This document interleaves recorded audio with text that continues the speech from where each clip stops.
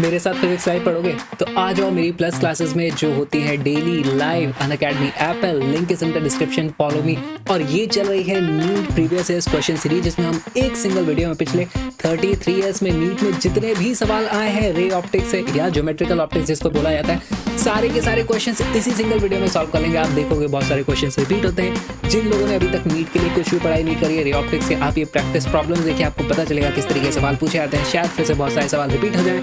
जो लोग मुझे नहीं जानते, मेरा नाम विक्रांत किरार है। मैंने आई टी से मैकेनिकल इंजीनियरिंग करी है। और अब इस वीडियो को शुरू करते हैं। आप बेशक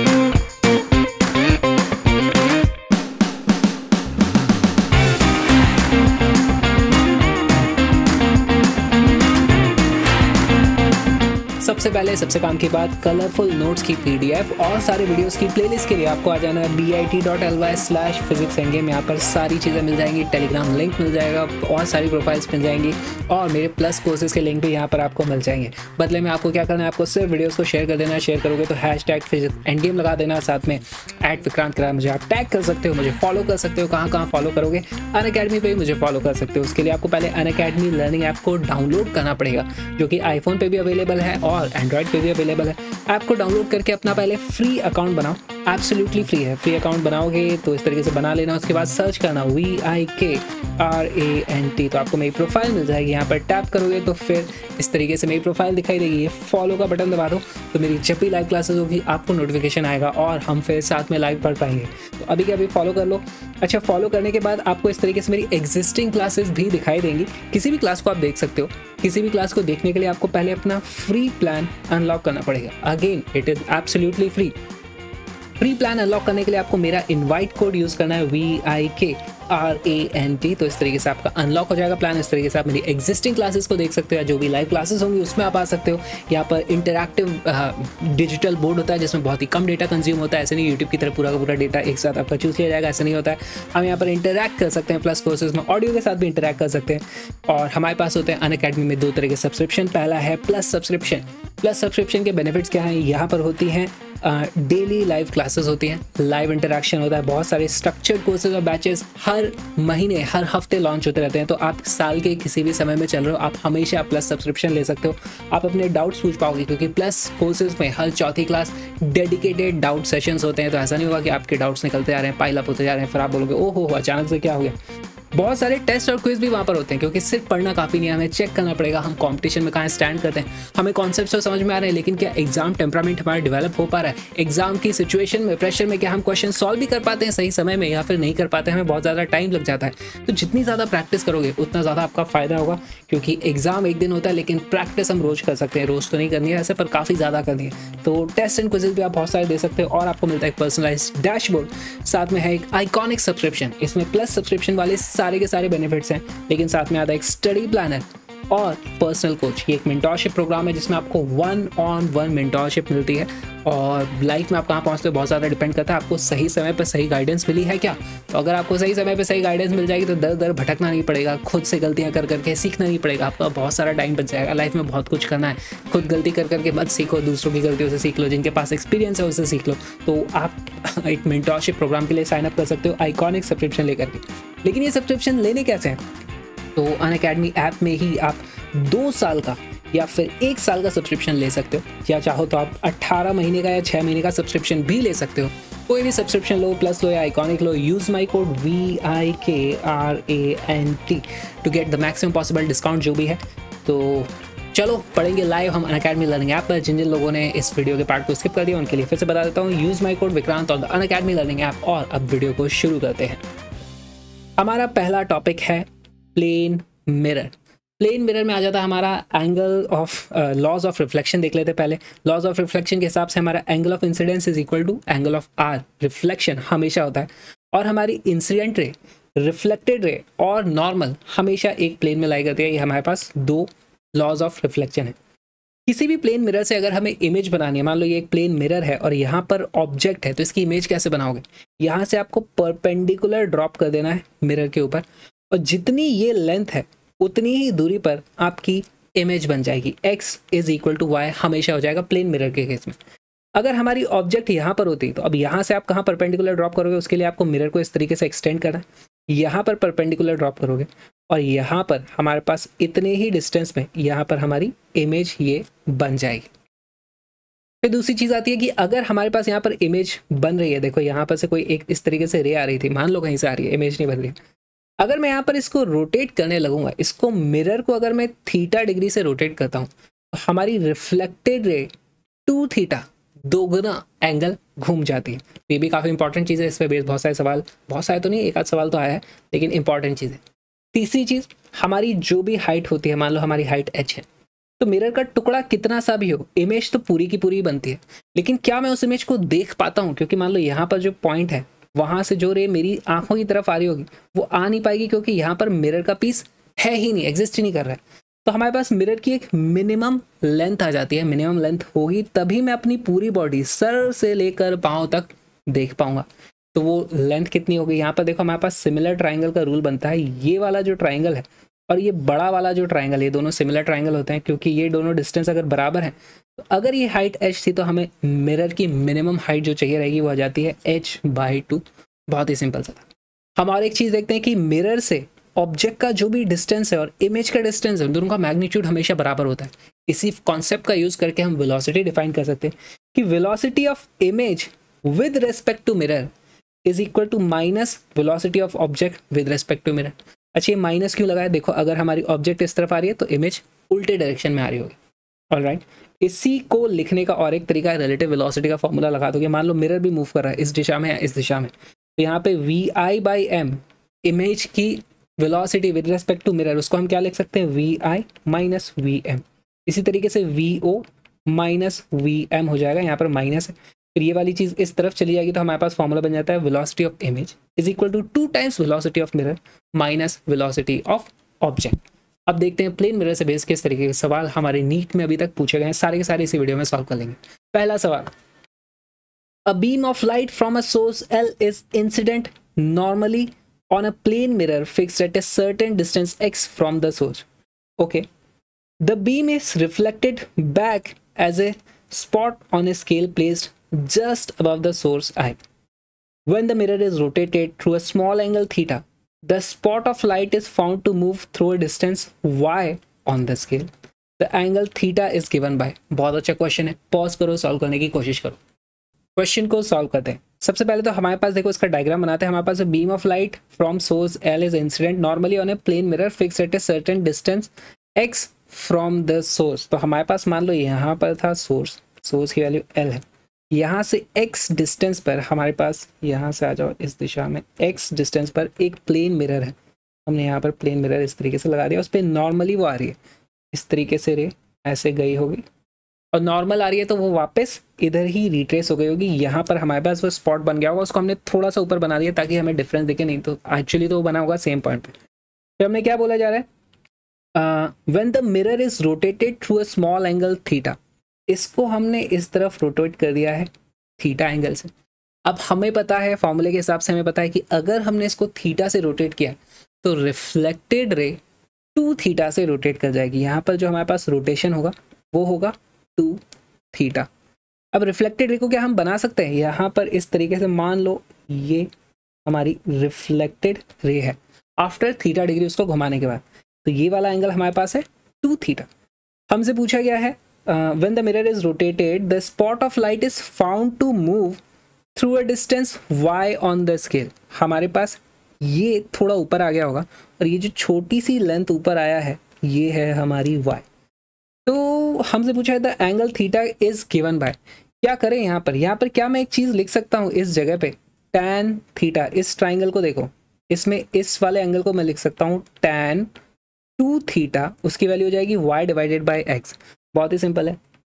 Tan two theta is equal to Y divided by X अब बोला गया है कि ये एक स्मॉल एंगल थीटा था. तो स्मॉल एंगल के लिए हम कौन सा अप्रोक्सीमेशन यूज़ करते हैं? कि theta is equal to sine theta is equal to tan theta तो ये जो टेन के अंदर जो चीज़ लिखी हुई है ना, उसको आप एज इट इज़ बाहर ला सकते हो अगर ये चीज़ें वैल्यूज़ हमारी रेडियन में है तो. तो होगा रेडियन में two theta is equal to Y upon X यहाँ से थीटा की वैल्यू आ जाती है Y upon two X option number D is the correct answer. Next question पे चलते हैं।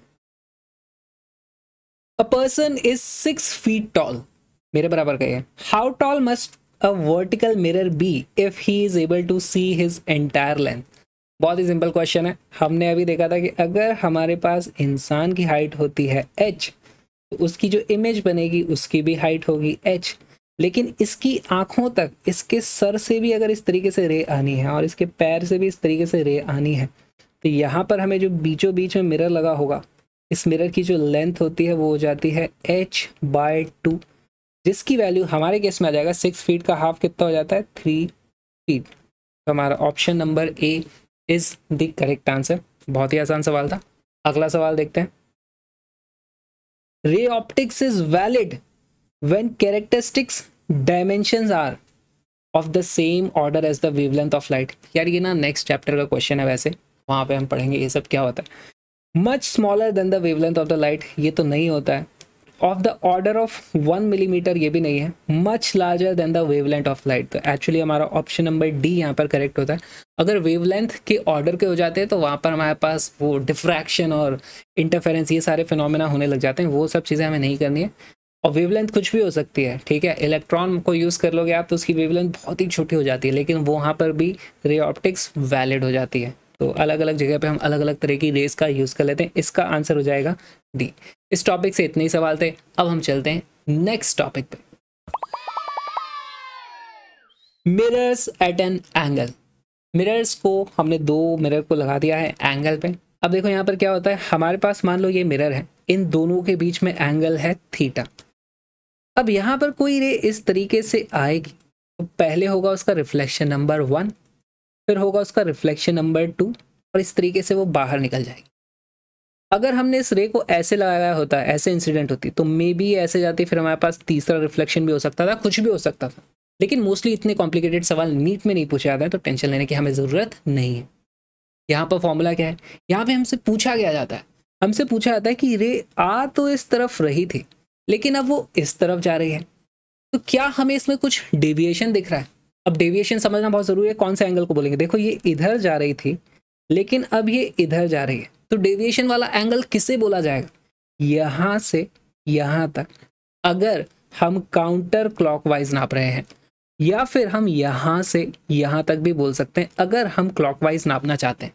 ठीक है, वही प्लस माइनस वाला अंतर और राइट क्या हमारे पास इसका कोई फॉर्मूला है? देखो, यहाँ पर इसका इंसिडेंट एंगल आप कुछ भी बनाओ। अगर हमारे पास दो रिफ्लेक्शन होते हैं और ये निकल जाती है बाहर तो हमारे पास जो डिफ्लेक्शन आता है डेल्टा उसकी वैल्यू होती है टू टाइम्स थीटा क्लॉकवाइज या काउंटर क्लॉकवाइज कैसे पता करोगे? बहुत ही इंटरेस्टिंग सवाल है। यहाँ पर देखो, हमारे पास पहला रिफ्लेक्शन हुआ है, ये है मिरर इसको मैं बोल देता हूँ एम वन ये है हमारा मिरर एम टू कैसे पता किया? क्योंकि रे पहले आके इस पर टकराई थी, इसीलिए हो जाता है एम वन और ये हो जाएगा एम टू सबको समझ आया? अब यहाँ पर जो थीटा को मैं नापूँगा, वो मैं नापूँगा एम वन से लेकर एम टू तक, ठीक है? थीटा को हम एम वन से एम टू तक मानेंगे फ़र्स्ट से सेकेंड तक। तो ये थीटा किस डायरेक्शन में आ रहा है? ये आ रहा है काउंटर क्लॉक वाइज अगर थीटा काउंटर क्लॉक वाइज है तो हमारा डेविएशन भी होगा काउंटर क्लॉक वाइज तो यहाँ पर देखो डेविएशन भी है काउंटर क्लॉक वाइज डायरेक्शन में। देखो, इसी तरीके से घूमा करेक्ट इस तरीके से हम डेल्टा फाइंड करते हैं। बहुत ही इंटरेस्टिंग फॉर्मूला है। दूसरे तरीके के क्वेश्चन जो इसमें आते हैं कि हमारे पास इस तरीके से दो मिरर्स को रख दिया जाता है किसी एंगल पे थीटा पे। बीच में रख दी जाएगी यहाँ पे कोई ऑब्जेक्ट हमसे पूछा जाएगा, इसकी इमेजेस कितनी बनेंगी? देखो, ये वाला मिरर इसकी यहाँ पर एग्जैक्टली यहाँ पर, इससे इतनी ही दूरी पर एक इमेज इस तरीके से बना देगा। साथ में एक इमेज यहाँ पर बनती। फिर ये वाली जो इमेज है, वो इसके लिए ऑब्जेक्ट बन जाती है तो फिर एक हमारे पास यहाँ पर इमेज आती। है ये वाली हमारे लिए यहाँ पर एक इमेज बनाती है। इस तरीके से हमारे पास बहुत सारी इमेजेस आ जाते हैं। गिनो इसको वन ये तो ऑब्जेक्ट है। One two three four five six ऐसे कितनी इमेजेस बन गई हमसे सवाल पूछा जा सकता है। इमेजेस ऐसे इनफाइनाइट नहीं बनती हैं। जब तक इसकी जो इमेज बनी है इस वाले मिरर में, वो इस मिरर के इस तरफ़ है, यानी कि यहाँ कहीं पे है, तब तक इसमें इसकी इमेज बनेगी। तो एक फिक्स्ड नंबर ऑफ़ इमेजेस बनती है, उसको कैलकुलेट कैसे करना है? इसका बहुत ही स्ट्रेट फॉरवर्ड फॉर्मूला है और डेरिवेशन में हमें जाने की ज़रूरत नहीं है। मान लो हमारे पास ये वैल्यू थी थीटा तो सबसे पहले हम एन कैलकुलेट करते हैं।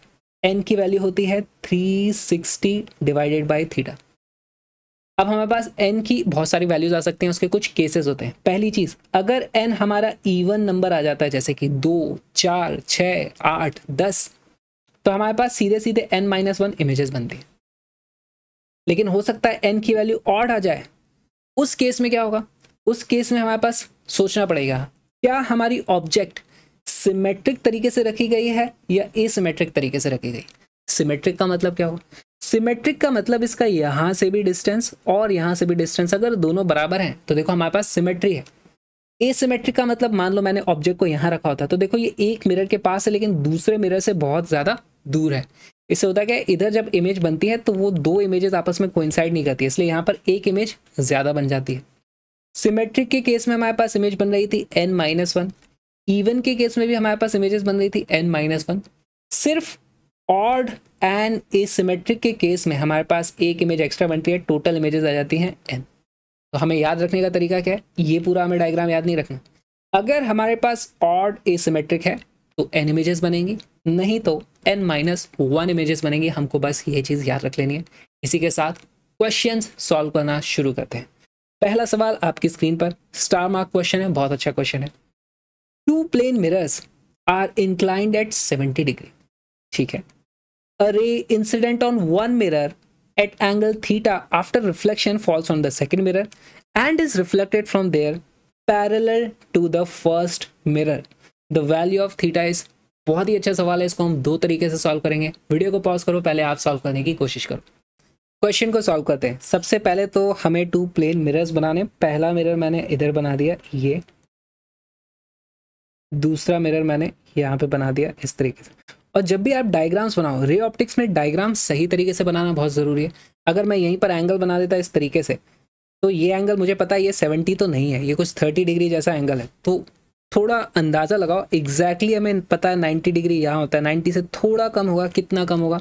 इस तरीके से हमने डायग्राम बना लिया, ये है हमारा सेवेंटी डिग्री यहाँ पर एक रे इंसिडेंट होती है, पहले तो इधर आएगी, फिर इधर जाएगी, लेकिन रिफ्लेक्शन के बाद वो पैरेलल हो जाती है। तो मैं एक काम करता हूँ, पहले मैं रिफ्लेक्टेड रे बना देता हूँ, इस तरीके से ये गई।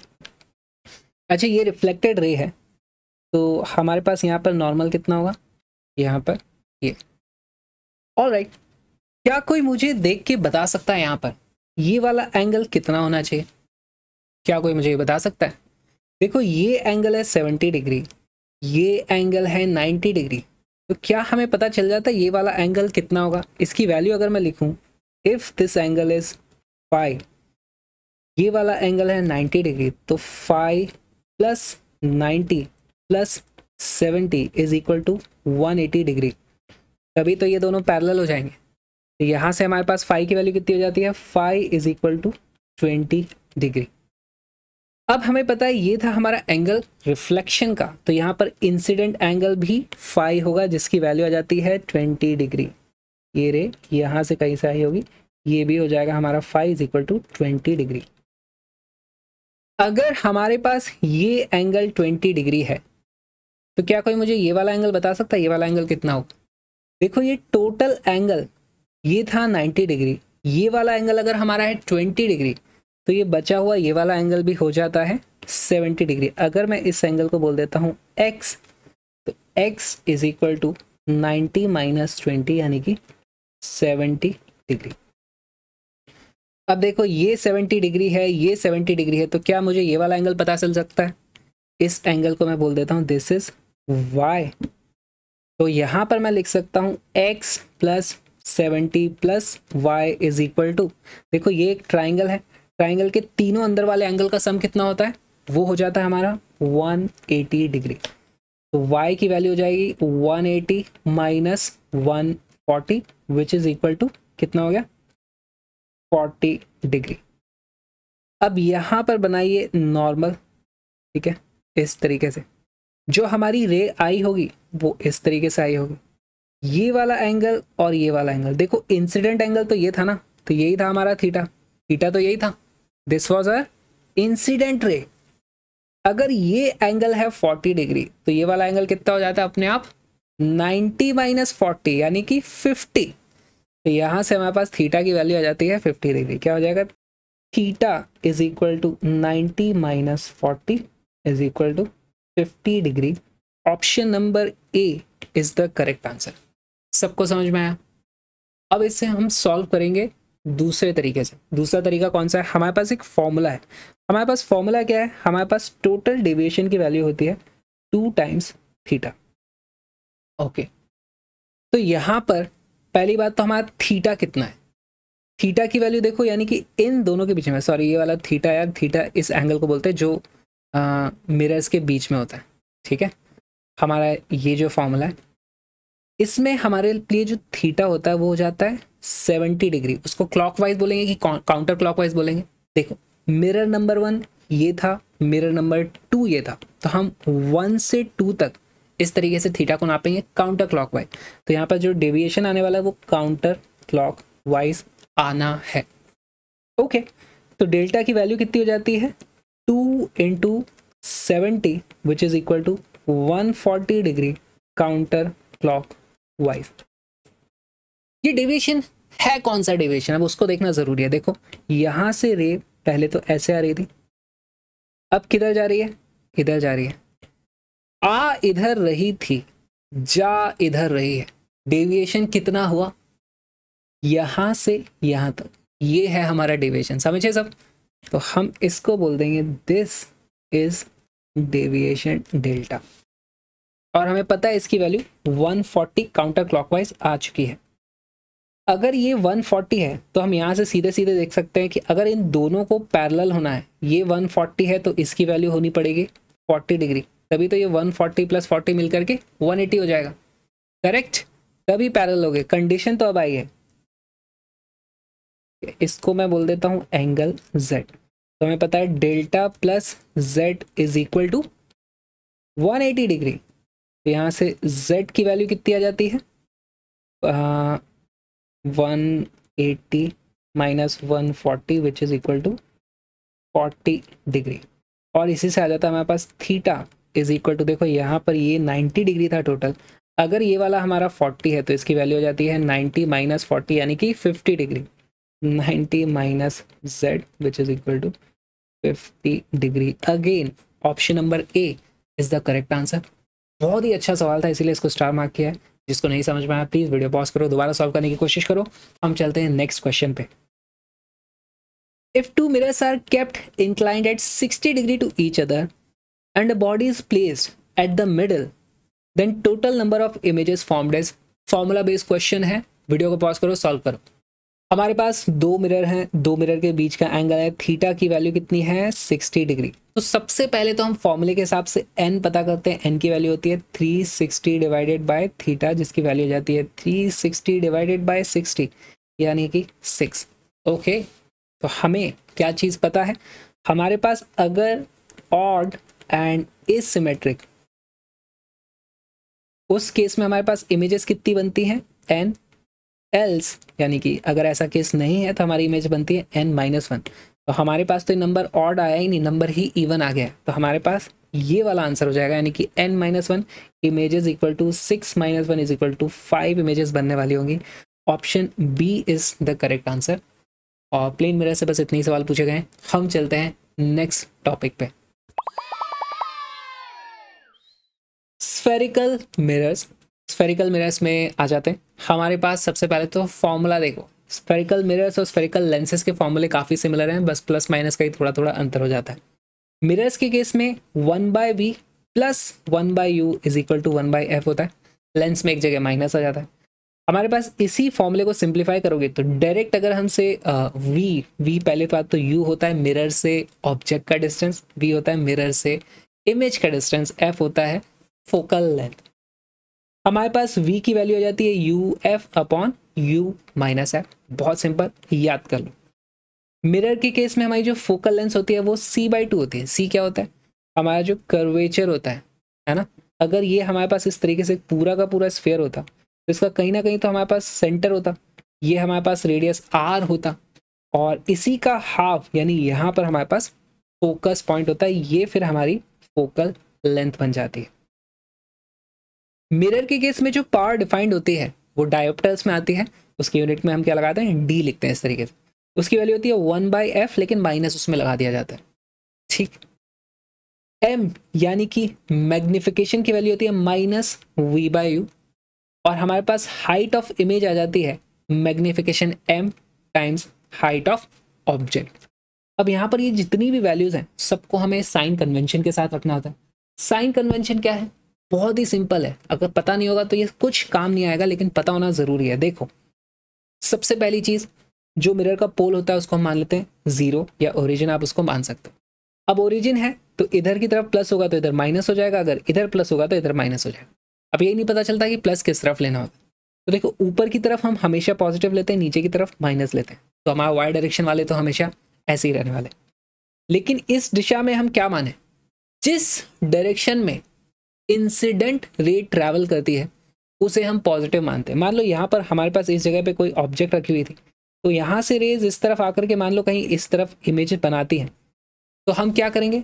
रे मूव कर रही है इंसिडेंट रे इस तरफ़ और रिफ्लेक्टेड रे इस तरफ़ जा रही थी। तो हम पॉजिटिव मानेंगे इंसिडेंट रे के डायरेक्शन को नेगेटिव मानेंगे जो उल्टा वाला डायरेक्शन अपने आप बचा उस तरीके से।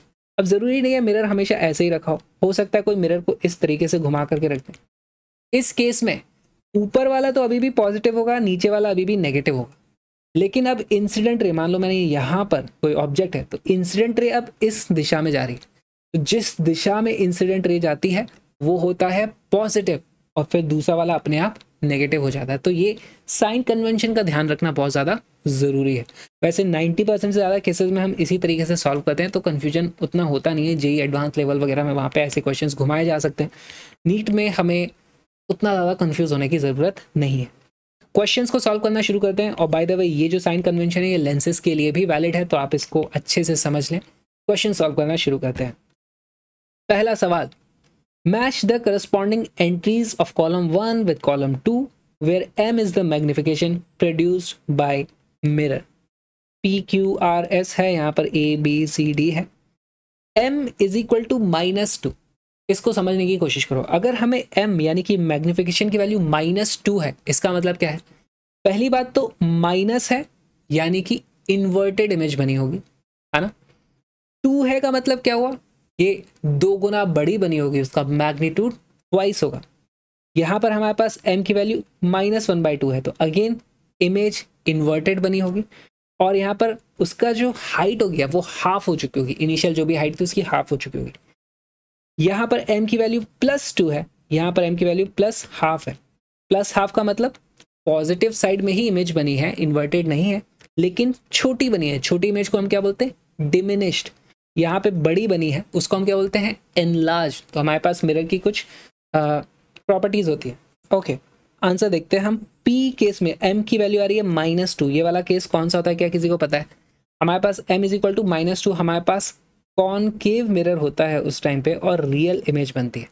इसका हमारे पास इस तरीके से रे डायग्राम होता है। इस सारे के सारे अब मैं यहाँ पर बना नहीं सकता, लेकिन एम की वैल्यू माइनस टू है। यहाँ पर कहीं हमारी ऑब्जेक्ट रही होगी, यहाँ से एक पैरेलल रह गई होगी, इस तरीके से निकली होगी। दूसरी वाली ऐसे कहीं आई होगी। हमारे पास फाइनली यहाँ पर इमेज बनी होगी। और इसकी लेंथ देखो लेंथ डबल हो चुकी है, इसलिए वो टू वाली बात आ रही है। और क्योंकि इन्वर्टेड बनी है तो वो माइनस टू आ जाएगा। साथ में हम देखते हैं, ये एक रियल इमेज बनी है। तो हमारे पास एक रियल इमेज भी आती है, और कॉनकेव मिरर है। कॉनकेव ये होते हैं जिनमें केव जैसी बनी होती है। केव का मतलब क्या है गुफा होती है ऐसे। किसी पहाड़ में आप देखो, गुफा होती है। तो ये कॉनकेव है। कॉन्वेक्स हमारा दूसरी साइड वाला होता है, इस तरीके से। तो पी का आंसर आ जाता है बी एंड सी। पी के लिए बी एंड सी है। पी के लिए यहाँ पर ए एंड सी है। पी के लिए ए एंड डी है। पी के लिए सी एंड डी है। तो हमें एक एनालिसिस एक एनालिसिस से ही पता चल गया कि हमारा ऑप्शन नंबर ए करेक्ट आने वाला है। तो अब हमें बाकी देखने की ज़रूरत नहीं है। आपका मन करे तो आप देख सकते हो। हम चलते हैं अगले क्वेश्चन पे। वैसे अच्छे ऑप्शन है। नहीं तो हमें सारे के सारे चेक करवाते अगर ये वाला ऑप्शन नीचे होता तो हमें सारे चेक कर करके रिजेक्ट करने पड़ते। अभी हमें पता है सिर्फ़ वन सिंगल आंसर करेक्ट है तो हम ए मार्क करके आगे बढ़ सकते हैं। चलो, आगे चलते a rod of length ten centimetre lies along the principal axis of a concave mirror of focal length ten centimetre in such a way that its end closer to the pole is 20 centimetre away from the mirror the length of the image is बहुत ही अच्छा सवाल है। पहले इसका हम diagram बनाते हैं, फिर आप पॉज करके सॉल्व करने की कोशिश करना। हमारे पास यहाँ पे हम बना देते हैं कॉनकेव मिरर इस तरीके से इसका एक प्रिंसिपल एक्सिस बनाओ। ये बन गया हमारा प्रिंसिपल एक्सिस इसका कहीं पर हमारे पास होगा फोकल एफ़ और यहाँ पे हमारे पास सी फोकल लेंथ कितनी है? टेन सेंटीमीटर तो हमारे पास ये वाला डिस्टेंस आ जाता है टेन। ये वाला डिस्टेंस भी आ जाता है टेन। ओके हमारे पास ऑब्जेक्ट की लेंथ भी है टेन सेंटीमीटर और वो रखी कहाँ पर है कि उसका जो क्लोजर टू पोल है पोल कहाँ होता है? यहाँ पर होता है हमारे पास पोल। अब रॉड है तो रॉड के दो एंड्स होते हैं। उसको पहली बात तो इस एक्सेस पे रखा गया और इस तरीके से रखा है कि उसका वो एंड जो कि पोल के क्लोज है, वो यहाँ से एक्चुअली 20 सेंटीमीटर की दूरी पर है। तो हमारे पास यहाँ पर इस तरीके से रॉड रखी हुई है। अब मैं इसको थोड़ा पतला बना रहा हूँ। ये हमारी रॉड है। इस रॉड को क्या हम कुछ नाम दे दें?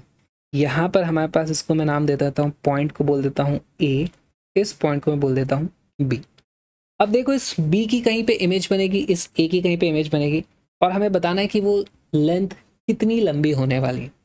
तो इसको सॉल्व करने की कोशिश करो वीडियो को पॉज करो। क्वेश्चन को सॉल्व करना शुरू कर दें। सबसे पहली बात देखो, हमारे पास ऑब्जेक्ट बी की अगर हम बात करें बी है हमारा इस सी के ऊपर। तो हमें पता है इसकी जो इमेज बनेगी वो भी यहीं बन जाएगी। नहीं तो हम फॉर्मूला लगा के भी देख सकते हैं, लेकिन ज़रूरत नहीं है। जब भी हमारे पास ऑब्जेक्ट इन्फिनिटी पे होती है तो इमेज बनती है फोकल लेंथ पे।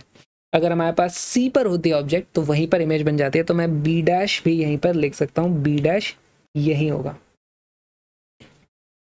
अब इस एक ही इमेज बनेगी कहाँ? फॉर्मूला लगाने से पहले क्वालिटेटिव एनालिसिस कर लेते हैं। देखो इन्फिनिटी पे होते हो इन्फिनिटी पे तो एफ़ पे बनती है। फिर इन्फिनिटी से मैं पास आता जाता हूँ। यहाँ तक आता हूँ तो इमेज यहाँ से यहाँ तक मूव करती है। तो हमारी एक्चुअली इमेज यहाँ कहीं पे होगी, जो एक ही इमेज जिसे मैं ए डैश बोल सकता हूँ, वो यहाँ कहीं पर रहने वाली है। तो उसको सॉल्व करना शुरू करते हैं। पहली बात तो हमारी ये लेंथ कितनी है?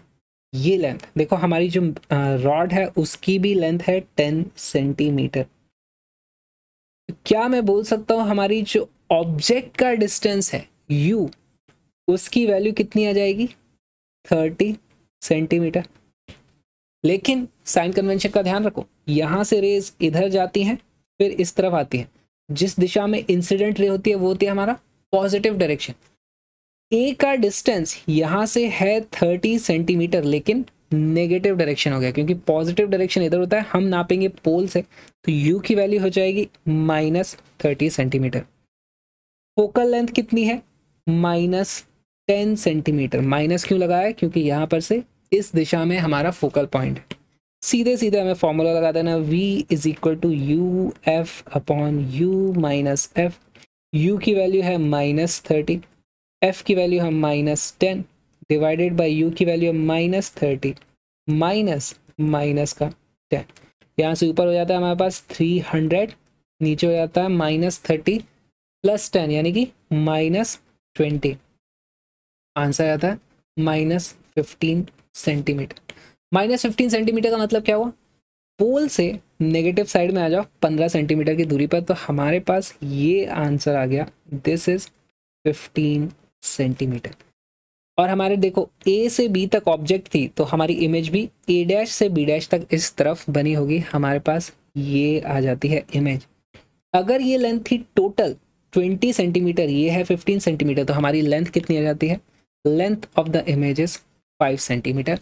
बहुत आसानी से हम कर पाए। थोड़ा लंबा मैंने इसको सॉल्व किया। आप चुटकियों में इसको सॉल्व कर सकते हो। और एक चीज़ देखो, यहाँ पर हमारे पास मिरर की तरफ़ कौन सा पॉइंट था? बी लेकिन इमेज में बी मिरर से अवे है। तो वो इस डायरेक्शन में भी इन्वर्टेड सी इमेज बन रही है। करेक्ट तो लेंस सॉरी मिरर पे इतने ही क्वेश्चन है, जो प्योरली मिरर के हैं। फिर लेंस के साथ कंबाइन होकर और भी क्वेश्चन आते हैं, जिसको हम लेंसेज के साथ कवर करेंगे। अभी हम चलते हैं अगले टॉपिक पर। रिफ्रैक्शन रिफ्लेक्शन हमने पढ़ लिया बारी है रिफ्रैक्शन की। हमारे पास होता है एक रिफ्रैक्टिव इंडेक्स किसी भी मीडियम का, जैसे ग्लास हो सकता है वाटर हो सकता है या डायमंड हो सकता है। रिफ्रैक्टिव इंडेक्स की वैल्यू होती है speed of light in vacuum divided by speed of light in that particular medium उस मीडियम में कितनी स्पीड आ रही है? इसकी वैल्यू हमेशा वन से बड़ी होगी। क्योंकि स्पीड ऑफ़ लाइट हमेशा किसी भी मीडियम से ज़्यादा होती है तो इसलिए इसकी वैल्यू हमेशा वन से बड़ी या वन के बराबर आ सकती है। एयर के लिए हम उसको वन के बराबर मान लेते हैं। जब भी लाइट एक मीडियम से दूसरे मीडियम में एंटर करती है तो हमारे पास उसकी फ्रीक्वेंसी बदलती नहीं है। एफ़ हमेशा कांस्टेंट रहती है अनचेंज रहती है। हमारे पास होता है एक equation v is equal to f lambda अब फ्रीक्वेंसी चेंज नहीं हो रही है तो एक्चुअली वेलोसिटी में चेंज आया क्यों था? क्योंकि वेवलेंथ चेंज हो गई थी। तो जब भी हम मीडियम चेंज करते हैं तो हमारी वेलोसिटी कम हो जाती है, यानी कि वेवलेंथ भी छोटी हुई होगी। तो हमारे पास देखो, अगर इनिशियली लैमडा थी तो फाइनली फिर हो जाती है हमारी लेमडा डिवाइडेड बाय एन अगर हम रेयर मीडियम से डेंसर मीडियम की तरफ़ जा रहे हैं तो या फिर आप हमेशा ये वाला फॉर्मूला लगा के सॉल्व तो कर ही सकते हो। वेलोसिटी भी, अगर हम रेयरर मीडियम से डेंसर मीडियम में जा रहे हैं तो वेलोसिटी भी कम हो जाती है। इस चीज़ को हमेशा याद रखना, जब भी डेंस मीडियम में जाओगे वेलोसिटी कम हो जाएगी। फिर आता है हमारे पास स्नेल्स लॉ उसमें क्या होता है? हमारे पास n one sine i is equal to n two sine r इसका मैं डायग्राम बनाना कैसे भूल गया? यहाँ पर हमारे पास दो मीडियम हो सकते हैं इस तरीके से। एक रे यहाँ पर इंसिडेंट है। हमारे पास यहाँ पर एक मीडियम डेंस होगा तो यहाँ पर मैं इस तरीके से वो मीडियम बना देता हूँ। सबसे पहले हम बनाएँगे यहाँ पर एक नॉर्मल इस तरीके से। ये है हमारा एंगल ऑफ़ इंसिडेंस आई और इस तरफ़ हमारा मीडियम है एन वन ये है हमारा एन टू जिसमें एंटर करोगे, उसको हम एन टू बोल रहे हैं. यहाँ पर लाइट अब दोनों के रिफ्रैक्टिव इंडेक्स के हिसाब से कुछ भी हो सकता है यहाँ पर. लेकिन इस केस में मैं डायग्राम जनरल बना देता हूँ इस तरीके से. देखो लाइट रे सीधी जाने की बजाय बेंड हो गई है, कुछ मुड़ गई है. ये है हमारा एंगल आर रिफ्रैक्टेड एंगल है रिफ्रैक्शन का एंगल तो यहाँ पर हमारे पास कौन सा लॉ लगता है? N one sine i is equal to n two sine r बहुत ही सिंपल सा है, इस पर बहुत सारे क्वेश्चन होते हैं। क्वेश्चन सॉल्व करना शुरू करते हैं। पहला सवाल the frequency of a light wave is in a material is two into ten power fourteen hertz and wavelength is five thousand angstrom the refractive index of the material will be बहुत आसान सवाल है, video को pause करके solve करने की कोशिश करो। वैसे मैं भी कर देता हूँ, बहुत ही आसान है इसलिए v is equal to f lambda हमारे पास वैल्यू होती है। और इसकी वैल्यू हो जाएगी फ्रीक्वेंसी कितनी थी? Two into ten raise power fourteen hertz into lambda की वैल्यू है फाइव थाउज़ेंड एंगस्ट्रॉन्ग यानी कि ten raise power minus ten metre per second में हमारे पास वेलोसिटी आ जाएगी। सीधे सीधे इसकी वैल्यू कितनी हो जाती है? टू इंटू फाइव इसकी वैल्यू हो जाती है ten into ten raise power fourteen वो हो जाएगा फिर fifteen sixteen seventeen eighteen eighteen minus ten यानी कि एट मीटर पर second.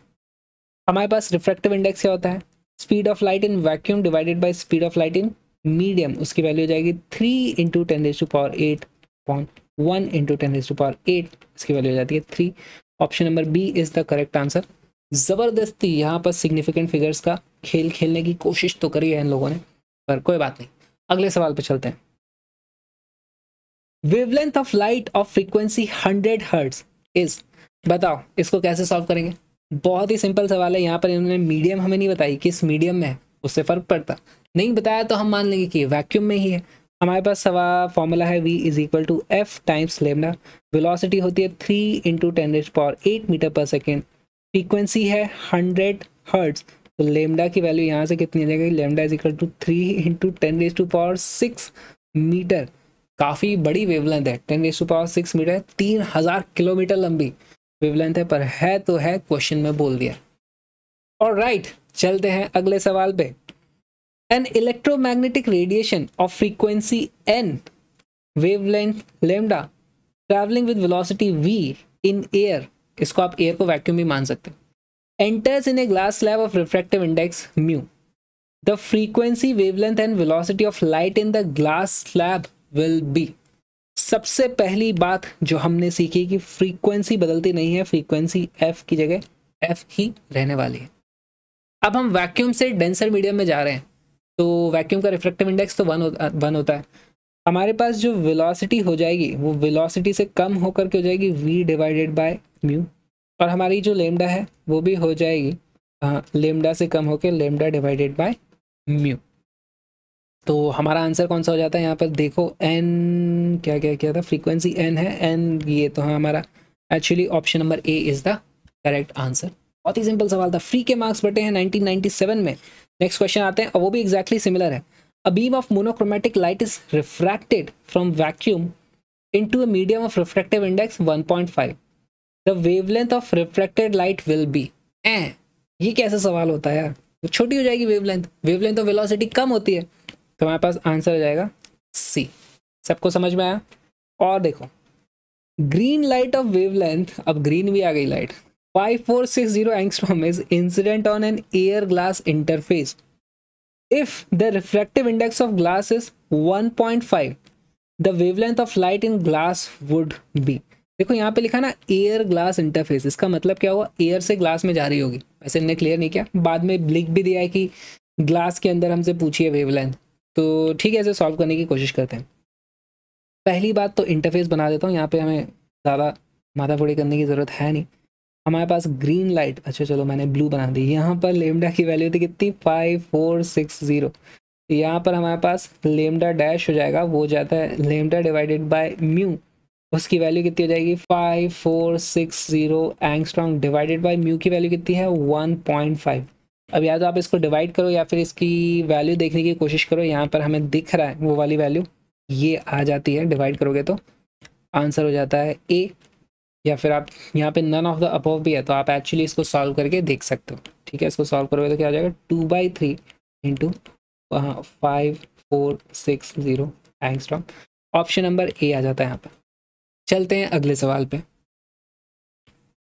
Light travels through a glass plate of thickness t and refractive index mu if c is the speed of light in vacuum the time taken by light to travel this thickness of glass is ओहो इससे आसान सवाल क्यों नहीं बना देते? Actually बना चुके हैं, अभी हम सॉल्व भी कर चुके हैं आसान आसान सवाल। हमारे पास थिकनेस कितनी है? टी हमारे पास इस थिकनेस के अंदर जब वो लाइट रे इस तरीके से मूव कर रही होगी, उसकी वेलोसिटी कितनी हो जाएगी? वेलोसिटी की वैल्यू हो जाएगी c divided by mu c होती है वैक्यूम में स्पीड और वो कम हो गई वहाँ पे सी बाई म्यू तो हमारे पास जो टाइम टेकन होगा, ठीक है time is equal to time कितना होता है? डिस्टेंस अपॉन स्पीड डिस्टेंस है हमारे पास टी स्पीड की वैल्यू है सी डिवाइडेड बाय म्यू तो इसका आंसर जाएगा mu t upon c option number D is the correct answer बहुत ही आसान सवाल था, लेकिन खुश हो जाओ क्योंकि ऐसे क्वेश्चंस रिपीट होते हैं। Time taken by sunlight to pass through a window of thickness four millimetre whose refractive index is 3 by two a, बहुत आसान सवाल है इसको सॉल्व कर सकते हैं लेकिन हम सॉल्व भी नहीं करेंगे हम ऑप्शन देख के ही मार्क कर देंगे। पहली बात हमें पता है लाइट इतनी फास्ट चलती है चार मिलीमीटर की थिकनेस से निकलेगी तो सोचो उसे कितना टाइम लगेगा। क्या उसका आंसर ये हो सकता है two into ten power eight second इतना समय लगता है क्या? नहीं इतने में तो लाइट कहाँ पहुँच जाती? क्या इसका आंसर ये हो सकता है? जी नहीं, ये भी नहीं हो सकता। क्या उसका आंसर ये हो सकता है? ये देखने में छोटा समय लग रहा है, लेकिन एक्चुअली ये भी नहीं हो सकता। इसका आंसर सिर्फ़ सी हो सकता है। बिना सॉल्व करे मैं इसको मार्क कर रहा हूँ। आप चाहो तो इसको सॉल्व कर सकते हो। एग्जैक्टली exactly पिछले सवाल की तरह, इस तरीके से। अपने सारे के सारे रिफ्रैक्शन वाले क्वेश्चन भी सॉल्व कर लिए। अब हम चलते हैं नेक्स्ट टॉपिक पे। ग्लास स्लैब ग्लास स्लैब में क्या होता है? कुछ नहीं होता है एक इस तरीके से स्लैब होती है। अब स्लैब है लाइट यहाँ से आ रही होती है तो बेंड हो जाती है और फिर इस तरीके से आती है। तो हमको लगता है कि अरे, ये लाइट यहाँ से स्टार्ट हुई होगी। तो एक्चुअली ऑब्जेक्ट यहाँ से, लेकिन हमको ऐसा दिखाई देता है कि ऑब्जेक्ट यहाँ पे आ चुके। तो हमारे पास एक्चुअली थोड़ा सा शिफ्ट आ जाता है। और इस शिफ्ट को कैलकुलेट करने का जो तरीका है, वो है ये। Shift s is equal to t t क्या है? इसकी thickness t into one minus n of surrounding upon n of slab अक्सर ऐसा होता है कि हमारी स्लैब का रिफ्रेक्टिव इंडेक्स सराउंडिंग से ज़्यादा होता है, लेकिन कई बार क्वेश्चन ऐसे भी बनाए जा सकते हैं कि बाहर की तरफ़ हमारे पास ज़्यादा रिफ्रैक्टिव इंडेक्स वाला मटेरियल है, अंदर उसका रिफ्रैक्टिव इंडेक्स कम है, इसलिए हमें ये ध्यान रखने की ज़रूरत है। नहीं तो अक्सर ये एन सराउंडिंग की वैल्यू भी वन के बराबर होती है मोस्ट ऑफ़ द केसेज ये फॉर्मूला आप याद कर सकते हैं। इस फॉर्मूले का ओरिजिन क्या है? हम यहाँ से देखते हैं। यहाँ पर देखो, हमारे पास मान लो कोई ऑब्जेक्ट यहाँ रखी हुई थी डी डिस्टेंस पे। यहाँ से ये रे निकलेगी और इस तरीके से बेंड हो जाएगी। हमें लगेगा रे यहाँ से चल के आ रही थी। तो हमें इसकी कुछ डेप्थ कम दिखाई देती है। जो दिखाई देता है उसको हम बोलते हैं अपेरेंट तो एपेरेंट डेप्थ की वैल्यू आ जाती है हमारे पास D dash is equal to N two by N one times D याद कैसे रखेंगे कि पहले एन टू रखना है एन वन रखना है? हमेशा ऐसे ध्यान रखना। अगर हम डेंसर मीडियम से रेयर मीडियम में जा रहे हैं तो अपेरेंट डेप्थ एक्चुअल डेप्थ से कम होगी। तो यहाँ पर हमारे पास ये N two by N one की वैल्यू वन से छोटी होनी चाहिए। एन वन बड़ा होगा। देखो हमें यहाँ दिख भी रहा है, ये ये था मीडियम नंबर वन ये था medium number two N one की वैल्यू बड़ी है एन टू की वैल्यू तो वन है, इसकी वैल्यू मे बी टू हो सकती है वन पॉइंट फाइव हो सकती है, कुछ भी हो सकती है। तो हमेशा डी डैश छोटी हो जाएगी डेंसर मीडियम से रेयरर मीडियम में जाने में। और इसी को घुमा फिरा के रीअरेंज करोगे तो ये वाला फॉर्मूला यहीं से आता है। इस पर बेस क्वेश्चन सॉल्व करना शुरू करते हैं। An air bubble in a glass slab refractive index is 1.5 ये बहुत अच्छा सवाल है, इसे स्टार मार्क हम कर सकते हैं। Deep when viewed from one face अच्छा an air bubble is 5 centimetre deep when viewed from one face and 2 centimetre deep when viewed from the opposite face the thickness of the slab is तो हमारे पास इस question में हो क्या रहा है, देखो। एक इस तरीके से स्लैब है। और अगर हम यहाँ से देखते हैं तो हमें फाइव सेंटीमीटर की दूरी पे वो दिखता है। और इधर से देखते हैं तो हमें टू सेंटीमीटर की दूरी पे दिखता है। तो ये टू है, ये फाइव है तो हमारी स्लैब हमें लगेगा कि सेवन सेंटीमीटर चौड़ी है। ऑप्शन नंबर सी हम मार्क कर देंगे, लेकिन ऐसा नहीं है। ये जो हमें दिख रहा है, उससे थोड़ी ज़्यादा ही यहाँ पर लेंथ होगी, क्योंकि अपेरेंट डेप्थ हमें छोटी दिखती है। वीडियो को पॉज करो सॉल्व करने की कोशिश करो, ये वाली लेंथ कितनी थी? एक्चुअली ये वाली कितनी थी? और आंसर बताओ। क्वेश्चन सॉल्व करने की कोशिश करते हैं। हमारे पास देखो, सबसे पहले तो ये वाली लेंथ मुझे पाँच दिखाई दी, ठीक है? ये एक्चुअली मैं इसको मान लो बोल देता हूँ डी वन और इसको मैं बोल देता हूँ डी टू तो मुझे डी वन डैश यानी डी वन कितनी दिखाई दी? उसकी वैल्यू दी हुई है फाइव सेंटीमीटर और उसकी वैल्यू होगी कितनी? वो D multiplied by N one by N two होगी अब यहाँ पर ये था हमारा डेंसर मीडियम ये था रेयरर मीडियम डेंसर से रेयरर में आते हैं तो हमें छोटी दिखाई देती है पेरेंट डेप छोटी हो जाती है। तो यहाँ पर हमारे पास N one by N two वो क्या होगा? One divided by one point five ठीक? तो हमारे पास फॉर्मूला भी था N two divided by N one times D यहाँ पर अगर यहाँ से रे ओरिजिनेट होती है तो ये था मीडियम नंबर वन ये था medium number two N two की वैल्यू है वन एन वन की वैल्यू है वन पॉइंट फाइव तो वही लिख दिया हमने one divided by one point five और राइट यहाँ से डी डैश की डी की वैल्यू कितनी आ जाती है? सॉरी डी वन है ये. डी वन की वैल्यू आ जाती है five into one point five यानी कि सेवन पॉइंट फाइव सेंटीमीटर इसी तरीके से हम डी टू डैश जब हम इस तरफ़ से देखते हैं तो हमें दिखता है कि ये सिर्फ़ दो सेंटीमीटर की दूरी पर है। ऐसा क्वेश्चन में बोला है। लेकिन असलियत में वो वैल्यू होगी one divided by one point five times D two यहाँ से डी टू की वैल्यू हो जाती है two into one point five यानी कि थ्री सेंटीमीटर तो जो टोटल थिकनेस है, उसको मैं बोल देता हूँ T is equal to D one plus D two उसकी वैल्यू जाएगी seven point five plus three is equal to ten point five centimetre option number B is the correct answer. चलते हैं अगले सवाल पे।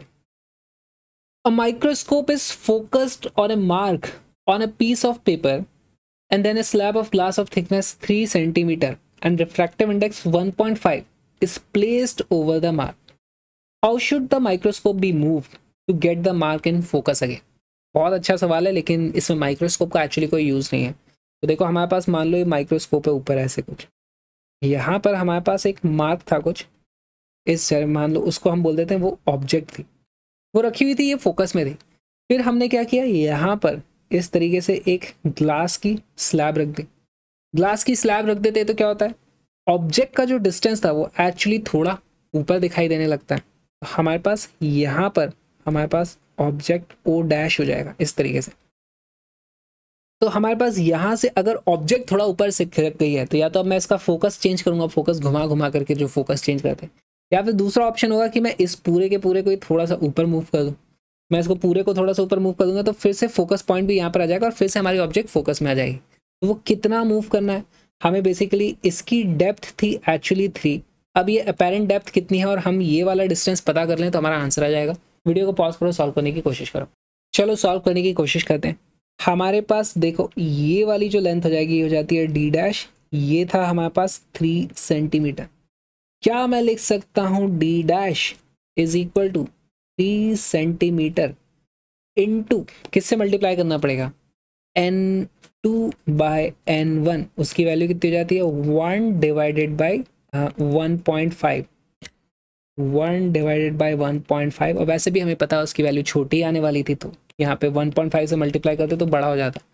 इसकी वैल्यू हो जाती है three divided by one point five यानी कि टू सेंटीमीटर तो ये डी डैश की वैल्यू टू सेंटीमीटर यानी हमारी ऑब्जेक्ट अपेरेंटली वन सेंटीमीटर ऊपर किसी की है। अपेरेंटली मतलब ऐसा दिखेगा तो हमें माइक्रोस्कोप को भी वन सेंटीमीटर अप करना पड़ेगा। O dash moved one C M upward इसका मतलब option number D is the correct answer ठीक? अगले सवाल पे चलते हैं।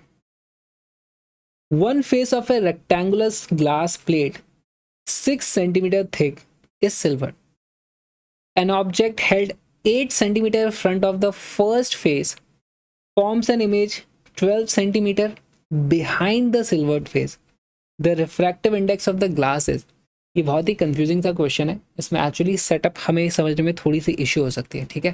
तो मैं पहले बता देता हूँ, उसके बाद आप इस वीडियो को पॉज करके सॉल्व करने की कोशिश करना। हमारे पास एक इस तरीके से ग्लास स्लैब है। ग्लास स्लैब की थिकनेस कितनी है? Six centimetre. उसकी एक साइड को हमने कर दिया पॉलिश। तो ये बन गया हमारा मिरर।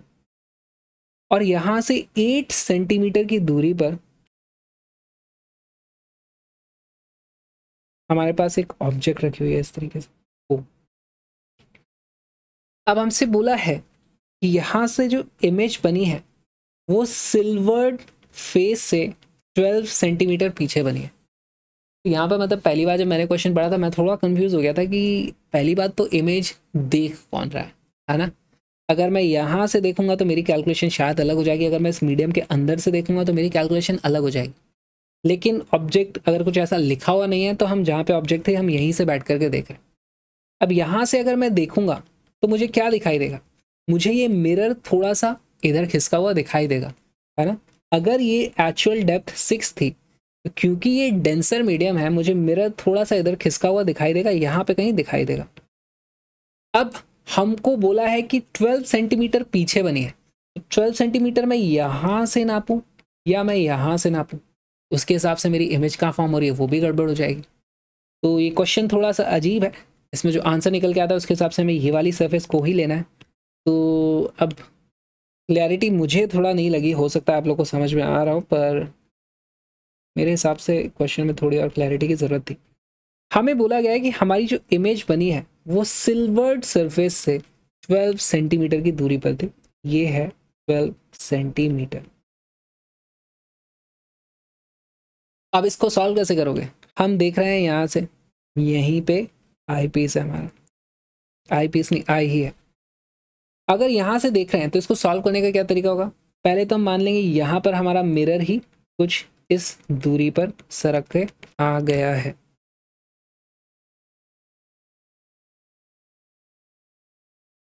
दिस इज़ टी अब मिरर ही आगे सरक के आ गया है तो मिरर से तो जो इमेजेस बनती हैं, ये वाला डिस्टेंस और ये वाला डिस्टेंस एग्जैक्टली exactly बराबर हो तो ये हम लगा सकते हैं, क्या लिख देंगे हम?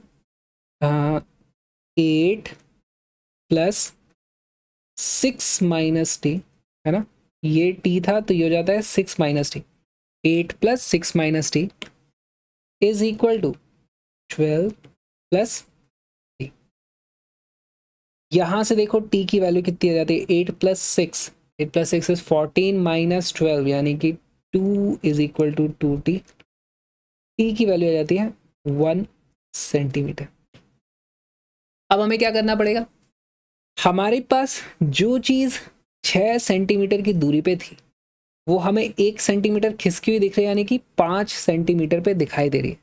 तो क्या मैं लिख सकता हूँ? D is equal to six centimetre D dash is equal to five centimetre right formula लगा दो।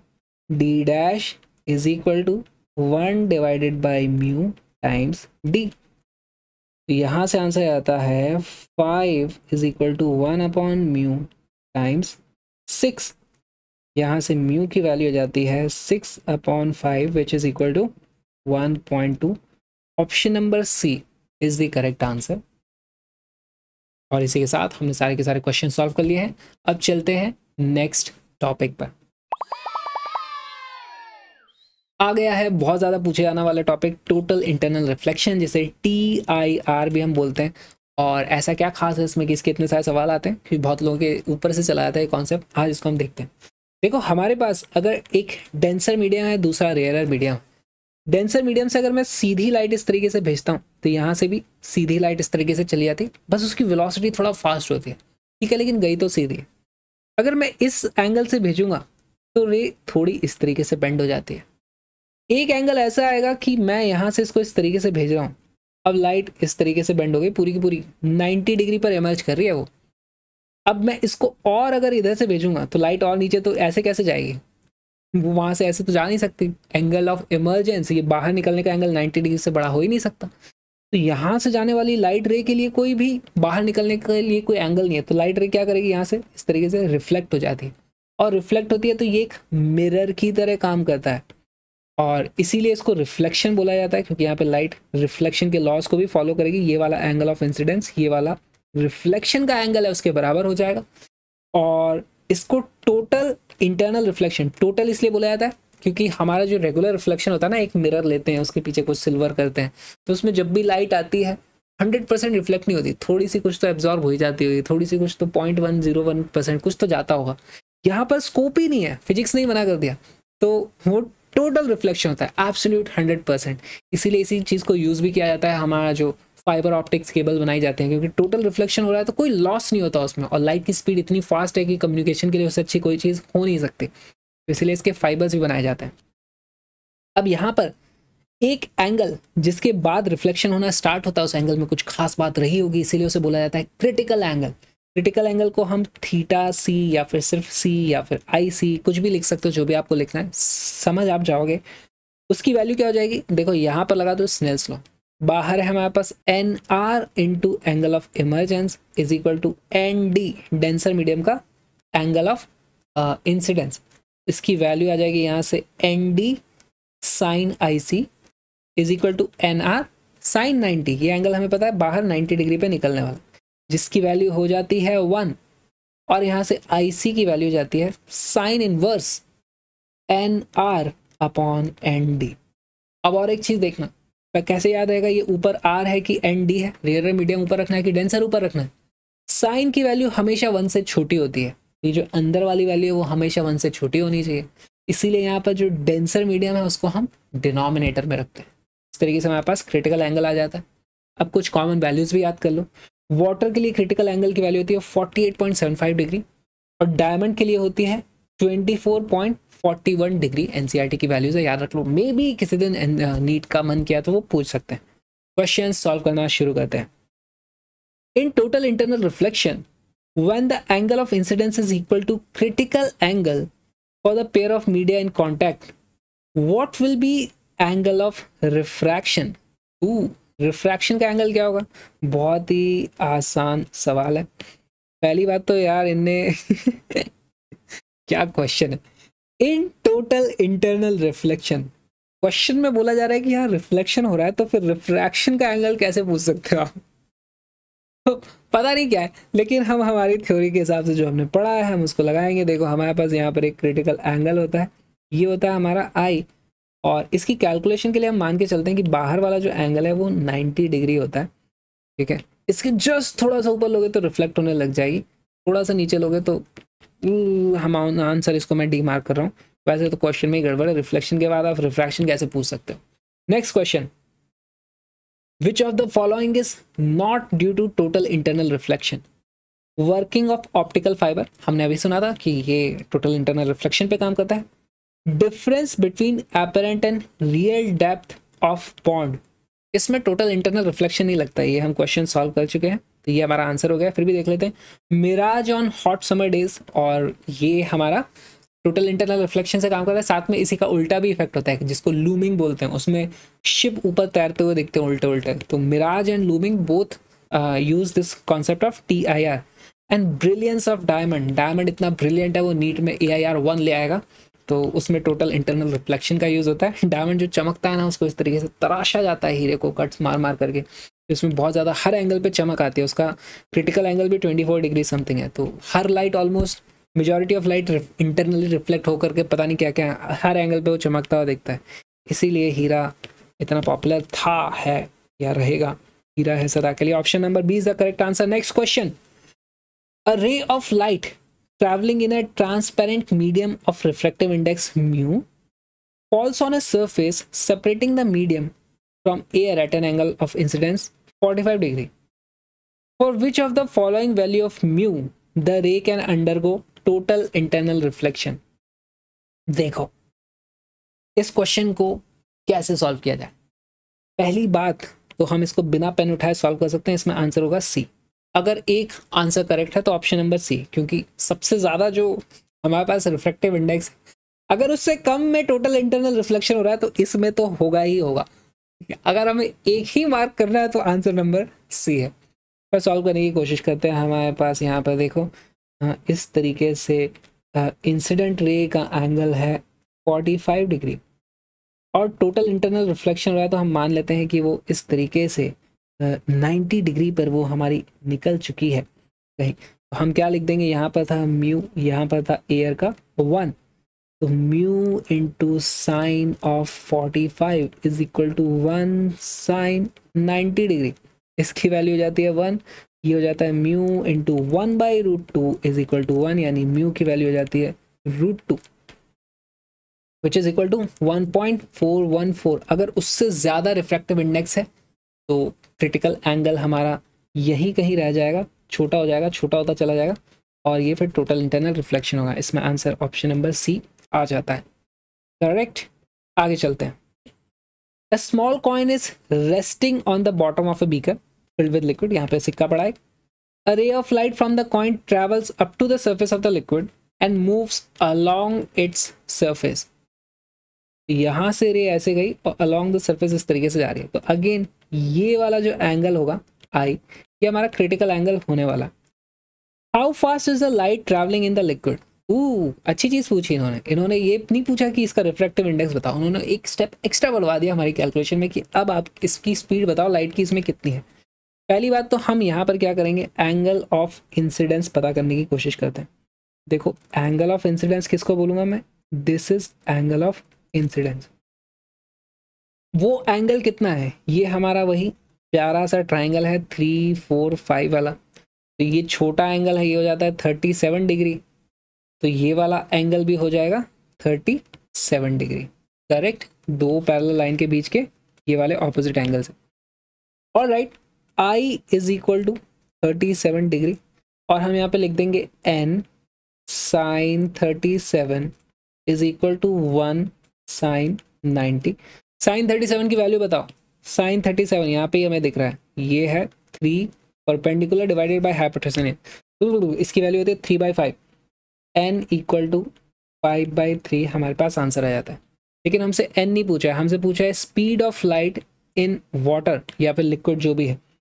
तो speed is equal to C divided by N which is equal to C की वैल्यू कितनी है? Three into ten raise to power eight divided by five by three इसकी value हो जाएगी V is equal to three into three nine by five into ten raise to power eight which is equal to nine by five करो। Eighteen by ten one point eight into ten raise to power eight metre per second which is option number D correct answer चलते अगले सवाल पे। A light ray falls on a rectangular glass slab, as shown. ठीक है? The index of refraction of glass, if total internal refraction is to occur at the vertical faces, पहली बात तो ये सवाल गलत बनाया हुआ है। यहाँ से अगर रे ऐसे आ रही है, थोड़ा तो बेंड हो गया। अरे क्वेश्चन तुम थोड़ा तो अच्छा सा बनाओ। ठीक है तो हम इसको बनाते हैं। अब यहाँ से होने क्या वाला है? यहाँ से रे ऐसे आएगी और फिर टोटल इंटरनल रिफ्लेक्शन से ज़्यादा हम मान लेते हैं कि यहाँ पर इस तरीके से 90 डिग्री पर वो निकल गई है। सॉल्व करने की कोशिश करते हैं। पहले तो हमें यहाँ पर ये जो आ आर है, वो पता करना पड़ेगा। इसका डायग्राम बनाता हूँ मैं फिर से यहाँ पर।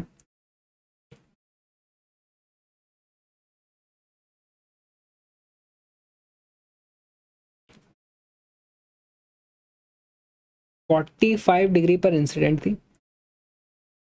ये है हमारा आर तो पहली स्नेल्स लॉ की इक्वेशन क्या लिखेंगे? One into sine forty five इस तरफ़ का हो गया इज़ इक्वल टू यहाँ का जो भी एन था into sine R is equal to N sine R ठीक? अच्छा ये आर था तो यहाँ पर हमारे पास ये जो एंगल बनेगा, ये एंगल कितना हो जाएगा? 90 माइनस आर ठीक? और यहाँ से फिर हमारे पास बोला है टोटल इंटरनल रिफ्लेक्शन हुआ तो हम मान लेते हैं यहाँ पर रे, इस तरीके से निकल गई होगी क्रिटिकल एंगल हमें इसको बोलना है बेसिकली तो एक्चुअली रे इधर भी जा सकती है, इधर भी आ सकती है मतलब थोड़ा सा भी एंगल आगे पीछे होगा तो वो इधर जा सकती है या फिर इधर आ सकती है।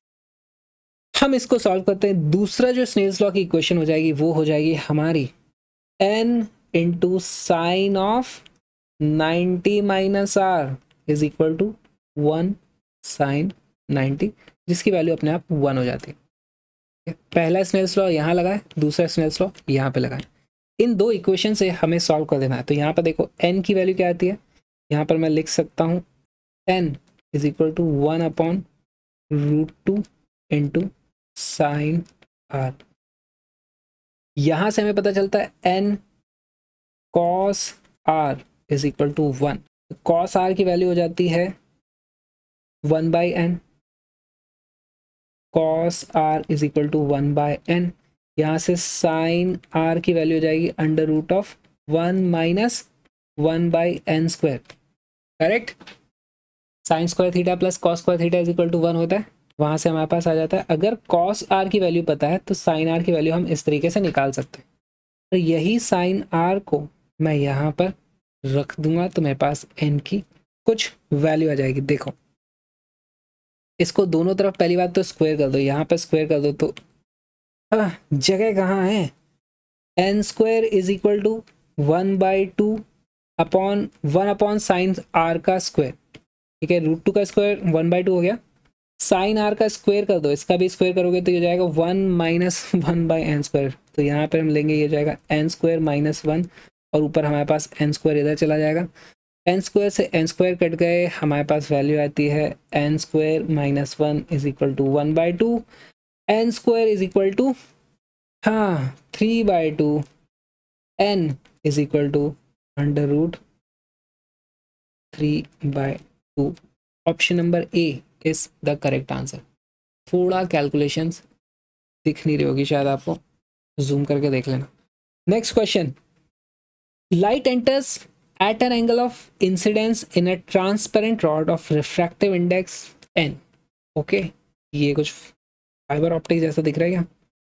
For what value of refractive index of the material of the rod the light once entered into it will not leave it through its lateral face whatsoever be the angle of incidence. बहुत अच्छा सवाल है देखो हमारे पास इस तरीके से बहुत ही लंबी रॉड है, कोई फाइबर ऑप्टिक्स आ गया ये बेसिकली अब यहाँ से अगर मैं इस तरीके से रे डालूँगा तो वो सीधी की सीधी चली जाएगी। अगर मैं यहाँ से थोड़ी टेढ़ी रे डालूँगा तो यहाँ पे थोड़ा बेंड होगी और फिर यहाँ पे टोटल इंटरनल रिफ्लेक्शन हो जाएगा और फिर वो ऐसे रिफ्लेक्ट होती होती उधर चली जाएगी। अगर मैं कुछ ऐसा एंगल पे डालूं कि यहाँ पे क्रिटिकल एंगल से कम है तो लाइट बाहर निकल सकती है। तो हमें कुछ इसका ऐसा रिफ्रैक्टिव इंडेक्स एन बताना है कि इसका क्रिटिकल एंगल से वो हमेशा छोटी रहे, हमेशा टोटल इंटरनल रिफ्लेक्शन हो। भले मैं यहाँ पे ऐसे रे डालूँ, चाहे ऐसे रे डालूँ, चाहे ऐसे रे डालूँ, चाहे ऐसे रे डालूँ, और मैं सबसे ज़्यादा वर्स्ट के सिनेरियो क्या कर सकता हूँ? कि मैं रे को एकदम 90 डिग्री पर ही इंसिडेंट कर दूँ। तो इसीलिए मेरे पास I is equal to ninety degree हम लेंगे। 90 डिग्री पे जाएगी तो रे इस तरीके से रिफ्लेक्ट होगी, ये है हमारा एंगल आर ओके। तो यहाँ पर आर की वैल्यू आ जाती है। आर इज़ इक्वल टू देखो one into sine ninety is equal to N into sine R यहाँ से हमारे पास आ गया, इसकी वैल्यू आ जाती है वन अब यहाँ पर, इस जगह पे देखो। यहाँ पर हमारे पास ये जो इंसिडेंस का एंगल है, दूसरा वाला, वो क्रिटिकल एंगल के बराबर होना चाहिए। तो 90 minus R should be critical angle critical angle के लिए कंडीशन हम क्या लगा देंगे? देखो N into sine of 90 minus R is equal to one sine one बाहर की तरफ़ हमारे पास क्या हो जाएगा? इस तरीके से मान लो क्रिटिकल एंगल वाली कंडीशन है तो 90 डिग्री तो N sine one into sine ninety degree जिसकी वैल्यू हो जाती है वन ओके तो हमारे पास दो इक्वेशन आ गई है। क्या है वो दो इक्वेशन पहली बात तो N sine R is equal to one दूसरी है N cos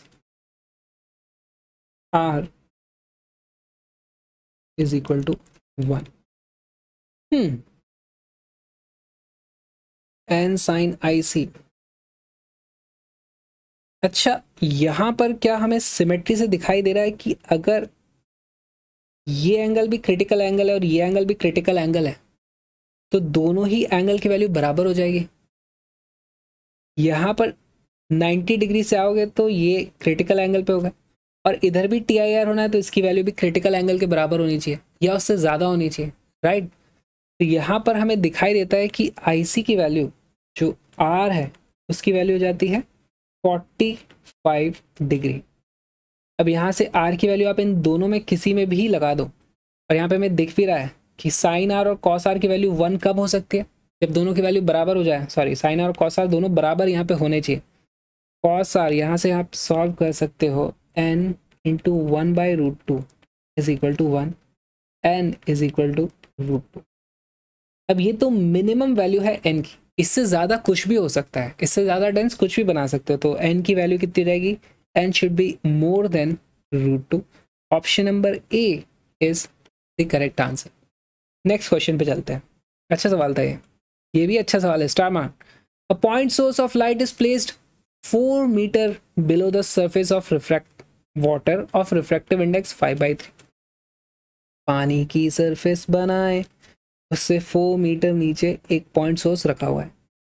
The minimum diameter of a disc which should be placed over the source on the surface of water to cut off all light coming out of water तो ये बहुत ही अच्छा interesting सवाल है और ऐसे सवाल नीट में जेई में जी एडवांस में सब जगह पूछे आते हैं। क्या होता है यहाँ से देखो लाइट इस तरीके से निकल रही होगी अलग अलग ठीक, यहाँ से कुछ लाइट ऐसे सीधे आएगी। अच्छा जो लाइट सीधे जा रही थी वो तो बाहर निकल जाएगी।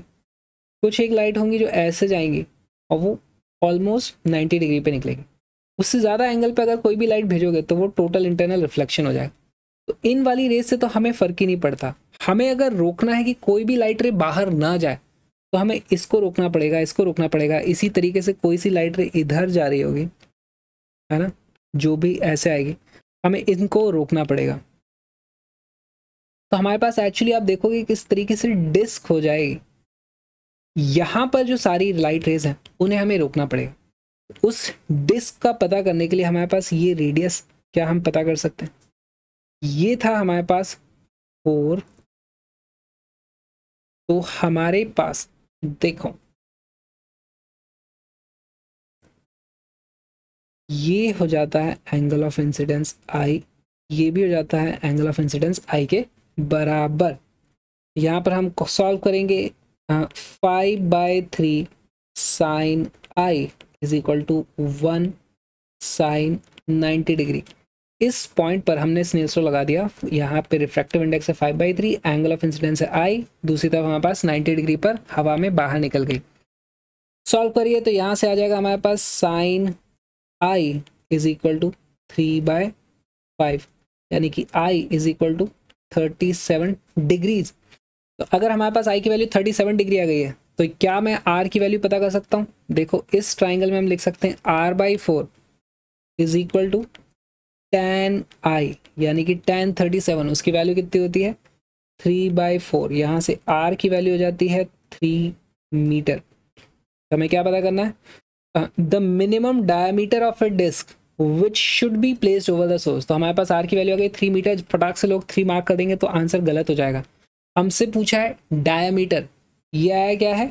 रेडियस तो diameter dia is equal to six metre option number B is the correct answer गलती से.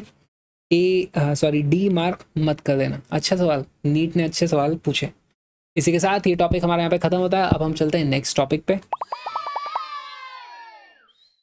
स्फेरिकल रिफ्रैक्शन स्फेरिकल रिफ्रैक्शन में क्या होता है? हमारे पास सिर्फ़ एक स्फेरिकल सरफेस होती है। अभी तक हम जो भी रिफ्रैक्शन पढ़ रहे थे, उसमें हमारे पास यहाँ पर एक इस तरीके से प्लेन सरफेस होती थी। एक तरफ़ मीडियम वन था दूसरी तरफ़ मीडियम थ्रू था।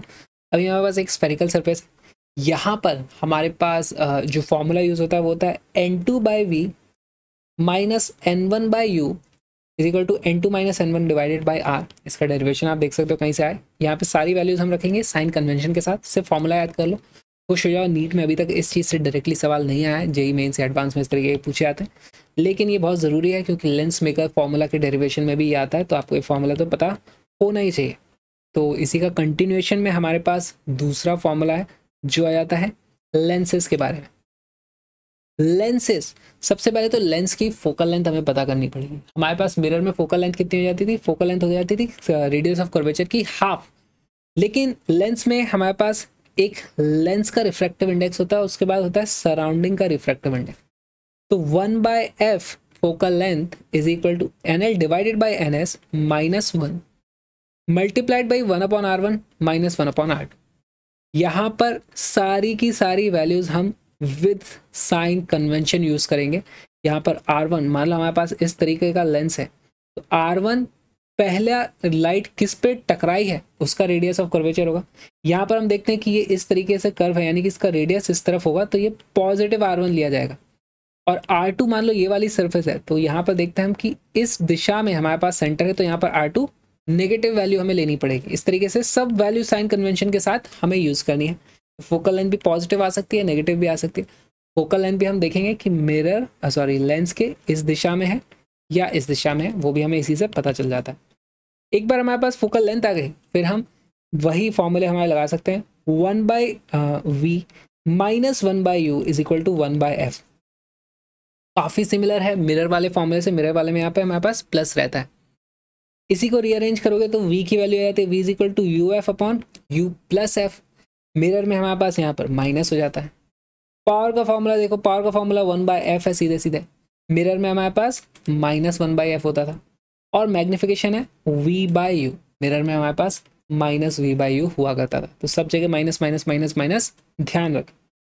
फिर कुछ बहुत सारे क्वेश्चन नीट में पूछे गए हैं, जिसमें हमारे पास बहुत सारे कॉम्बिनेशन बना दिए। एक लेंस ऐसा वाला लगा दिया, दूसरा ऐसा लगा दिया, फिर मे भी यहाँ पे मिरर लगा दिया।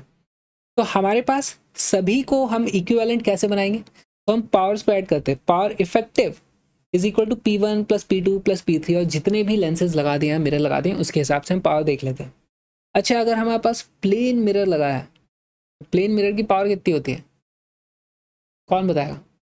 पावर होती है वन बाई फोकल लेंथ।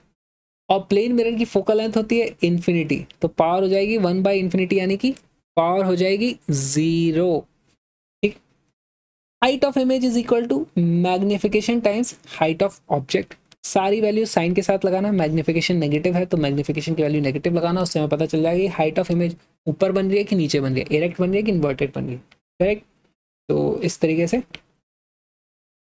हाँ। तो क्वेश्चन सॉल्व करना शुरू करते हैं लेंस से बेस्ड पहला सवाल an equi convex lens equi convex क्या होता है? जिसकी दोनों तरफ़ का हमारे पास रेडियस बराबर an equiconvex lens has power P it is cut into two symmetrical halves by a plane containing the principal axis the power of one part will be तो हमारे पास पहले एक ऐसा लेंस था। ठीक है? ये प्रिंसिपल एक्सेस था। फिर बाद में उसको कट कर दिया। कैसा बना दिया? इस तरीके से ये एक लेंस हो गया, ये दूसरा लेंस हो गया। तो बताओ भाई, हमारे पास अच्छा सवाल है, हमारे पास फाइनली इन दोनों की जो पावर होगी, क्या वो अलग अलग होगी? क्या होगा? देखो सिमेट्री से काटा है बीच में से, पहली बात तो इनकी जो भी पावर होगी वो एक जैसी रहने वाली है, ठीक है? इन दोनों में कोई भेदभाव हम नहीं करेंगे। लेकिन क्या होगी, अगर यहाँ पर पावर थी पी तो क्या यहाँ पे पी बाय टू हो जाएगी?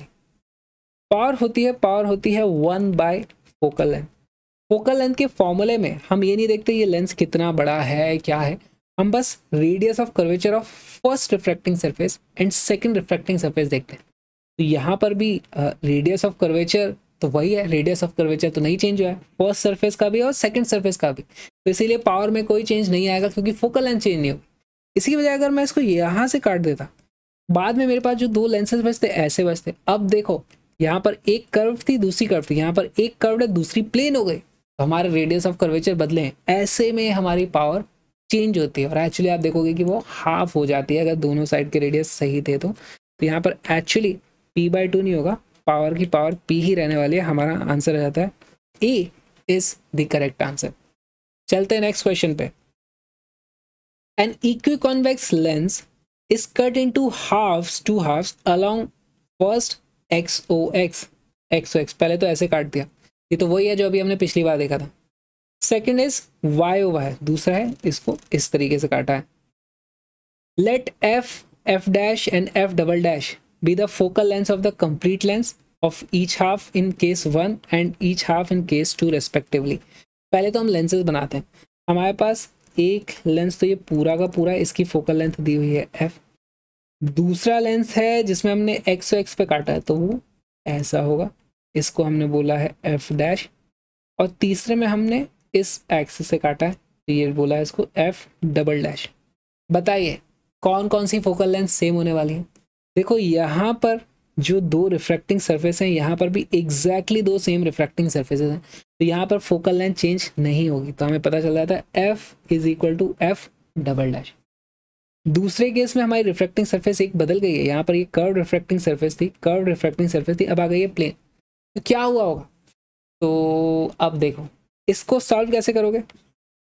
पता कैसे करें? यहाँ पर क्या मैं इस लेंस को बोल सकता हूँ कि दिस इज़ इक्विवेलेंट ऑफ़ मेरे पास दो इस तरीके के अलग अलग लेंस लगे होते अच्छा ये इक्वी कॉन्वेक्स है, यानी इसके दोनों साइड के कर्वेचर बराबर हैं। अगर इस हाफ़ की पावर होती पी डैश इसकी पावर होती पी डैश इसकी पावर होती पी डैश तो हमारे पास टोटल पावर कितनी हो जाती? Two P dash two P dash की वैल्यू कितनी है? वन बाई एफ़, है ना? क्योंकि इसकी फोकल लेंथ एफ़ है तो इसकी टोटल पावर कितनी है? Two P dash is equal to one by F. और पी डैश की वैल्यू कितनी है? पी डैश की value one by F double dash. यहाँ से हमें पता चल जाता है, two upon F double dash is equal to one upon F, यानी कि F double dash is equal to two F. तो यहाँ पर हमारा option number B correct answer हो जाता है। चलें अगले सवाल पे। ये अच्छा सवाल था। A lens having focal length F and aperture of diameter D forms an image of intensity I aperture of diameter D by two in central region of lens is covered by a black paper focal length of lens and इंसेंट intensity of image now will be respectively बहुत अच्छा सवाल है, बहुत ही conceptual सवाल है। देखो, यहाँ पर क्या हो रहा है? हमारे पास इस तरीके से एक लेंस है। ये ऐसे सर्कल मैंने बनाया हुआ पूरा। और इसका कुछ इस तरीके से प्रिंसिपल एक्सेस रहा होगा। यहाँ से हमारी लाइट्स मान लो इस तरीके से जाती है, कहीं पे इमेज बनाती है, इस तरीके से जाती है, कहीं पर इमेज बनाती है। ऐसे। अब हमारे पास क्या किया? हमने यहाँ पर बीच में हाफ़ डायमीटर का यहाँ पर इस तरीके से इसको ब्लैक कर दिया। जब हम इसको ब्लैक कर देंगे, जब हम इसको यहाँ पे ब्लैक कर देंगे तो इन रेस को तो कोई फ़र्क नहीं पड़ा। ये तो पहले भी ऐसे जा रही थी, बाद में भी ऐसे जाएँगे। इन रेस को क्या फ़र्क पड़ता? तो ये तो अभी भी जहाँ पे भी इसका फोकल पॉइंट था, वो वहीं पर जाने वाले। फोकल पॉइंट पे नहीं मतलब जहाँ भी इमेज बन रही थी, क्योंकि ये पैरेलल होती तो फोकल पॉइंट पे आती। अभी तो जहाँ भी जा रही थी, वही बन रही थी। तो लेंस की फोकल लेंथ में कोई चेंज नहीं होने वाला। है फोकल लेंथ पहले भी एफ़ थी, बाद में भी एफ़ रहने वाली। इंटेंसिटी के साथ क्या होगा?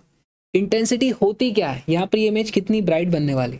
वो कैसे पता चलेगा? जितनी नंबर ऑफ़ रेज ज़्यादा जाएँगी, उतनी ज़्यादा ब्राइट बनेगी।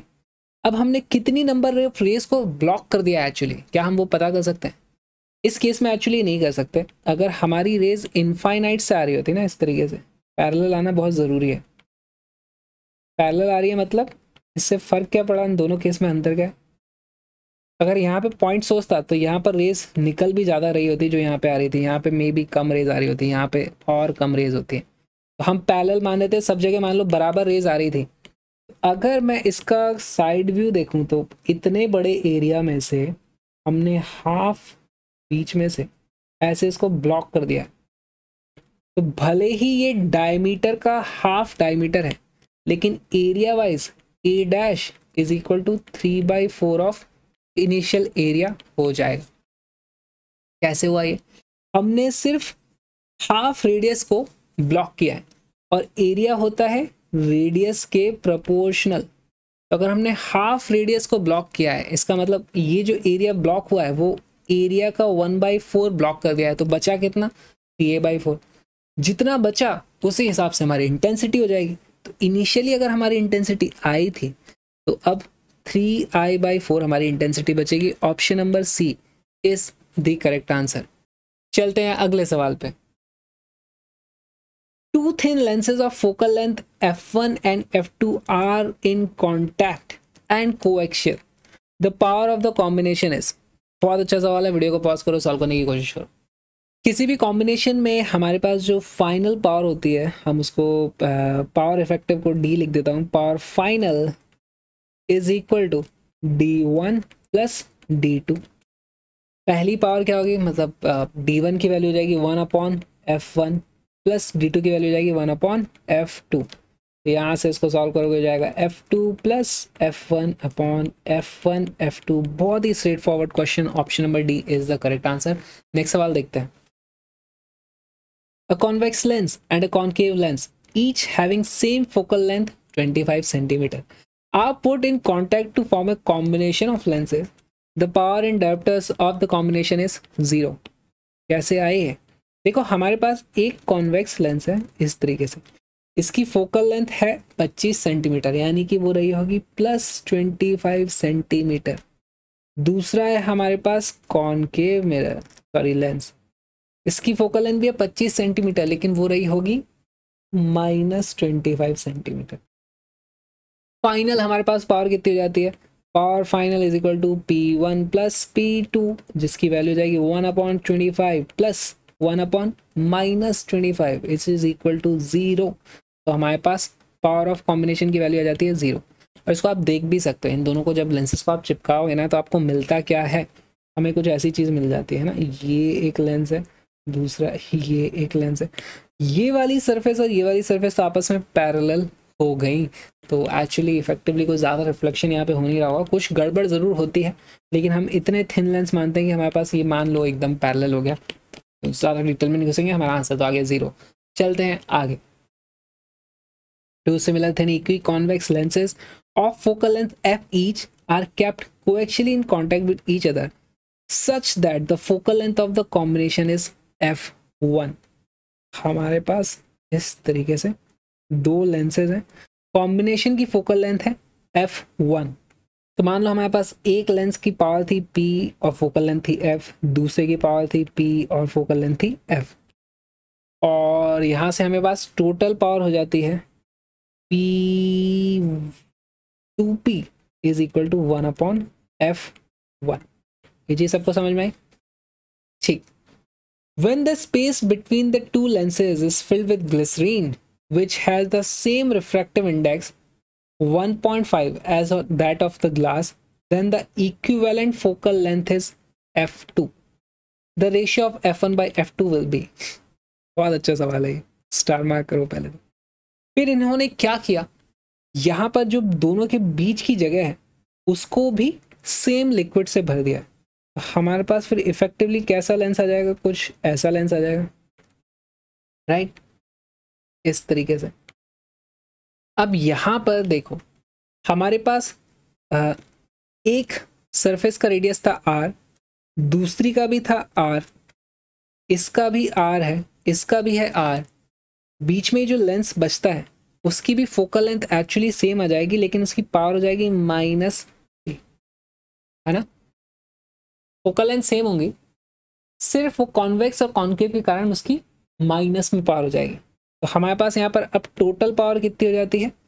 P minus P plus P तो टोटल ये प्लस पी था, ये प्लस पी था टोटल हो जाता है P minus P plus P which is equal to P which is equal to one upon F two हमसे क्या पूछा है? इन दोनों का रेशियो पूछा है। The ratio F one by F two f1 by f2 is equal to 1 upon 2p upon 1 upon p, which is equal to 1 by 2 यानी कि option number B is the correct answer बहुत अच्छा सवाल था, बहुत आसान सवाल था।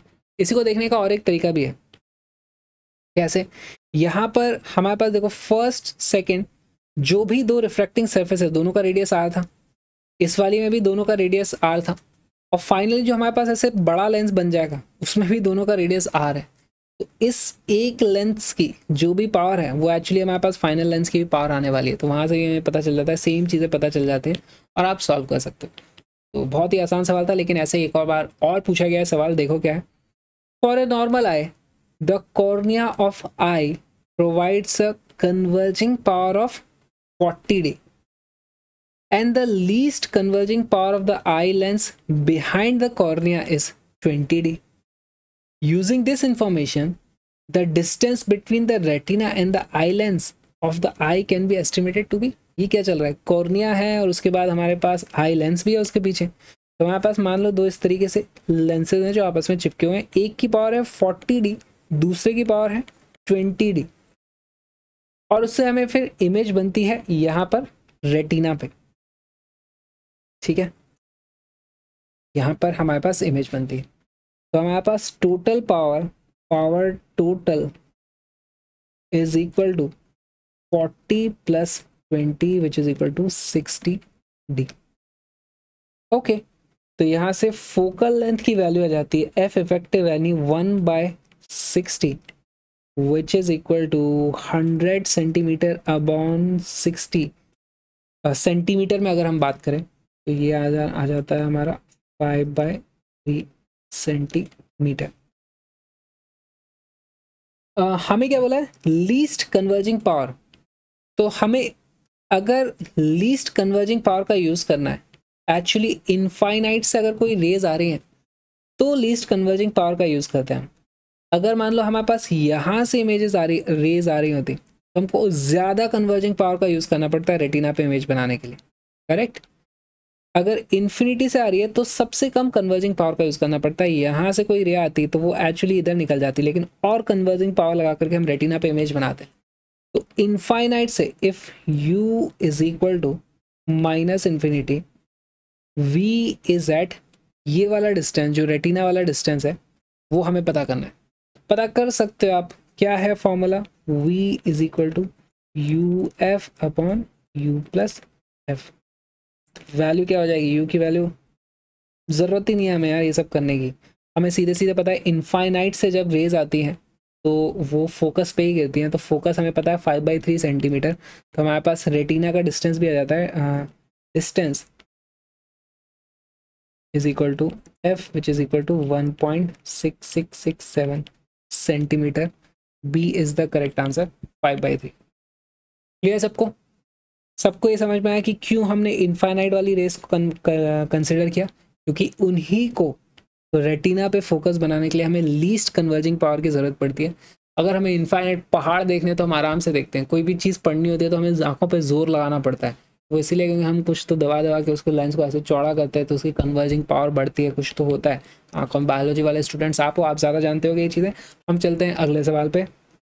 Next question a convex lens is dipped in a liquid whose refractive index is equal to the refractive index of the lens, then its focal length will be, क्या होगी फोकल लेंथ कौन बताएगा? हमारे पास देखो लेंस काम तब करता है जब दोनों तरफ़ अलग अलग मीडियम होते हैं तो थोड़ी हमारी लाइट बेंड होती है कभी इधर कभी इधर। अगर दोनों तरफ़ रिफ्रैक्टिव इंडेक्स ही सेम होगा तो लाइट बेंड ही नहीं करेगी सीधे सीधे चली जाएगी। यानी कि इसकी पावर ज़ीरो हो जाएगी। पावर हो जाएगी ज़ीरो इसका मतलब फोकस कितना हो जाएगा? इनफाइनाइट पे, है ना? यहाँ से जो rays parallel to principal axis आ रही थी, वो यहाँ पे कन्वर्ज नहीं करेगी, वो इनफाइनाइट पे चली जाएगी। हमारे पास then the focal length will become infinite C next question देखो। रिपीट हुआ है। When a biconvex lens of glass having refractive index 1.47 is dipped in a liquid, it acts as a plain sheet of glass. Plane sheet of glass बन गई यानी कि वो अब lens की तरह काम नहीं कर रही है। इसका मतलब this implies that liquid must have refractive index liquid का रिफ्रैक्टिव इंडेक्स लेंस के रिफ्रैक्टिव इंडेक्स के बराबर रहा होगा तभी ऐसा होता है। तो हमारे पास equal to that of glass option number A correct answer आ जाता है। चलें आगे। नेक्स्ट देखो। A plano convex lens is made of material of refractive index 1.6. The radius of curvature of the curved surface is 60 centimetre the focal length of the lenses पहली बार हमारे पास question आया solve करने के लिए तो उसको इज़्ज़त से सॉल्व करते हैं। One by F is equal to हमारे पास फॉर्मूला होता है N of lens divided by N of surrounding minus one one upon R one minus one upon R two plano convex lens है प्लेनो कॉन्वेक्स तो पहले plane है, फिर convex है। इस दिशा में हमारी लाइट्स आ रही हैं, ऐसे कहीं तो जा रही होंगी, कुछ तो रहा हो वैल्यूज़ रखना आप शुरू करते हैं। एन एल की वैल्यू है 1.6 डिवाइडेड बाय सराउंडिंग वन है, माइनस वन है यहाँ पर। One upon R one, first refracting surface का रेडियस ऑफ़ कर्वेचर क्या है? ये प्लेन है, उसकी कर्वेचर कितनी हो जाएगी? इनफाइनाइट पे उसमें कर्व ही नहीं है। तो ये जाएगा one upon infinite minus one upon R two R two है ये वाला। इसका रेडियस ऑफ़ कर्वेचर कितना है? 60 सेंटीमीटर लेकिन हम यहाँ पर 60 सेंटीमीटर रख सकते हैं क्या? जी नहीं। हमारे पास साइन कन्वेंशन के हिसाब से ये वाली दिशा पॉजिटिव है। यहाँ पर रेडियस पॉइंट इधर है। तो ये नेगेटिव डायरेक्शन में हमारा है तो यहाँ पर हम वैल्यू रखेंगे। माइनस सिक्सटी सेंटीमीटर, सारी वैल्यू सेंटीमीटर में रख रहे हैं तो हमारी फोकल लेंथ भी सेंटीमीटर में आने वाली है। यहाँ पर वैल्यूज़ रखोगे तो आप आता है one point six minus one यानी कि point six into one upon sixty तो ये हो जाता है वन बाई एफ़ यानी कि F is equal to sixty upon point six which is equal to six hundred upon six यानी कि हंड्रेड सेंटीमीटर और आंसर आ गया बी बहुत ज़्यादा ध्यान रखने की ज़रूरत है। यहाँ पर हमारे पास अगर हम यहाँ पे प्लस सिक्सटी रखते तो हमारे पास आंसर आता कितना? माइनस हंड्रेड सेंटीमीटर लेकिन इनने एक भी ऐसा ऑप्शन नहीं दिया माइनस हंड्रेड सेंटीमीटर का। तो कोई गलती करे तो करे तो करे कैसे? और दूसरी बात, मैं चाहता हूँ आप वीडियो को पॉज करो और सॉल्व करने की कोशिश करो कि हमारा लेंस अगर ऐसा होता और रे अगर हमारी यहाँ से जा रही होती तो हमारी फोकल लेंथ कितनी आती? क्या उस केस में भी हमारी फोकल लेंथ हंड्रेड सेंटीमीटर आती?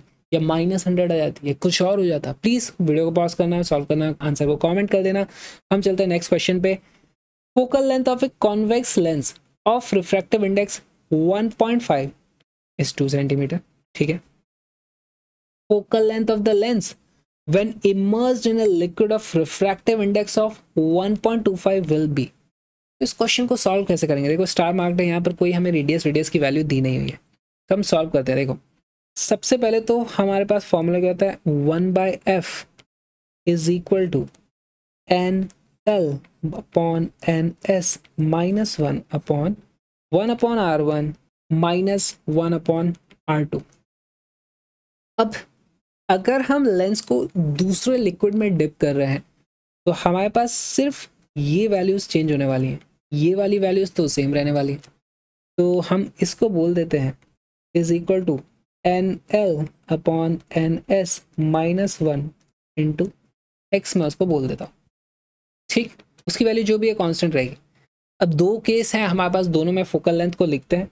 वन अपॉन टू पहला case is equal to lens का रिफ्रैक्टिव इंडेक्स है वन पॉइंट फाइव और वो है एयर में तो हमारे पास वैल्यू नीचे आ जाएगी one minus one times x दूसरी इक्वेशन है one by f is equal to one point five lens का रिफ्रैक्टिव इंडेक्स और अब उसको एक लिक्विड में दबा दिया है। तो जो सराउंडिंग है सराउंडिंग में हम 1.25 यूज़ कर लेंगे। 1.25 माइनस वन टाइम्स एक्स दो इक्वेशन है, दोनों को डिवाइड कर दो। तो हमारे पास आ जाएगा one by two upon one by f is equal to x से एक्स कट जाएगा।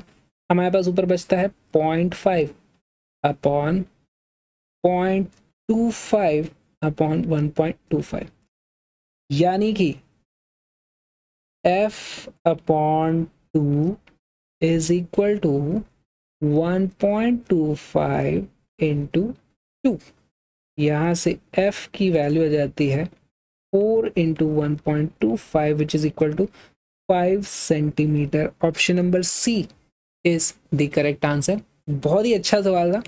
इसको नहीं आया तो फिर से चला के देख लो। हम चलते हैं नेक्स्ट क्वेश्चन पे। A convex lens of focal length 80 centimeter and a concave lens of focal length 50 centimeter are combined together. What will be their resulting power?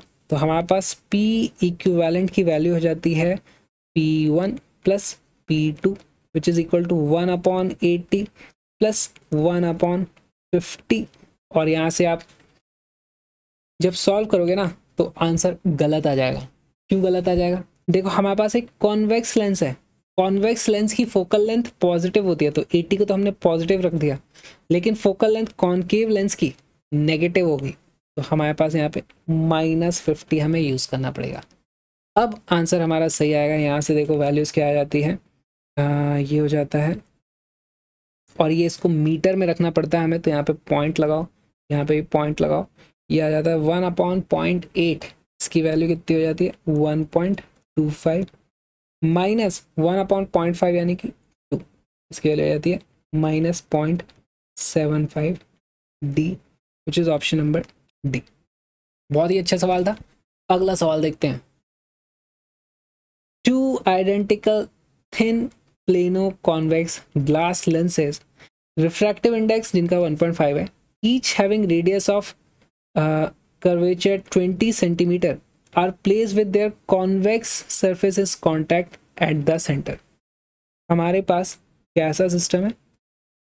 Plano convex है और इस तरीके से उनको लगाया हुआ है। The inter intervening space is filled with oil of refractive index 1.7 तो अब ये जो बीच वाला है हमारा, वो भी एक लेंस बन चुका है। The focal length of combination is ये बहुत ही अच्छा सवाल है। अब इस कॉम्बिनेशन की फोकल लेंथ पता करने की कोशिश करो वीडियो को पॉज करो सॉल्व करो। सोल्यूशन देखते हैं। पहले हमारे पास एक लेंस ये है, दूसरा ये है, इन दोनों की कुछ फोकल लेंथ होगी और वो दोनों की फोकल लेंथ बराबर होगी। हमारे पास प्लेनो कॉन्वेक्स लेंस है उसको इधर से लगाओ, उधर से लगाओ, दोनों की फोकल लेंथ बराबर आती है। तो हम पहले कैलकुलेट कर लेते हैं। इसको अगर मैं बोलता हूँ फोकल लेंथ एफ़ वन है, इसकी फोकल लेंथ एफ़ टू है, इसकी फोकल लेंथ फिर से एफ़ वन आ जाएगी। One upon f one is equal to हमारे पास पहले वाले के लिए हम फॉर्मूला लगा देंगे। एन ऑफ़ लेंस की वैल्यू है वन पॉइंट फाइव सराउंडिंग है वन माइनस वन कर देंगे। Into one upon r one पहली सरफेस के लिए जो रेडियस की वैल्यू है वो हो जाएगी वन अपॉन इन्फिनिटी यानी कि ये वैल्यू तो हो गई zero minus one upon r two. अब इसका रेडियस कितना है? Radius of curvature minus one upon इसका रेडियस है ट्वेंटी सेंटीमीटर। लेकिन नेगेटिव में है, देखो रेज इधर से आ रही थी, इसका रेडियस इधर कहीं होगा तो माइनस ट्वेंटी यहाँ पर लगेगा। और इसकी वैल्यू आ जाती है point five into one upon twenty, यानी कि f one is equal to forty centimetre. हमसे तो पावर के टर्म्स में ही काम कर लेते हैं। हम पावर के टर्म्स में काम कर लेंगे तो पी वन मैं इसको लिख सकता हूँ। P one is equal to one upon point four which is equal to two point five dioptres सबको समझ आया यहाँ तक? ओके. अब हम बात करते हैं एफ़ टू की। तो one upon f two is equal to n of lens refractive index of lens की value one point seven divided by surrounding अच्छा यहाँ पर आप बोलोगे कि इस लेंस की सराउंडिंग में तो दूसरा कांच लगा हुआ है। हम इन क्वेश्चंस को इस तरीके से सॉल्व करते हैं कि ये तीनों लेंसेज को आप थोड़ा थोड़ा गैप पे भी मान के करोगे ना आंसर वही आने वाला होता है। राइट तो हम मान लेंगे बीच में थोड़ी सी एयर है। One point seven upon one minus one multiplied by one upon r one पहली सरफेस के लिए रेडियस इस तरफ़ है जो कि नेगेटिव में है तो जाएगा one upon minus twenty centimetre minus one upon दूसरी सरफेस के लिए जो रेडियस है वो पॉजिटिव डायरेक्शन में है तो प्लस ट्वेंटी आ जाएगा ये हमारे पास। इसकी वैल्यू आ जाएगी, ये देखो, one point seven upon, sorry into two upon twenty minus का which is equal to seven minus seven upon hundred अगर हमसे P2 पूछी जाए P2 की वैल्यू हो जाएगी one upon f two in metres metres में करना बहुत ज़रूरी है यहाँ पर। अभी हमारी सेंटीमीटर में आई थी जो भी हंड्रेड बाई सेवन आई थी ना। इसकी वैल्यू हो जाएगी one divided by minus one upon seven which is equal to seven D minus seven D total power कितनी हो जाएगी? Minus seven D plus two point five D plus again two point five D. देखो यहाँ पर एक, दो और फिर ये तीन है। तो P equivalent is equal to P one plus P two plus P one which is equal to two point five plus two point five minus seven यानी कि माइनस टू डायोप्टर यहाँ से एफ़ इक्विवेलेंट उसकी value कितनी आ जाती है? One divided by minus two which is equal to minus point five metre या फिर minus fifty centimetre. Option number B is the correct answer. ऐसे ही एक और सवाल पूछा गया है। A double convex lens has focal length 25 centimetre the radius of curvature of one of the surface is double of the other find the radii if the refractive index of material of the lens is 1.5 तो इसको कैसे solve करोगे? बहुत ही आसान सवाल है। Pause करो सॉल्व करने की कोशिश करो। सॉल्व करते हैं। हमारे पास है डबल कॉन्वेक्स लेंस, जिसकी फोकल लेंथ है 25 सेंटीमीटर। तो हमारे पास डबल कॉन्वेक्स है, देखो। पहली बात तो बताओ, यहाँ पर एक का कर्वेचर ज़्यादा है, इसका कम है। किसका रेडियस ज़्यादा होगा? इस वाली का रेडियस होगा आर इसका रेडियस होगा टू आर है ना? आप उल्टा भी बना सकते हो आंसर दोनों से सेम आने वाला है। हम सॉल्व करते हैं, यहाँ पर एन की वैल्यू कितनी दी हुई है? N is equal to one point five हमें पता करना है कि फोकल लेंथ हमें दी हुई है one upon twenty five is equal to formula लगाओ n of lens one point five upon n of surrounding जो कि एयर है minus one into one upon r one पहली सरफेस मान लो इधर से लाइट आ रही थी, फ़र्क नहीं पड़ता, इधर से भी लाओगे तो भी आंसर सेम आने वाला। अगर इधर से लाइट आ रही थी तो इसका रेडियस पॉजिटिव टू आर है तो one upon two r minus one upon अब लाइट इधर से आ रही थी तो इसका रेडियस नेगेटिव में है यहाँ पर। माइनस आर ये हो जाता है is equal to one upon twenty five is equal to point five into इसकी वैल्यू हो जाती है। One upon two r plus two upon two r यानी कि three upon two r okay यहाँ से आर की वैल्यू आ जाती है। आर इज़ इक्वल टू हाँ twenty five into three divided by four which is equal to seventy five by four इसकी वैल्यू कितनी हो जाती है? Seventy five by four eighteen point seven five centimetre तो आठ दूसरा जो रेडियस हो जाएगा वो टू आर होगा। उसकी वैल्यू हो जाती है इसका thirty seven point five centimetre option number D is the correct answer अगला सवाल। A plano-convex lens fits exactly into a plano-concave lens. Okay, their plane surfaces are parallel to each other. If lenses are made of different materials of refractive indices mu1 and mu2 and r is the radius of curvature of the curved surface of the lenses then the focal length of the combination is बहुत ही अच्छा सवाल है video को pause करके solve करने की कोशिश करो लेकिन उससे पहले मैं आपको डायग्राम बना के बता देता हूँ हमारे पास इस तरीके से फाइनली लेंसेज होने वाले होंगे ऐसा और इस बात से फ़र्क नहीं पड़ता कि इन लेंसेज को हमने किस ओरिएंटेशन में लगाया, कौन सा लेंस पहले लगाया। आप किसी भी केस में निकालोगे, आपको देखना पावर सेम आने वाली है। तो वीडियो को पॉज करो सॉल्व करने की कोशिश करो। देखो, इस क्वेश्चन को सॉल्व करने के लिए हमारे पास इस लेंस की कुछ पावर होगी, उसको मैं बोल सकता हूँ वो होगी पी वन इस दूसरे लेंस की कुछ पावर होगी पी टू और हमारे पास जो फाइनल कॉम्बिनेशन होगा, उसके लिए हम क्या लिख सकते हैं? P effective is equal to P one plus P two P effective क्या हो जाएगी? One upon f effective is equal to P one की वैल्यू कितनी है? One upon f one plus one upon f two हमारा P two हो जाएगा। और हमारा जो लेंस मेकर्स फॉर्मूला उससे हमें वन अपॉन एफ़ वन ही पता चलता है। तो हम एक काम करते हैं, यहीं पर वैल्यूज़ ऐड करना शुरू कर देते हैं। देखो, इसकी वैल्यू हो जाएगी, यहाँ से हम इस तरफ़ आते हैं is equal to one upon f one की वैल्यू हो जाएगी। पहले वाले केस के लिए mu one and mu two values है। एक minute.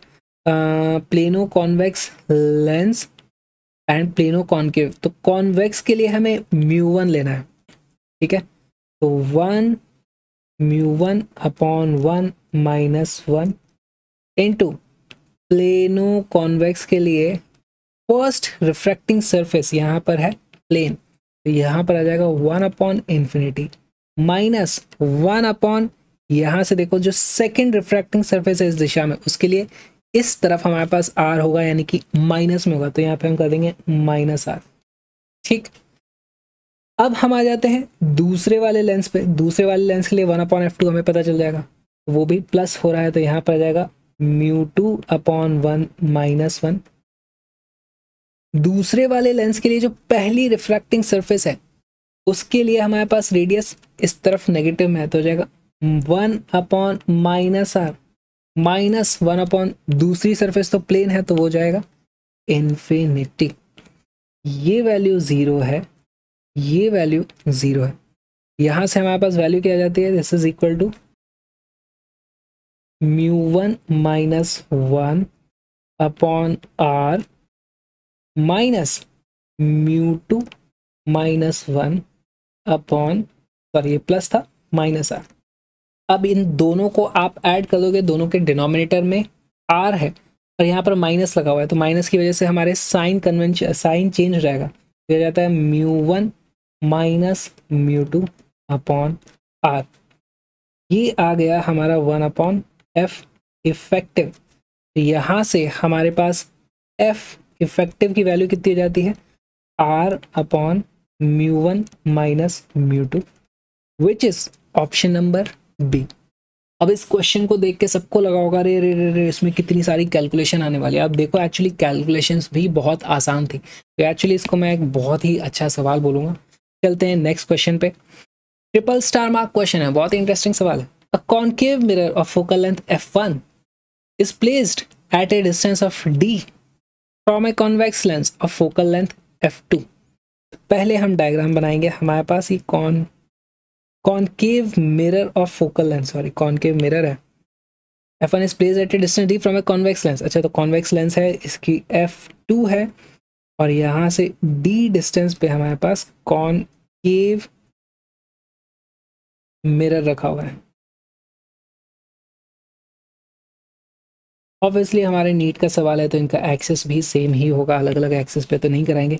A beam of light coming from infinity and falling on this convex lens concave mirror combination returns to infinity.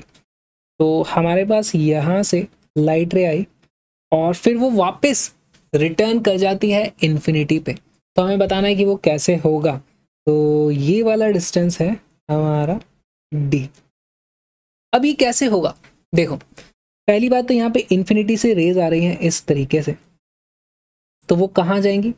इसके फोकस से पास होने वाली। ये वाला हो जाता है हमारा एफ़ टू अब उसके बाद यहाँ से रे ऐसे जाती है।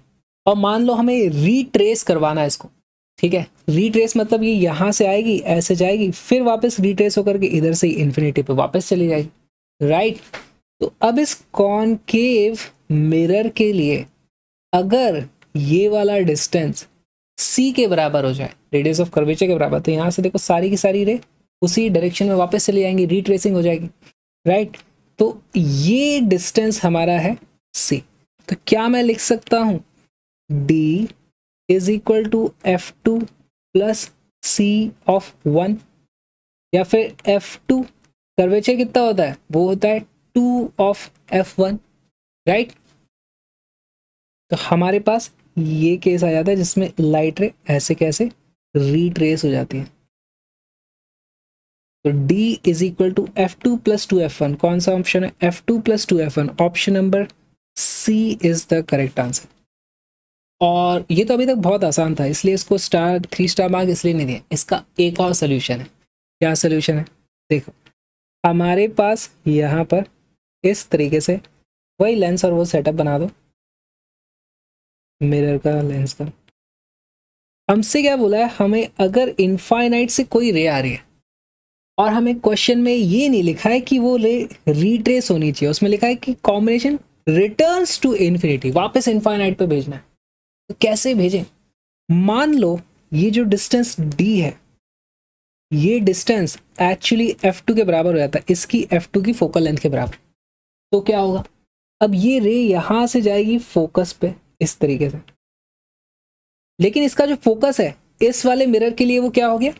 पोल जब पोल पर रे आती है तो वो जिस एंगल से आई थी, उसी एंगल से रिफ्लेक्ट होकर के चली जाती है। इस केस में रे ऐसे वापस आएगी। अब इस लेंस के लिए देखो, इसका तो फोकस था फोकस से जब भी रे आती है तो क्या करता है वो? उसको भेज देता है वो इनफाइनाइट पे। यहाँ से फिर इनफाइनाइट पे चली जाएगी।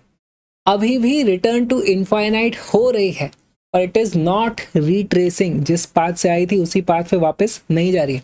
रिट्रेस नहीं हो रही, भेज इनफाइनाइट पे है तो ये भी एक सोल्यूशन तो है। इस केस में D is equal to F two लेकिन यहाँ पर ऐसा कोई भी ऑप्शन दिया हुआ नहीं है, इसलिए हम इसको मार्क नहीं करेंगे। हम इस वाले को मार्क करके चले आएँगे। तो ये बहुत ही अच्छा सवाल था। गलती से अच्छा हो गया। ये नीट वाले शायद ऐसा इंटेंड नहीं कर रहे थे। कोई बात नहीं। हम आगे चलते हैं। रेडियस ऑफ़ फिर star mark the radius of curvature of a thin plano convex lens is 10 centimeter of curved surface and the refractive index is 1.5 if the plane surface is silvered then it behaves like a concave mirror of focal length कितना इसको कैसे solve करोगे देखो हमारे पास radius of curvature of a thin plano convex lens तो अब plano convex lens कुछ ऐसा लेंस रहा होगा उसमें हमने पीछे यहाँ पर मिरर इस तरीके से लगा दिया। इसको सॉल्व करने के लिए हम इन दोनों को अलग अलग पार्ट्स में ले लेते हैं। इस तरीके से लेंगे, ऐसे, और फिर यहाँ पर हम इस तरीके से मिरर लगा देंगे। अब यहाँ से जब भी रे आएगी तो एक बार इससे रिफ्लेक्ट होगी, फिर दूसरी बार यहाँ से रिफ्लेक्ट होगी, और फिर तीसरी बार इसी से रिफ्लेक्ट हो जाएगी। तो पावर की बात करते हैं। पहली बात तो इसकी पावर मान लो पी थी पी वन इसकी पावर थी P two is equal to zero और उसके बाद लाइट रे फिर से इससे जाएगी। तो हमारे पास पी वन दो बार यूज़ हो रहा है। पी टू एक बार यूज़ हो रहा है, लेकिन उसकी वैल्यू है ज़ीरो ओके तो यहाँ पर हमारे पास पी इफ़ेक्टिव क्या मैं उसकी वैल्यू बोल सकता हूँ? P one plus P zero plus sorry P two plus P one क्योंकि पी वन दो बार यूज़ हो रहा है। लेंस दो बार यूज़ हो रहा है। और यहाँ पर इसकी वैल्यू है ज़ीरो इसकी वैल्यू कितनी आ जाएगी? Is equal to two times P one two times P one तो अगर मुझे ये लेंस दो बार यूज़ करना है तो मैं क्यों ना इसको ऐसे यूज़ कर लूँ? वैसे आप चाहो तो इसकी पी वन वैल्यू निकाल लो और फिर टू से मल्टीप्लाई कर लेना तो वही कर लो। नहीं तो आप इसको इक्विवेलेंट भी मान सकते हो कि हमारे पास एक्चुअली एक ऐसा लेंस रखा हुआ है, क्योंकि ये वाला लेंस तो हम दो बार यूज़ कर रहे हैं, उसको पलट के मैंने फिर से चिपका दिया। बात तो वही है, लेकिन मैं आपको कंफ्यूज नहीं करूँगा, मैं इस तरीके से नहीं करूँगा। अब मैं इस लेंस की फोकल लेंथ पता करना चाहता हूँ। तो one upon F one is equal to lens का है 1.5 अपॉन सराउंडिंग है one minus one multiplied by one upon R one इसके लिए आर वन क्या होगा? इधर से रे आ रही है तो पॉजिटिव डायरेक्शन में इसका रेडियस होगा इस तरफ़, और उसकी वैल्यू है ten centimetre one point ten minus secondary surface उसका रेडियस है वन अपॉन इन्फाइनाइट हो जाएगा वो इस तरीके से। यहाँ से हमारे पास आंसर आता है point five upon ten F one is equal to plus twenty centimetre okay अब हमारे पास यहाँ से एफ़ वन आ चुका है हमारे पास जो पी इफ़ेक्टिव हो चुका है, वो है टू पी वन तो यहाँ पर आप वैल्यूज़ रखोगे तो one upon F effective is equal to two P one की वैल्यू क्या है? वन अपॉन ट्वेंटी सेंटीमीटर यहाँ से F effective is equal to उसकी वैल्यू आ जाती है ten centimetre option number A is the correct answer अब मुझे एक बात बताओ। सब लोग एक बात सोच के बताना। अगर यहाँ पर इनफाइनाइट से इस तरीके से कोई रे आ रही होती। तो वो कहाँ पर जाकर के कोइंसाइड करती? मान लिया हमारा प्रिंसिपल एक्सेस है। वो रे तो ऐसे आती। यहाँ से कोई रे आती तो वो भी इधर आती। इसके पीछे इस तरफ़ तो जा ही नहीं सकती ना रे राइट उधर तो जा ही नहीं सकती। रे आनी इस तरफ़ है। हमारे पास फोकस का डिस्टेंस आ चुका है टेन सेंटीमीटर लेकिन साइन कन्वेंशन के हिसाब से कौन बताएगा? ये पॉजिटिव है या नेगेटिव है? इंसिडेंट रे तो इधर थी हमारा फोकस इस तरफ़ आ रहा है। तो ये एक्चुअली नेगेटिव में आने वाला है।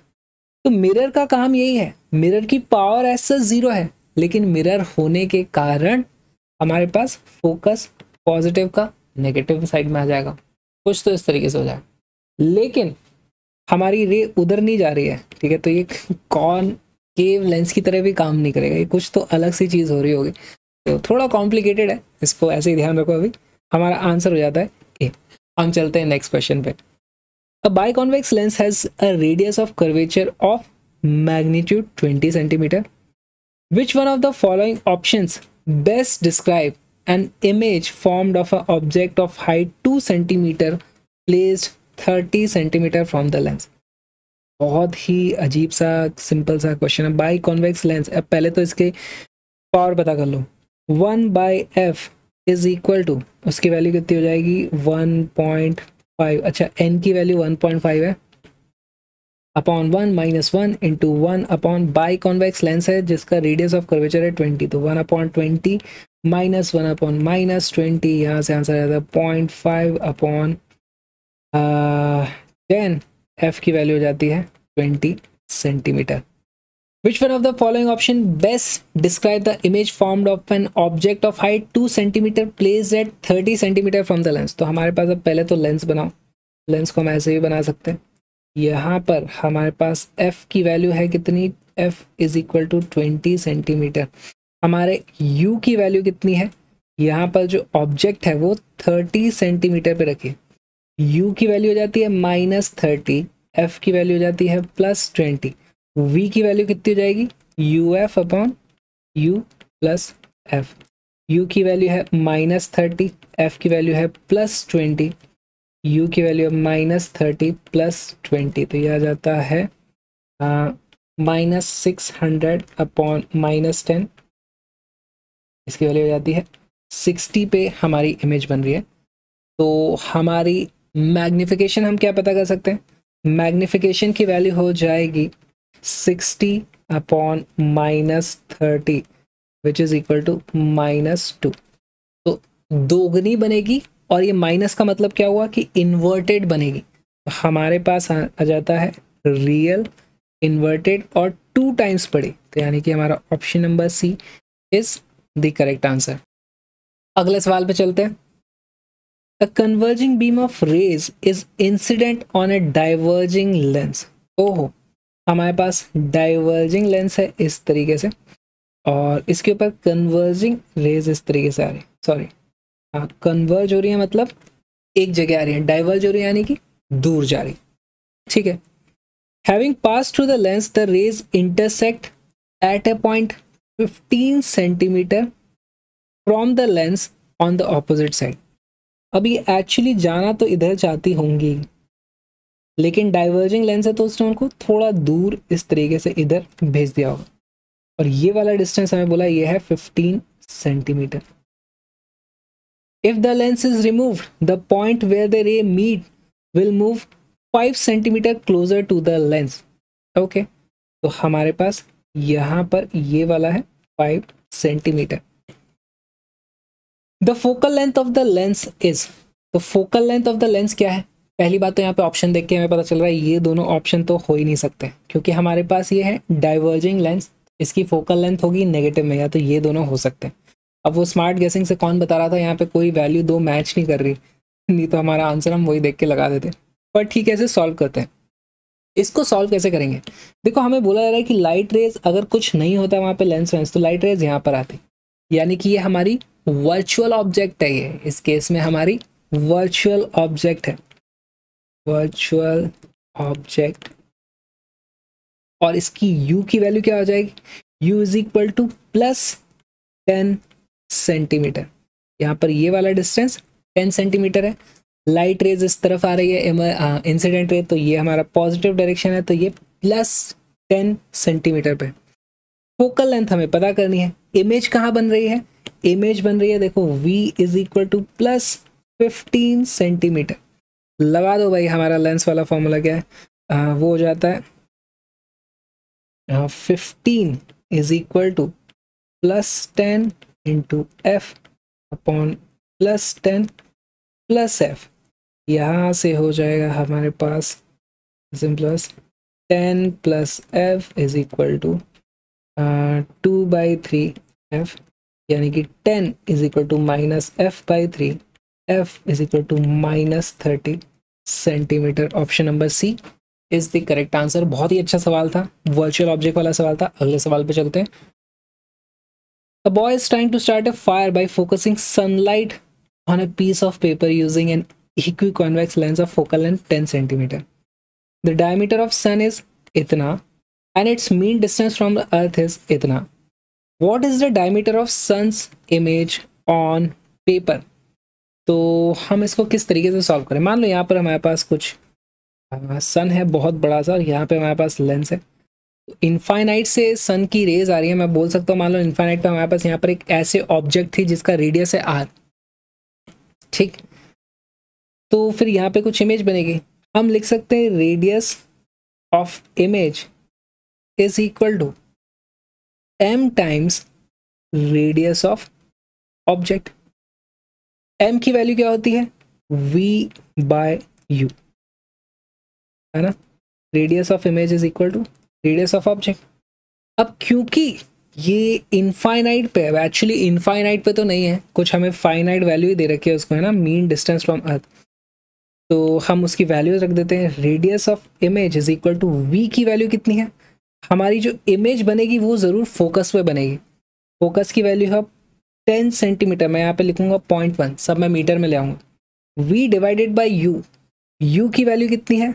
हमारे पास यू की वैल्यू है सन का डिस्टेंस है one point five into ten raise to power eleven और इंटू रेडियस की वैल्यू कितनी है? One point three nine into ten raise to power nine अच्छा ये डायमीटर है। तो यहाँ पर भी मैं इसको बोल दूँगा। डायमीटर ऑफ़ इमेज ओके तो यहाँ से आप इसको सॉल्व करोगे, हमारे पास आंसर आया था approximately 1.39 upon 1.5 point five into ten raise power nine eight हो जाएगा एट हो जाएगा और फिर नीचे से minus three metre which is approximately यहाँ पर ऑप्शन देख करके मुझे लग रहा है वो ए वाली वैल्यू हो जाएगी nine point two into ten for minus four metre यही आने वाला है। इन सभी ऑप्शन में यही सबसे क्लोजेस्ट ऑप्शन दिख रहा है। 1.4 divide by one point something आने वाला E is the correct answer चलते हैं अगले सवाल पे। A body is located on a wall its image of equal size is to be obtained on a parallel wall with the help of a convex lens the lens is placed at a distance D ahead of the second wall Then the required focal length will be. बहुत ही अच्छा सवाल है। हमारे पास देखो, एक wall है यहाँ पर। दूसरी वॉल यहाँ पर उसके सामने है, इस तरीके से। और हम यहाँ पर इनके बीच में लगा रहे हैं एक लेंस इस तरीके से। अब यहाँ पर अगर हमारे पास कोई ऑब्जेक्ट है यहाँ से उसकी इमेज यहाँ पर कब बनेगी? जिस वक्त ये हमारा फोकल हो, ये हो हमारा 2f ये हमारा फोकल हो और ये हो हमारा 2f तो हमसे क्या बोला है कि the lens is placed at a distance D ahead of second wall तो हमारा ये वाला डिस्टेंस है डी और हमें देख के पता चल रहा है D is equal to two times F है। D is equal to two times F यानी कि F is equal to D by two option number B is the correct answer बहुत ही आसान सवाल था ये, सबको समझ में आया क्या हो रहा है इसमें? यहाँ पर हमारे पास जो मोस्ट कॉमन केस है इमेज बनाने का कॉन्वेक्स लेंस वाला, वो बन रहा है राइट और चलते हैं आगे। A lens is placed between a source of light and a wall it forms images of area A one and A two on for its two different position the area of the source of light is again बहुत ही अच्छा सवाल है।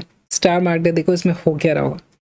हमारे पास दो इस तरीके से वॉल है। मान लो यहाँ पर एक इस तरीके से ऑब्जेक्ट रखी हुई है। सोर्स ऑफ़ लाइट है, उसका कुछ रेडियस होगा। यहाँ पे मैं आर मान लेता हूँ। अब यहाँ पर मैं लेंस अगर यहाँ रख दूँ और इसकी मुझे यहाँ पर मान लो इमेज मिलती है। यहाँ पे मुझे पता है ये वाला डिस्टेंस बड़ा है तो यहाँ पर कुछ मैग्नीफाइड इमेज मिल रही होगी। ठीक है, उस मैग्निफिकेशन का मान लो मैग्नीट्यूड एम है। तो पहले जो मुझे इस तरीके से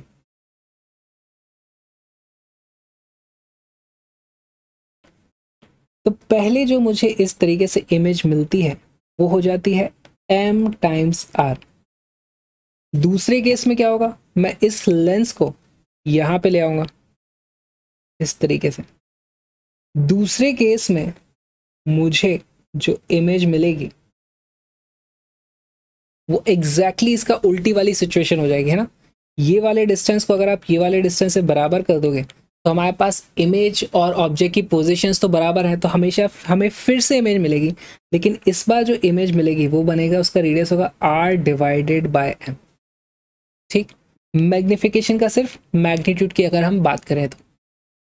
तो अब हमें पता करना है कि पहली बार हमारे पास एरिया इसके कारण आता है ए वन इसके कारण आता है एरिया ए टू और यहाँ पे कुछ इसका एरिया है ए यहाँ पर इसका कुछ है एरिया ए इसकी वजह से हमारे पास एरिया आता है ए टू इसके कारण हमारे पास एरिया आता है ए वन और हमें पता है कि एरिया रेडियस के स्क्वायर के प्रोपोर्शनल होता है।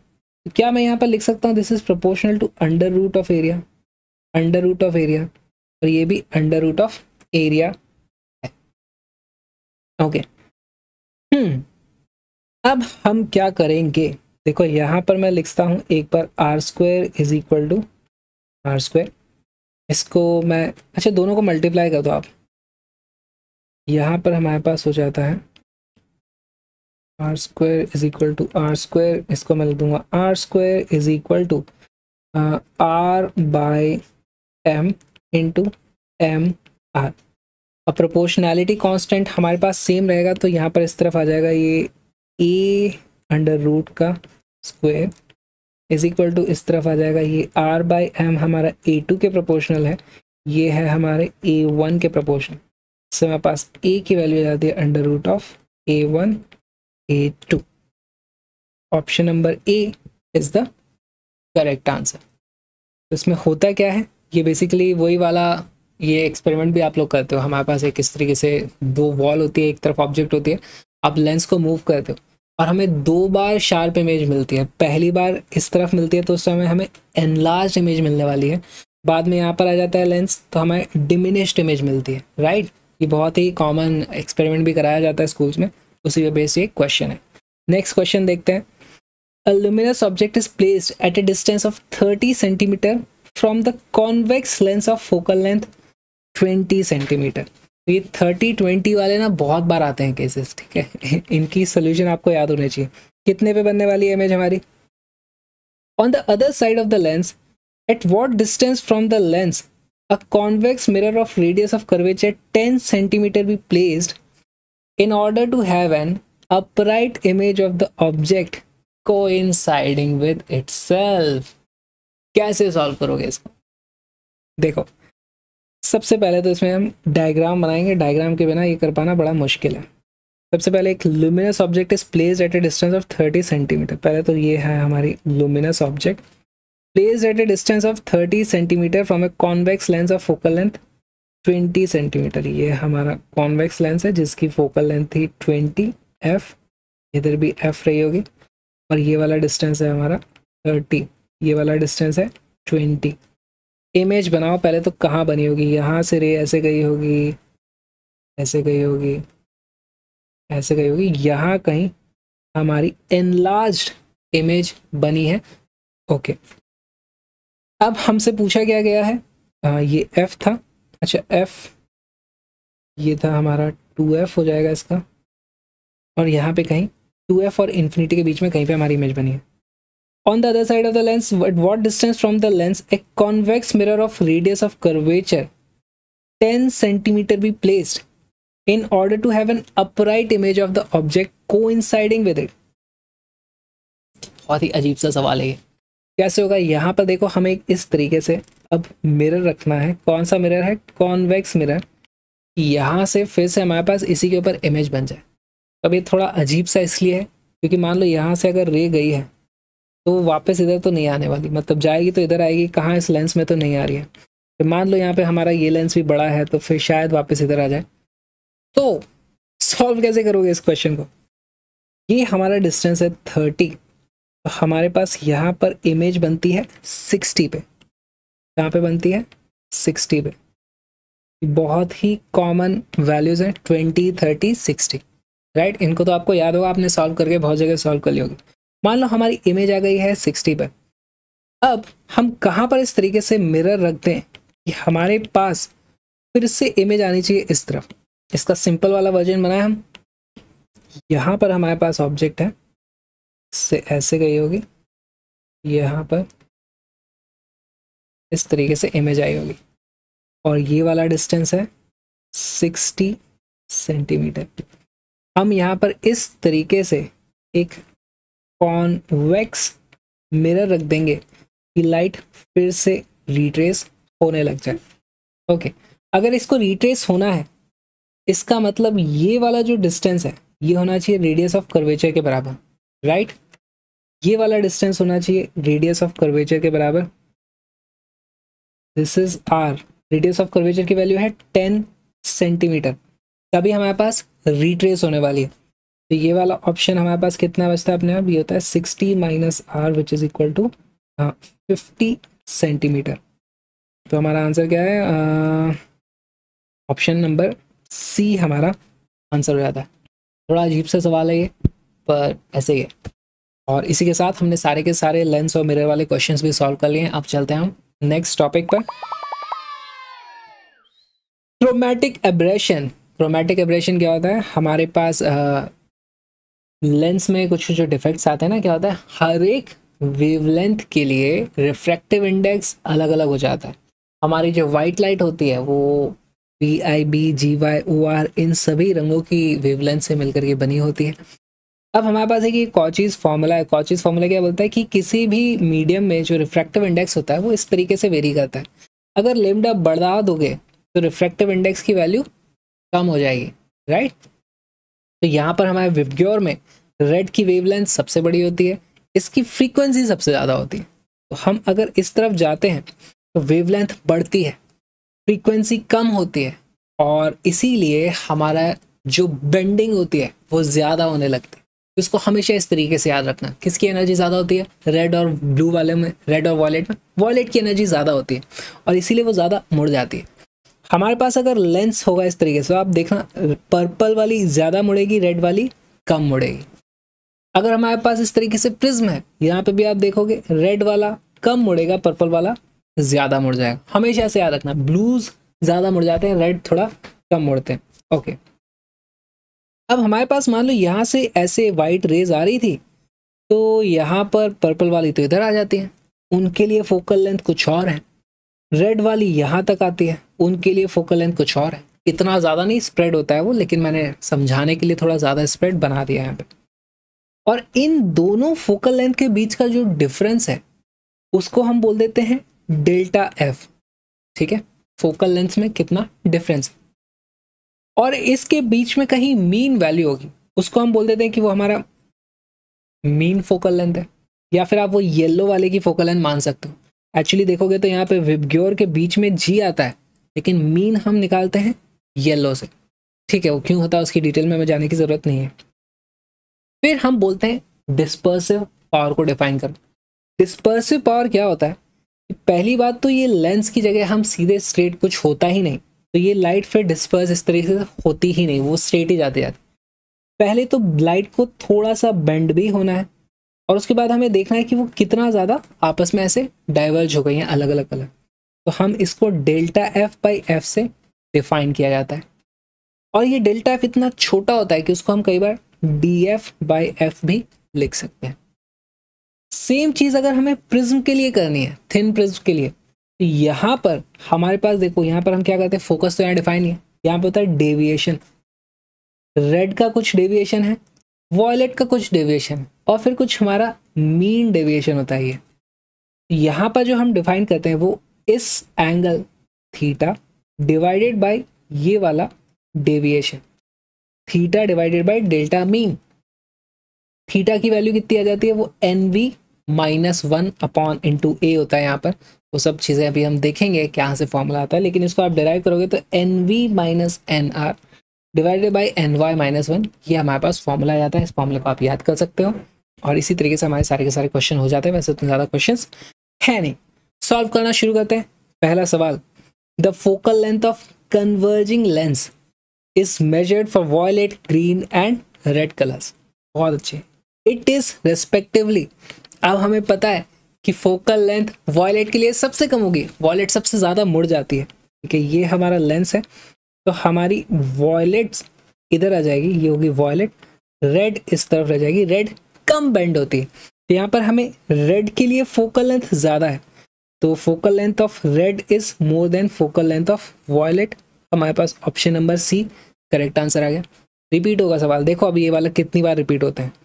V and F R are the focal lens of a convex lens for violet and red light respectively and FV capital and FR capital are the focal lengths of concave lens for violet and red light respectively then we have देखो पहली बात तो convex convex के लिए हमें पता है कि हमारे पास वॉयलेट ज़्यादा मुड़ जाती है रेड कम मुड़ती है तो हम लिख सकते हैं F R is more than F V ठीक। अब देखते हैं कॉनकेव के लिए क्या होगा। कॉनकेव लेंस इस तरीके से होगा। यहाँ पर हम देखेंगे कि हमारी रे ऐसे आ रही होगी। वॉयलेट तो ज़्यादा मुड़ जाएगी। ठीक है? रेड यहाँ पे भी कम मुड़ेगी। तो रेड के लिए फोकल पॉइंट यहाँ होगा वॉयलेट के लिए यहाँ पे होगा। करेक्ट लेकिन यहाँ पर थोड़ी सी ट्रिक है कि यहाँ पर हमारा जो साइन कन्वेंशन के हिसाब से हमारे पास डिस्टेंस में तो एफ़ वी छोटा है। लेकिन अगर हम बात करें तो एफ़ वी की वैल्यू मान लो हो गई माइनस फाइव सेंटीमीटर और एफ़ आर की वैल्यू हो गई माइनस सिक्स सेंटीमीटर मैग्नीट्यूड में रेड की फोकल लेंथ बड़ी है, लेकिन ऐसे आप देखोगे साइन के साथ माइनस और प्लस यहाँ पर हमें दिखता है कि एफ़ आर छोटी है, ठीक है? माइनस सिक्स माइनस फाइव से छोटा होता है। तो यहाँ पर थोड़ा सा उल्टा हो गया। तो हमारे पास ऑप्शन कौन सा हो जाता है यहाँ पर? हमारे पास option number A correct answer आ जाता है। तो ऐसे है बस सवाल। नेक्स्ट क्वेश्चन देखते हैं। Focal length for a convex lens will be maximum for किसके लिए होगी? बताओ। V I B G Y O R हमें पता है कि हमारे कॉन्वेक्स लेंस में इस तरीके से रेड सबसे कम मुड़ती है वॉयलेट सबसे ज़्यादा मुड़ जाती है तो फोकल लेंथ रेड के लिए सबसे ज़्यादा होने वाली है। नेक्स्ट क्वेश्चन देखते हैं। An achromatic combination of lenses is formed by joining अब यह आ गया ट्रिकी सवाल। पहली बात तो इसको आप याद भी रख सकते हो कि हमारे पास हमेशा क्रोमेटिक एब्रेशन होगा। अगर हमारे पास एक सिंगल लेंस है तो वाइट लाइट आएगी और इस तरीके से अलग अलग में वो बिखर जाएगी। तो हम क्या करते हैं, इस तरीके से कॉम्बिनेशन बनाते हैं, वो उनको फिर से समेट देता है और किसी और डायरेक्शन में इस तरीके से भेज देता है। पर ये होता कैसे है तो इसका डायरेक्टली हम आंसर तो मार्क कर सकते हैं हमारे पास एक कॉन्वेक्स लेंस होना चाहिए, एक कॉन्केव लेंस होना चाहिए। दोनों का मटेरियल भी अक्सर अलग होता है और दोनों की फोकल लेंथ भी अलग होते हैं कुछ कॉम्बिनेशन बन जाता है। तो होता कैसे है वो? देखो, हमारे पास हम लिख सकते हैं कि वन अपॉन एफ़ इक्वेलेंट जो कि हमारी इक्वेलेंट पावर हो जाएगी डायोप्टर्स में is equal to P one plus P two तो P one plus P two यानी one upon F one plus one upon F two correct ये हमारे पास इक्वेलेंट पावर का फॉर्मूला आ गया। अब इसको हम डिफ्रेंशिएट कर देते हैं। इसको डिफ्रेंशिएट करो। किसके रेस्पेक्ट में करोगे? उन्हीं फोकल लेंथ के रिस्पेक्ट में कर दो। हो जाएगा minus one upon F equivalent का square into D F equivalent is equal to minus one upon F one का square into D F one plus minus one upon F two का square into D F यहाँ पर minus से minus से minus सारे cancel out हो गए। हमारे पास देखो वैल्यूज़ क्या बचती है। अब मैं इसको थोड़ा रीअरेंज करता हूँ। यहाँ पे नीचे जो एफ़ का स्क्वायर है, उसमें से दोनों को अलग अलग कर दो। तो ये हो जाएगा one upon F equivalent multiplied by df equivalent upon f equivalent is equal to 1 upon f1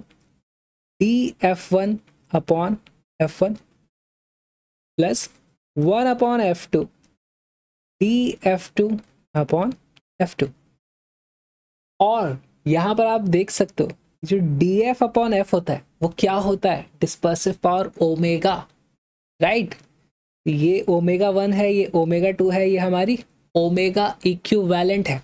हमें चाहिए कि कोई भी क्रोमेटिक एवरेशन ना हो तो एक क्रोमेटिक चाहिए तो ओमेगा इक्विवेलेंट की वैल्यू ज़ीरो होनी चाहिए।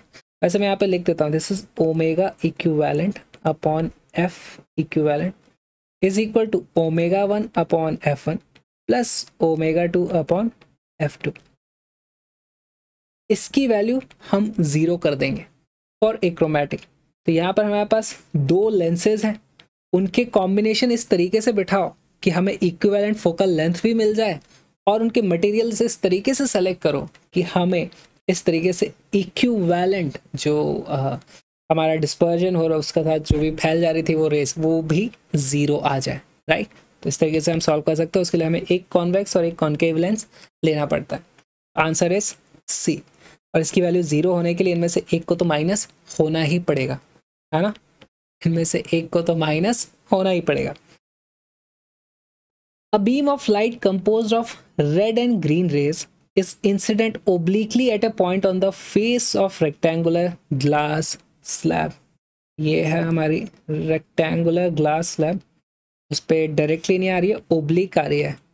तरीके से हमारे पास एक वाइट रे आ रही है। Beam of light when the coming out of the opposite parallel face, the red and green rays emerge from. अब देखो, सबसे कम कौन बेंड करता है? सबसे कम बेंड होती है रेड इस तरीके से रेड आएगी और फिर वापस पैरेलल हो जाती है। हमारे पास स्लैब से रेस निकलती है, फिर से पैरेलल हो जाती है। दूसरी हमारे पास ग्रीन ग्रीन थोड़ा ज़्यादा बेंड होगी, और लेकिन वो भी पैरेलल हो जाएगी। अगर हमारे पास पर्पल होती तो वो ऐसे आती मे बी और फिर वो भी इस तरीके से पैरेलल हो जाती। तो इनमें से ऑप्शन कौन सा वाला सही है?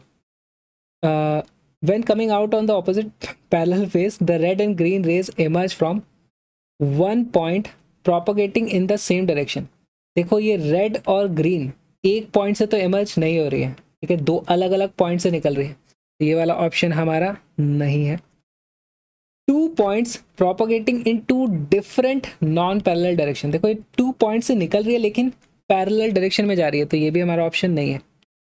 Two points propagating in two different parallel direction तो हाँ यहाँ से टू पॉइंट्स आ रही है, दो पैरेलल डायरेक्शन में ही आ रही है। तो हमारा actually option number C correct हो जाएगा। वन पॉइंट वन पॉइंट से तो निकल ही नहीं रही। हमें दिख रहा है अलग अलग पॉइंट से वो निकल रही है तो हमारा आंसर सी करेक्ट हो जाएगा। इसी के साथ हमने सारे के सारे क्वेश्चन सॉल्व कर लिए। अब आते हैं हम नेक्स्ट टॉपिक पे। प्रिज्म कोई भी रिफ्रैक्टिंग दो रिफ्रैक्टिंग सरफेस अगर किसी एंगल पे होती है तो वो हमारी प्रिज्म हो जाती है। और ज़रूरी नहीं है कि हमेशा इस तरीके से ट्राइंगल जैसा ही, हो सकता है हमारे पास इस तरीके से अगर एक स्लैब है, लेकिन मेरी लाइट यहाँ से एंटर करती है और फिर इस तरीके से निकल जाती है। तो ये वाला सेक्शन देखो, इसके लिए एक प्रिज्म की तरह काम करता है। तो प्रिज्म इस तरीके से डिवाइस का दिखना ज़रूरी है नहीं। डिवाइस मतलब ऑब्जेक्ट का। प्रिज्म में हमारे पास कुछ चीज़ें होती है जो हमें ध्यान रखना पड़ेगा। सबसे पहली बात तो अगर ऐसा प्रिज्म है तो इसमें एक रिफ्रैक्टिंग एंगल होगा। रिफ्रैक्टिंग एंगल यानी कि इस एंगल के थ्रू देखो, ये जो साइड है और ये जो साइड है, जिन दोनों पर रिफ्रैक्शन हो रहा है, उन दोनों को कंटेन करने वाला एंगल ही रिफ्रैक्टिंग एंगल होता है। इसको रिफ्रैक्टिंग एंगल नहीं बोल सकते। अगर मान लो कोई लाइट यहाँ से आकर के इस तरीके से निकल रही होती, उस केस में ये हमारा रिफ्रैक्टिंग एंगल हो जाता। तो रिफ्रैक्टिंग एंगल पर ध्यान दें।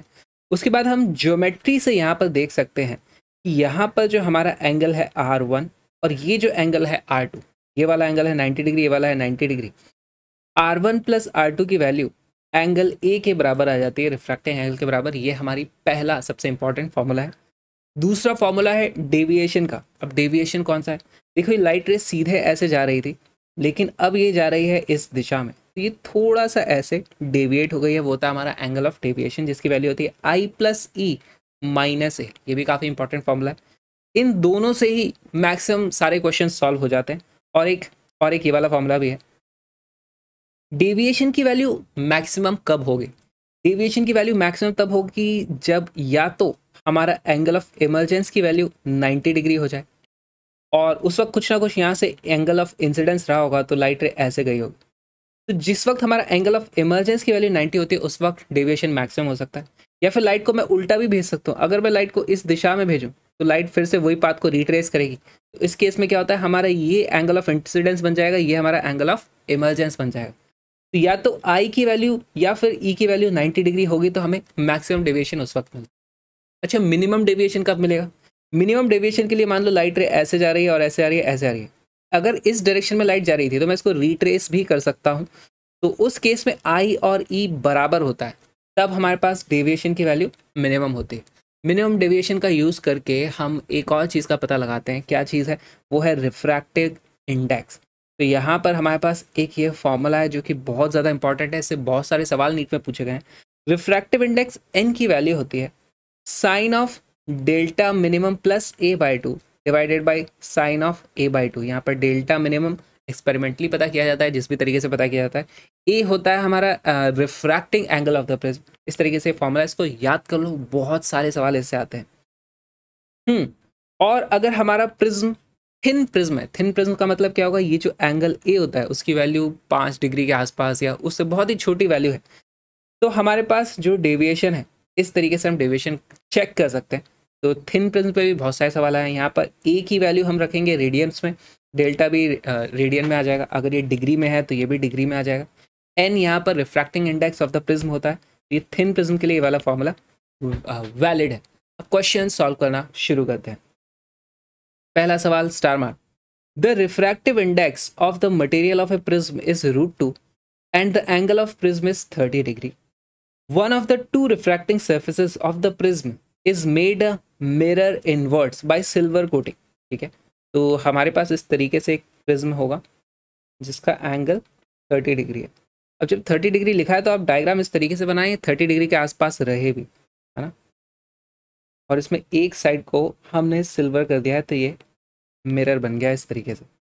A beam of monochromatic light entering the prism from the other face will retrace its path after reflection from the silvered surface if its angle of incidence on the prism is तो हमारे पास यहाँ से कोई light रे आती है, यहाँ पर थोड़ी रिफ्लेक्ट होगी और यहाँ पर फिर से रिट्रेस कर लेगी, अपने रिफ्लेक्ट होके वापस इस तरीके से आ जाएगी।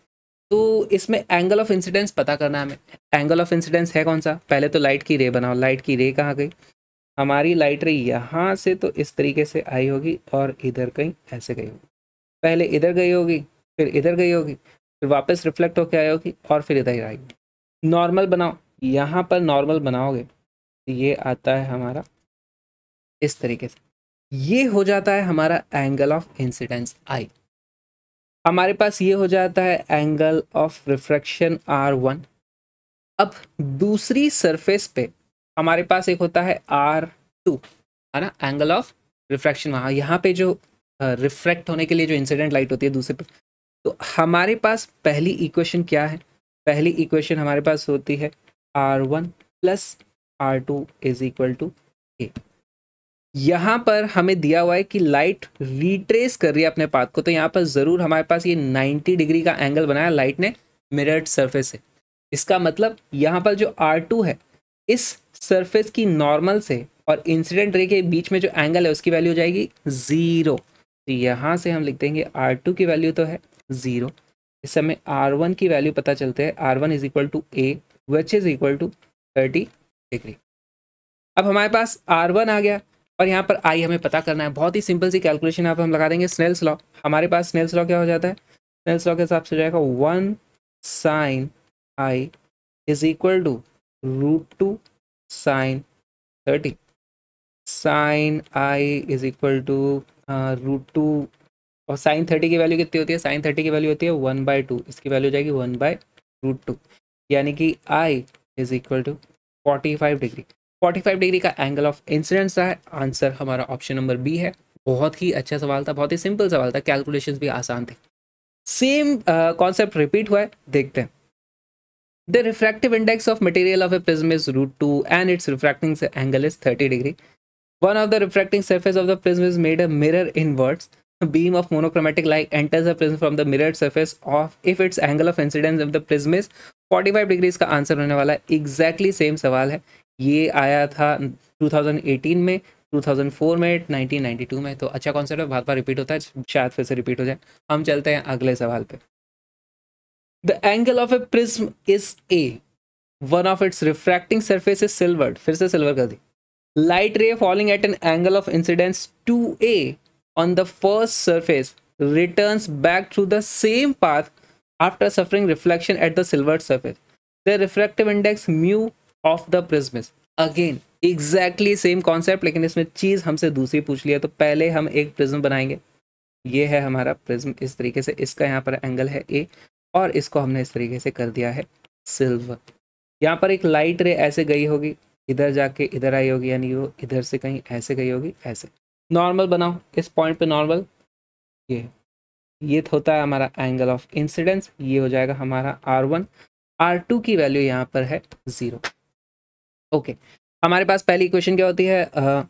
R two plus R one is equal to A R two की वैल्यू है ज़ीरो यानी कि R one equal to A आ गया। अब हम लगा देंगे स्नेल्स लॉ तो वन इंटू साइन आई इस पॉइंट पे लगा रहे हैं हम स्नेल्स लॉ इस बाहर वाला मीडियम का रिफ्रैक्टिव इंडेक्स है वन यहाँ का रिफ्रैक्टिव इंडेक्स है म्यू उसकी वैल्यू म्यू लिखिए ना.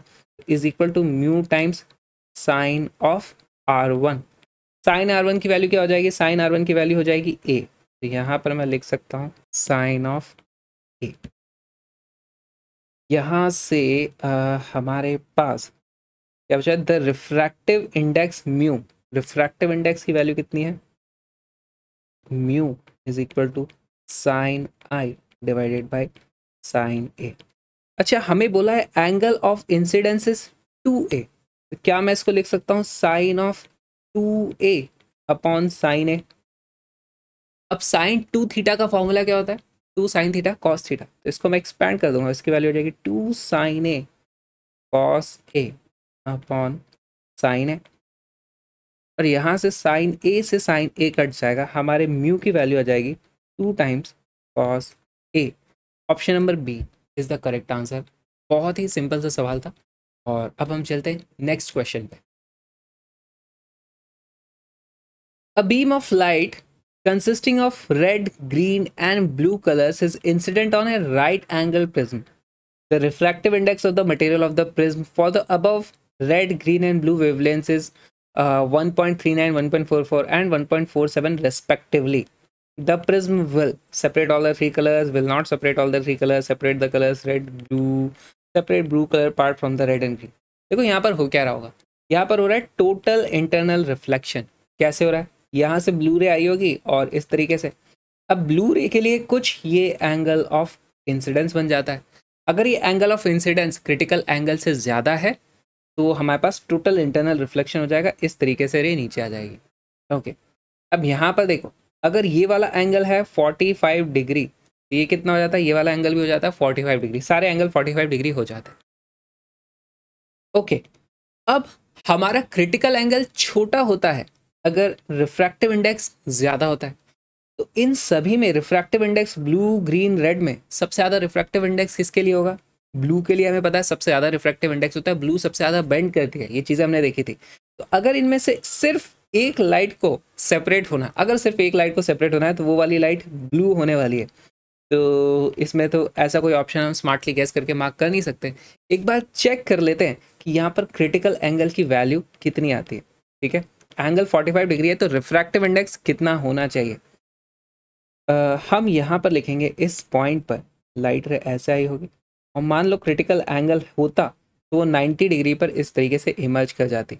ये है हमारा 45 डिग्री हम लिखेंगे N sine 45 degree is equal to one sine 90 degree अगर एन की वैल्यू इससे ज़्यादा हो जाएगी तो हमारे पास टोटल इंटरनल रिफ्लेक्शन हो जाएगा।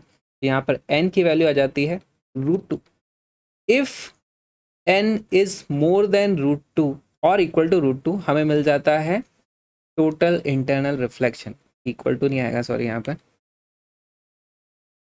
तो if N is more than 1.414 something हमारे पास टोटल इंटरनल रिफ्लेक्शन हो जाएगा। देखो यहाँ पर कौन सी वैल्यूज़ 1.414 से ज़्यादा है? 1.414 से ज़्यादा ये है और ये है। तो हमारे पास ग्रीन और ब्लू सेपरेट हो जाएँगी। ठीक है? तो ग्रीन और ब्लू सेपरेट हो जाएँगे। तो separate the red colour part from the green and blue colours हमारा आंसर हो जाएगा सी यहाँ पर हमारी रेड नीचे निकल जाएगी, ग्रीन इस तरफ़ आ जाएगी और ब्लू भी इस तरफ़ आ जाएगी। ये फाइनली होने वाला है। चलते हैं अगले सवाल पे। The refractive index of the material of the prism is root three then the angle of minimum deviation of the prism is यह बहुत ही सीधे सीधे फॉर्मूला बेस्ड क्वेश्चन है। देखो फॉर्मूला क्या है? हमारे पास होता है N is equal to sine of A plus delta minimum divided by 2 divided by sine of A by two. तो यहाँ पर हमें ए की वैल्यू दी ही नहीं हुई है। रिफ्रैक्टिंग एंगल तो प्रिज्म का दिया ही नहीं हुआ है। इसका मतलब हम मान लेंगे कि हमारे पास वो equilateral triangle sorry, symmetric वाला है तो ए की वैल्यू हम अज्यूम कर लेंगे 60 डिग्री। ओके, वैल्यू रखना शुरू करते हैं। हमारे पास यह जाता है root three. Into sine sixty by two is equal to sine of A plus delta minimum divided by two sine sixty by two यानी कि साइन थर्टी साइन थर्टी कितना होता है? वन बाई टू ये हो जाता है root three by two is equal to sine of A plus delta minimum by two अब साइन किस एंगल के साइन की value root three by two होती है? वो है हमारा सिक्सटी डिग्री, यानी ये अंदर वाली वैल्यू की ज़रूर सिक्सटी डिग्री रही होगी। तो sixty degree is equal to A की वैल्यू भी सिक्सटी डिग्री है प्लस डेल्टा मिनिमम हमें पता करना है डिवाइडेड बाई टू यहाँ पर आ जाता है। टू तरफ़ मल्टीप्लाई होगा, यहाँ पर डेल्टा मिनिमम की वैल्यू आ जाएगी, फिर से sixty degree. Option number C is the correct answer आगे चलते हैं नेक्स्ट क्वेश्चन पे। The angle of incidence for a ray of light at a refracting surface of prism is 45 degree the angle of prism is 60 degree if the ray suffers minimum deviation through the prism the angle of minimum deviation and refractive index of the material of the prism are respectively क्या values हैं हमें कैसे पता करेंगे देखो हमारे पास इस तरीके से कोई प्रिज्म है और मिनिमम डेविएशन हो रहा है हमारे पास ठीक है तो मिनिमम डेविएशन की कंडीशन क्या होती है I is equal to E होता है फॉर मिनिमम डेविएशन तो आई की वैल्यू हमें दी हुई है 45 डिग्री यहाँ से हमारे पास लाइट इस तरीके से आई होगी, ऐसे गई होगी और फिर इस तरफ़ निकल गई होगी। ये है हमारा एक नॉर्मल ये एंगल 45 डिग्री है और ये वाला एंगल भी 45 degree okay angle of prism की वैल्यू है 60 डिग्री अच्छा एक बात बताओ अगर ये 45 डिग्री है, ये भी 45 डिग्री है, यहाँ पर हमें सिमेट्री से दिख रहा है कि इस साइड जो R1 और R2 होंगे, वो दोनों भी बराबर आ जाएँगे right R one is equal to R होगा। साथ में हम ये भी जानते हैं कि A is equal to R one plus R two होता है राइट और दोनों की वैल्यू बराबर है ए की वैल्यू दी हुई है हमें 60 degree angle of prism is 60 degree, यहाँ से हमें पता चल जाता है R one is equal to R two is equal to thirty degree. बहुत सिंपल अब यहाँ पे लगा दो आप स्नेल लॉ तो इससे हमारे पास कुछ रिफ्रैक्टिंग इंडेक्स आ जाएगा। क्या आ जाएगा? One into sine forty five is equal to N into sine of thirty degree sine forty five one by root two होता है is equal to N sine thirty की वैल्यू कितनी होती है? वन बाई टू एन की value आ जाती है यहाँ से रूट टू पहला आंसर हमारा आ गया है। और दूसरी चीज़ क्या पता करनी है हमें? The angle of the angle of minimum deviation okay angle of minimum deviation इस वक्त हमारे पास मिनिमम डेविएशन ही हो रहा है। ठीक है तो इस वक्त हमें पता कर लेना है कि डेविएशन कितना है। डेल्टा की वैल्यू क्या होती है? डेल्टा की वैल्यू होती है आई प्लस ई माइनस ए आई की वैल्यू है, देखो, यहाँ पर आई था फोर्टी फाइव ई भी था फोर्टी फाइव ए की वैल्यू है सिक्सटी डिग्री तो forty five plus forty five minus sixty delta की वैल्यू कितनी आ जाती है? Ninety minus sixty is equal to thirty degree तो हमारे आंसर हो जाएँगे root two and thirty degree root two and thirty degree option number B is the correct answer वैसे हमारे पास या तो ये हो सकता था, ये दोनों तो आंसर हो ही नहीं सकते। कभी भी एन की value one by root two नहीं हो सकती है। वन से छोटा एन की वैल्यू नहीं हो सकती। चलते हैं नेक्स्ट क्वेश्चन पे। The refracting angle of a prism is A and refracting index of the material of the prism is cot A by two अभी कॉट ए बाई टू जैसे ही इनने बोला, ये देखते हमें समझ में आ गया कि हमें कुछ तो मिनिमम डिविएशन वाला फॉर्मूला लगाना है, तभी इस तरह की कुछ तो टर्म आएगी। The angle of minimum deviation is तो मिनिमम डेविएशन का सीधे सीधे हम फॉर्मूला लगाएँगे। N is equal to sine of delta minimum plus A divided by two upon sine of A by okay N की वैल्यू कितनी है? रिफ्रैक्टिव इंडेक्स उसकी वैल्यू दे रखी है हमें cot A by cot A by two क्या होता है? कॉट ए बाई टू होता है sine A by two upon cos A by two तो टेन होता है। ये हो जाता है cos A by two upon sine of A by two सबको ये चीज़ क्लियर यहाँ से साइन ए बाई टू से साइन ए बाई टू हमारा कैंसिल हो जाएगा और हमारे पास वैल्यू क्या हो जाएगी?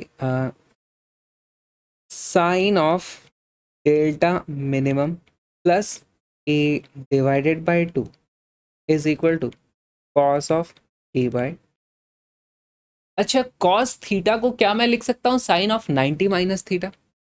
इसको मैं लिख दूँगा। Sine of 90 minus A by two. अब देखो, साइन के अंदर वाली टर्म्स बराबर होनी चाहिए। यहाँ से आ जाता है delta minimum plus A divided by two. Is equal to ninety minus A by two यहाँ से आ जाएगा delta minimum is equal to delta minimum by two is equal to ninety minus A ninety minus A यानी कि delta minimum is equal to one eighty minus two A option is A is our correct answer ये direct थोड़ा mathematical सवाल हो गया, इसमें ज़्यादा physics का उतना कॉन्सेप्ट नहीं लग रहा है। एक बस हमारे पास फॉर्मूला था, उसके बाद पूरा का पूरा मैथमेटिक्स है। देख करके डर लगता है एक कॉट आ गया, अचानक से क्या हो गया, लेकिन एक्चुअली उतनी कॉम्प्लिकेटेड भी कैलकुलेशंस नहीं थी। चलते हैं नेक्स्ट क्वेश्चन पे। For the angle of minimum deviation of a prism to be equal to its refracting angle the prism must be made of a material whose refractive index lies between बहुत सारे option है।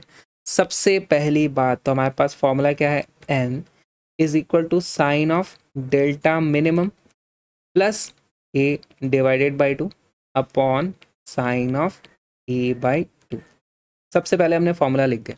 अब क्या बोला? Angle of minimum deviation to be equal to its refracting angle यानी कि delta minimum की value A के बराबर है। तो यहाँ पर ये यह हमारे पास क्या हो जाएगा? Sine of two times A by two है ना? Two times A by two upon sine of A by two अब देखो, ये है हमारे पास साइन ऑफ़ टू थीटा इसको मैं क्या लिख सकता हूँ? Two sine theta cos theta. इसकी वैल्यू हो जाएगी two sine A by two cos A by two divided by sine of A by two. हमने सीधे सीधे साइन टू थीटा को एक्सपैंड कर दिया इस तरीके से। और यहाँ पर हमारी कुछ चीज़ें कैंसिल आउट हो जाएँगी। और एन की वैल्यू कितनी आ जाती है? N is equal to two cos A by hmm.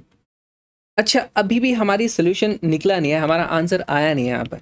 हमें क्या पता करना है? हमारे पास, देखो, हमारे पास angle of incidence for minimum deviation I is equal to E होता है। Right right?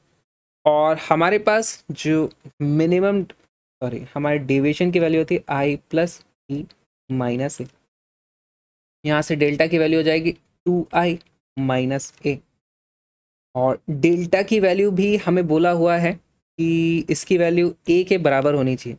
तो यहाँ से हो जाता है two I is equal to two A या फिर I is equal to A अब एंगल ऑफ़ इंसिडेंस की मैक्सिमम वैल्यू कितनी हो सकती है? एंगल ऑफ़ इंसिडेंस की मैक्सिमम वैल्यू हो सकती है ज़ीरो से नाइन्टी डिग्री जाता है हमारा एंगल ऑफ़ इंसिडेंस। तो यहाँ पर हमारी वैल्यू कहाँ से कहाँ तक जाएगी? आई की वैल्यू ज़ीरो से नाइन्टी डिग्री जा सकती है। तो ए बाई टू की वैल्यू कहाँ से कहाँ तक जा सकती है? ए बाई टू की वैल्यू जा सकती है ज़ीरो से फोर्टी फाइव डिग्री तक।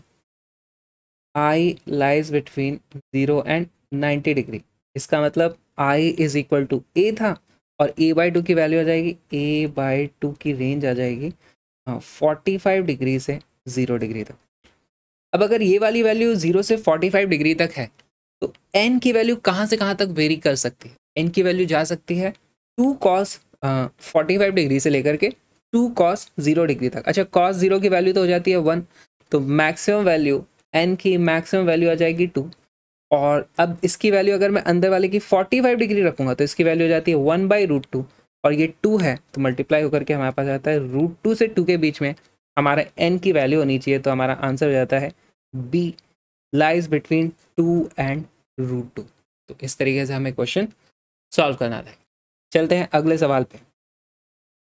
Angle of deviation delta by a prism, refractive index mu, and supposing the angle of prism a to be small can be given by ये है सीधे सीधे formula based question thin prism के लिए हमारे पास जो डेविएशन होता है, उसकी वैल्यू कितनी होती है? A into N minus one तो हमारा आंसर कौन सा हो जाता है यहाँ पर? A is the correct answer ये हमारा मिनिमम डेविएशन का ये तो क्या ही फॉर्मूला है, पता नहीं क्या बना दिया।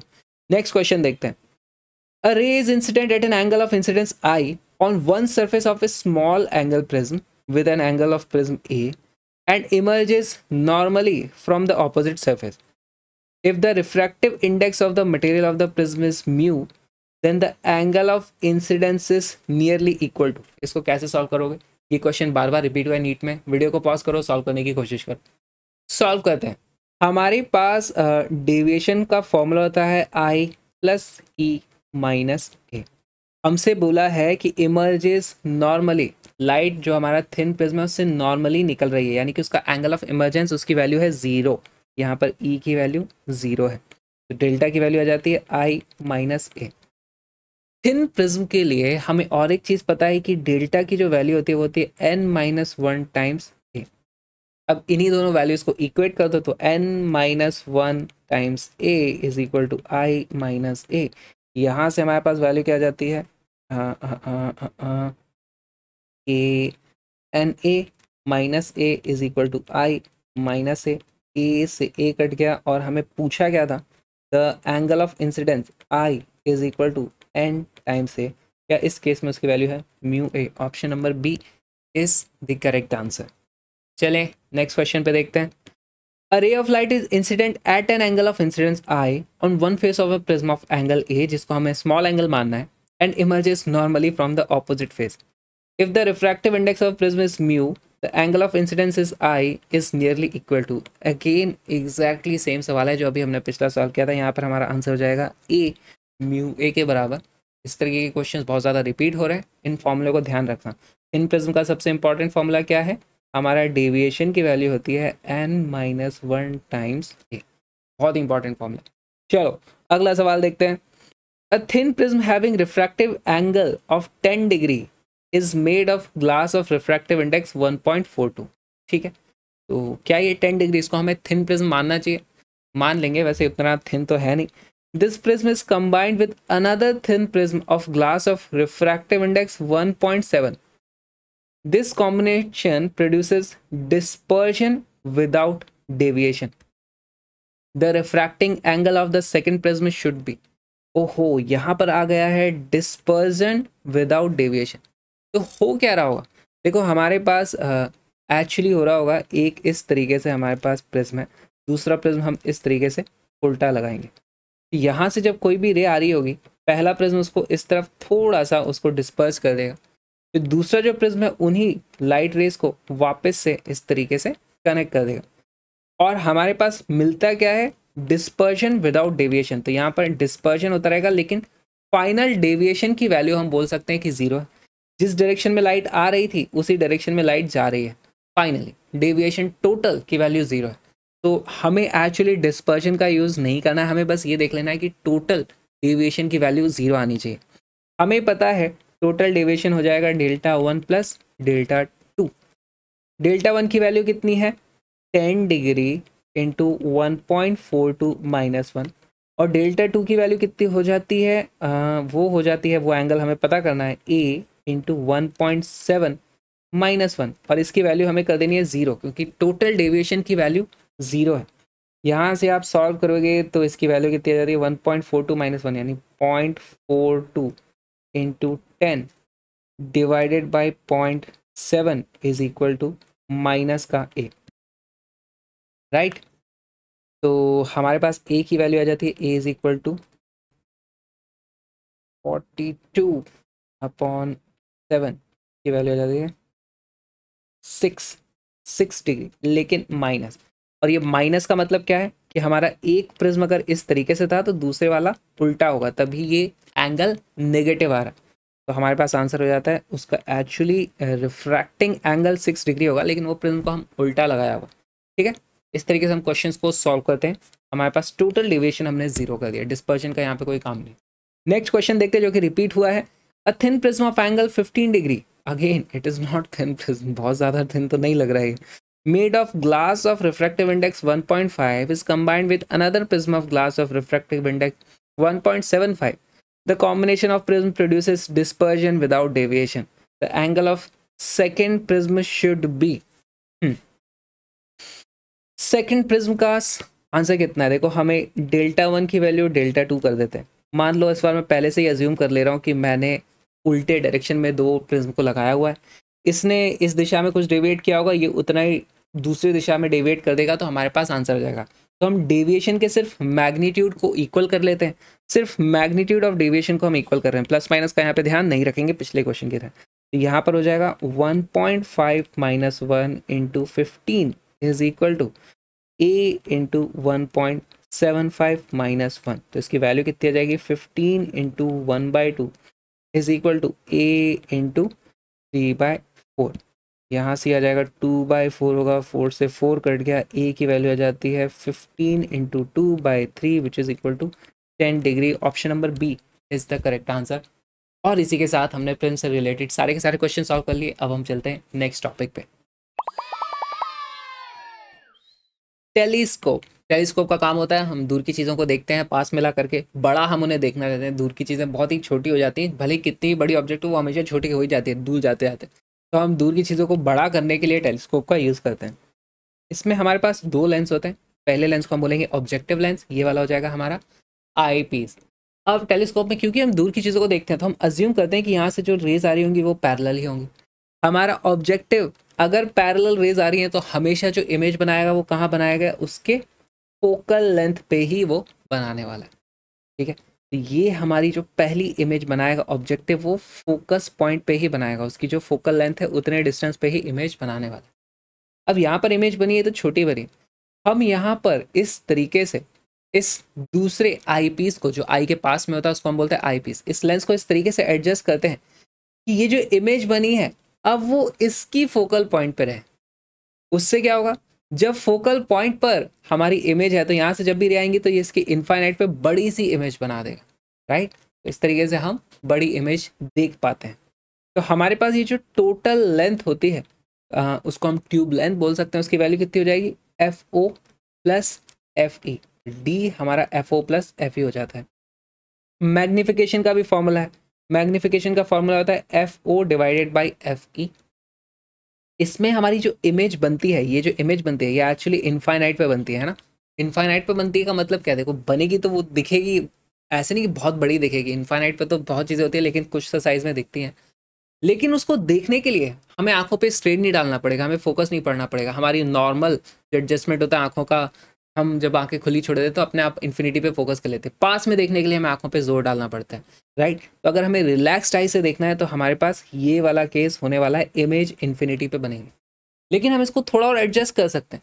अगर मैं इस आई पीस को थोड़ा इधर उधर मूव करूँगा तो मैं इमेज को आँखों के पास बना सकता हूँ। इमेज आँखों के पास बनेगी तो थोड़ा और बड़ी हो जाएगी, हमारा मैग्निफिकेशन थोड़ा और बढ़ जाएगा। लेकिन उसमें हमें रिलैक्सेशन छोड़ना पड़ेगा, हमारी आँखों पे थोड़ा स्ट्रेन करना पड़ेगा। तो इमेज अगर मैं पास लेके आऊँ तो मैं मिनिमम कितना पास ला सकता हूँ?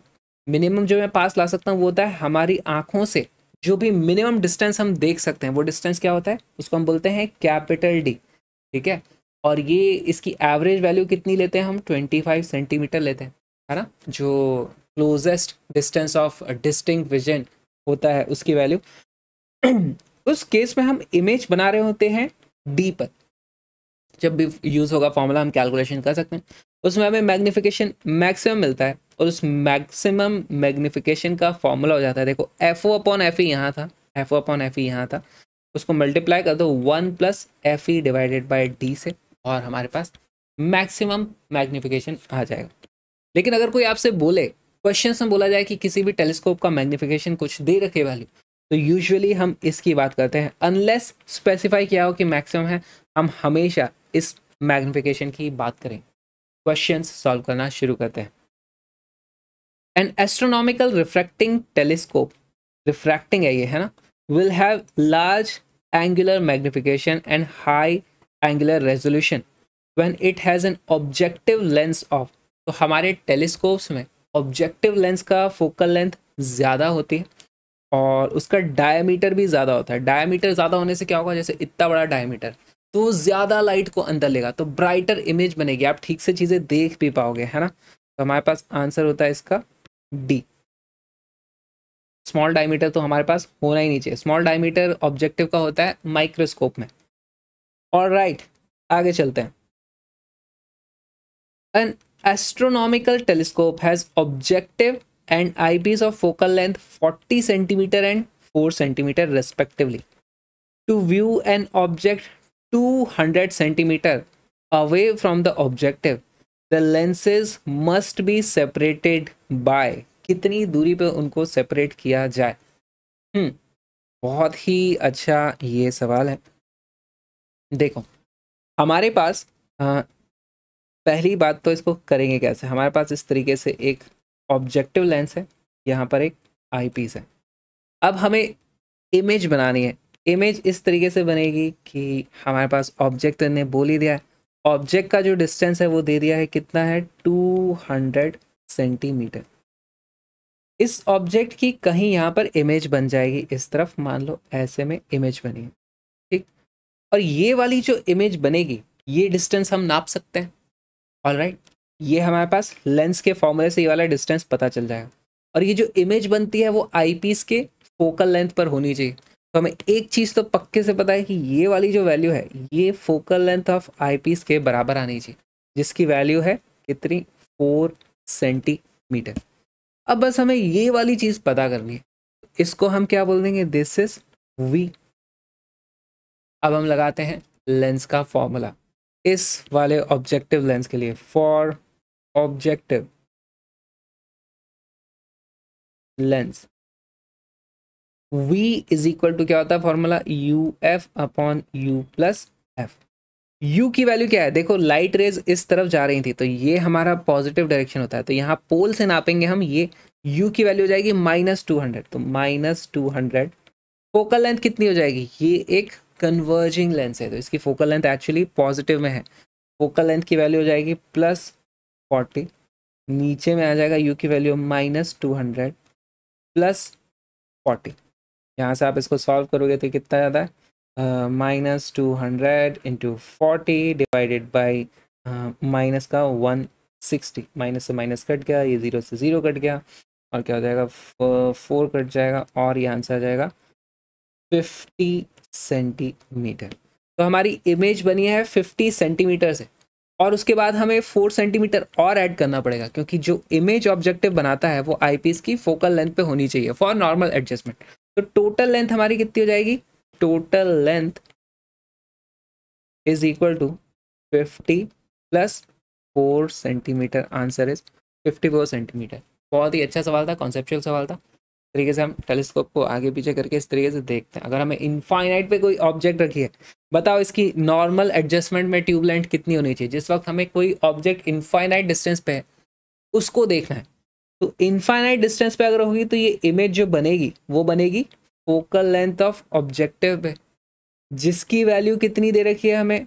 40 सेंटीमीटर 40 सेंटीमीटर प्लस 4 सेंटीमीटर हम करेंगे तो टोटल 44 सेंटीमीटर हमारा नॉर्मल एडजस्टमेंट इनफाइनाइट पे रखी ऑब्जेक्ट को अगर देख रहे हो तो इसकी ट्यूब लेंथ होनी चाहिए 44 सेंटीमीटर अभी हमें चाहिए 54 सेंटीमीटर तो हम इस तरीके से एडजस्ट करते रहते हैं। ओके आगे चलते हैं। In an astronomical telescope in normal adjustment यानी कि इनफाइनाइट की ऑब्जेक्ट रखी हुई है, और उसको हम देख रहे हैं। A straight black line of length L is drawn on inside part of objective lens कुछ तो क्रिएटिविटी कर रहे हैं यहाँ पे। The eyepiece forms a real image of this line the length of this image is small L the magnification of the telescope is बहुत अच्छा सवाल है। देखो पहली बात तो हमारे पास डायग्राम बनाओ। सबसे पहले डायग्राम बनाना बहुत ज़्यादा ज़रूरी है। ये हमारे पास एक आई पीस है।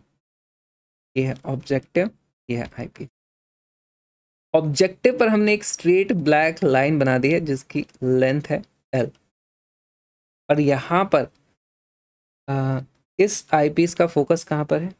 यहाँ पर होगा मान लो this is F E this is F Hmm. The eyepiece forms a real image of this line. The length of this image is L. अच्छा तो यहाँ से देखो रेज ऐसे करके यहाँ पे इसने कुछ इमेज बनाई होगी और वो इमेज यहाँ पर रही होगी इस तरीके से ये वाली लेंथ है L magnification of the telescope is तो आई पीस के लिए हम पहले इक्वेशन लिखेंगे आई पीस के लिए for eyepiece v is equal to uf upon u plus f. Okay. तो इसके लिए v बाय u m की वैल्यू कितनी होती है magnification m is equal to v by u. ये मैग्निफिकेशन ऑफ़ आई पीस है. Magnification of eyepiece M of eye is equal to V by U यहाँ पर से इस u को नीचे ले जाओगे तो ये वाली वैल्यू कितनी आ जाती है? F upon U plus F ये मैग्निफिकेशन ऑफ़ आई पीस आ गया। ओके और मैग्निफिकेशन ऑफ़ आई पीस क्या हमें पता है मैग्निफिकेशन ऑफ़ आई पीस की वैल्यू कितनी है? देखो एल हमारे पास ऑब्जेक्ट था और इमेज बनी है स्मॉल एल तो हमारे पास मैग्निफिकेशन की वैल्यू कितनी आ जाएगी? इमेज की लेंथ डिवाइडेड बाय ऑब्जेक्ट की लेंथ इसकी वैल्यू ऑल्सो इक्वल टू होगी एल बाई कैपिटल एल सबको ये चीज़ क्लियर है? ये हमने फॉर्मूले से पता कर लिया कि मैग्निफिकेशन ऑफ़ आईपीएस की वैल्यू हो जाती है F upon U plus F और मैग्निफिकेशन की वैल्यू हमें क्वेश्चन में दी हुई है एल बाई एल होगी। लेकिन यहाँ पर एक ट्विस्ट है। ये हमारी नेगेटिव में वैल्यू होगी। यहाँ पे माइनस भी लगेगा। क्यों माइनस लग रहा है? क्योंकि ये है हमारा कॉन्वेक्स लेंस इसने बनाई है रियल इमेज तो ज़रूर वो इन्वर्टेड इमेज बनी होगी राइट तो हमें यहाँ पर माइनस लगाना ही पड़ेगा, क्योंकि फॉर्मूले में तो हम सारी चीज़ें साइन कन्वेंशन के साथ लगाते हैं। ओके अब हमारे पास वैल्यूज़ क्या आ गई है? हाँ ये है हमारी एफ़ कौन सी थी? ये फोकल लेंथ ऑफ़ आई था, ये भी फोकल लेंथ ऑफ़ आई था। यू की वैल्यू कितनी है? यू की वैल्यू थी हमारी ये वाली length F O plus F E है। U is equal to F O plus F E लेकिन F O plus F E भी माइनस में आएगा राइट देखा, हमारे पास focal length F O and F E are only numeric values इसमें हम sign का यूज़ नहीं कर रहे हैं। इस लेंस के लिए फोकल लेंथ जब हमने यहाँ पर लिखी थी तो वो पॉजिटिव ही थी तो हमें प्लस माइनस नहीं करना पड़ा। लेकिन इमेज की बात करोगे, ये जो यू था, यहाँ पे देखो, ये ऑब्जेक्ट है। ऑब्जेक्ट का डिस्टेंस जो यू है, वो एक्चुअली नेगेटिव साइड में क्योंकि इमेज रेस तो इस तरफ़ जा रही है। तो हमारी यू की वैल्यू जाएगी minus F O plus F E यहाँ पर वो वैल्यू रखो तो हमारे पास वैल्यू आ जाएगी minus L by L is equal to F E upon u की जगह हम रख देंगे minus F O minus F E plus F यहाँ से हमारे पास ये एफ़ ई से एफ़ ई कट जाता है और हमारे पास आ जाता है L by L is equal to F E upon F O हमसे पूछा है magnification of the telescope magnification of telescope का फॉर्मूला क्या होता है? M is equal to F O upon F E उसकी वैल्यू आ जाती है capital L divided by small L यहाँ से। तो हमारा आंसर हो जाएगा कैपिटल स्मॉल स्मॉल एल यानी कि C is the correct answer. ये सब जगह आई क्यों कर दिया हमने? इसकी वैल्यू एल है एल है एल है, एल। क्लियर सबको? क्वेश्चन समझ में आया? थोड़ा सा घुमा फिरा हुआ सवाल है, लेकिन थोड़ी थोड़ी थोड़ी थोड़ी थोड़ी मैथ्स लगाओगे तो हो जाएगा। ध्यान क्या देना था यहाँ पर? F O plus F E हमारा यू था, लेकिन नेगेटिव, ठीक है? नेगेटिव में था। और राइट आगे चलते हैं। The magnifying power of a telescope is 9. Hmm. When it is adjusted for parallel rays, the distance between the objective and the eyepiece is 20 centimeter. The focal length of lenses are बहुत ही simple सवाल है directly formula based सवाल है देखो magnification का formula क्या होता है हमारे पास focal length of objective divided by focal length of eyepiece इसकी वैल्यू हमें क्या दे रखी है नाइन साथ में हमें जो ट्यूब लेंथ होती है ट्यूब लेंथ क्या होती है? F O plus F E उसकी वैल्यू दे रखी है ट्वेंटी सेंटीमीटर तो इसमें रखो वैल्यूज़ एफ़ ओ यहाँ से एफ़ ओ की वैल्यू हो जाती है नाइन टाइम्स एफ़ ई तो ये हो जाएगा हमारे पास ten times F E is equal to twenty centimetre F E की वैल्यू हो जाती है टू सेंटीमीटर और एफ़ ई की वैल्यू टू सेंटीमीटर हो गई तो एफ़ ओ की वैल्यू हो जाती है एटीन सेंटीमीटर हमारे पास आंसर हो जाएगा C is the correct answer बहुत ही आसान सवाल था। और ऐसे सवाल नीट में रिपीट होते हैं क्योंकि आसान क्वेश्चन तो नीट में रिपीट होते ही हैं। नेक्स्ट क्वेश्चन देखो।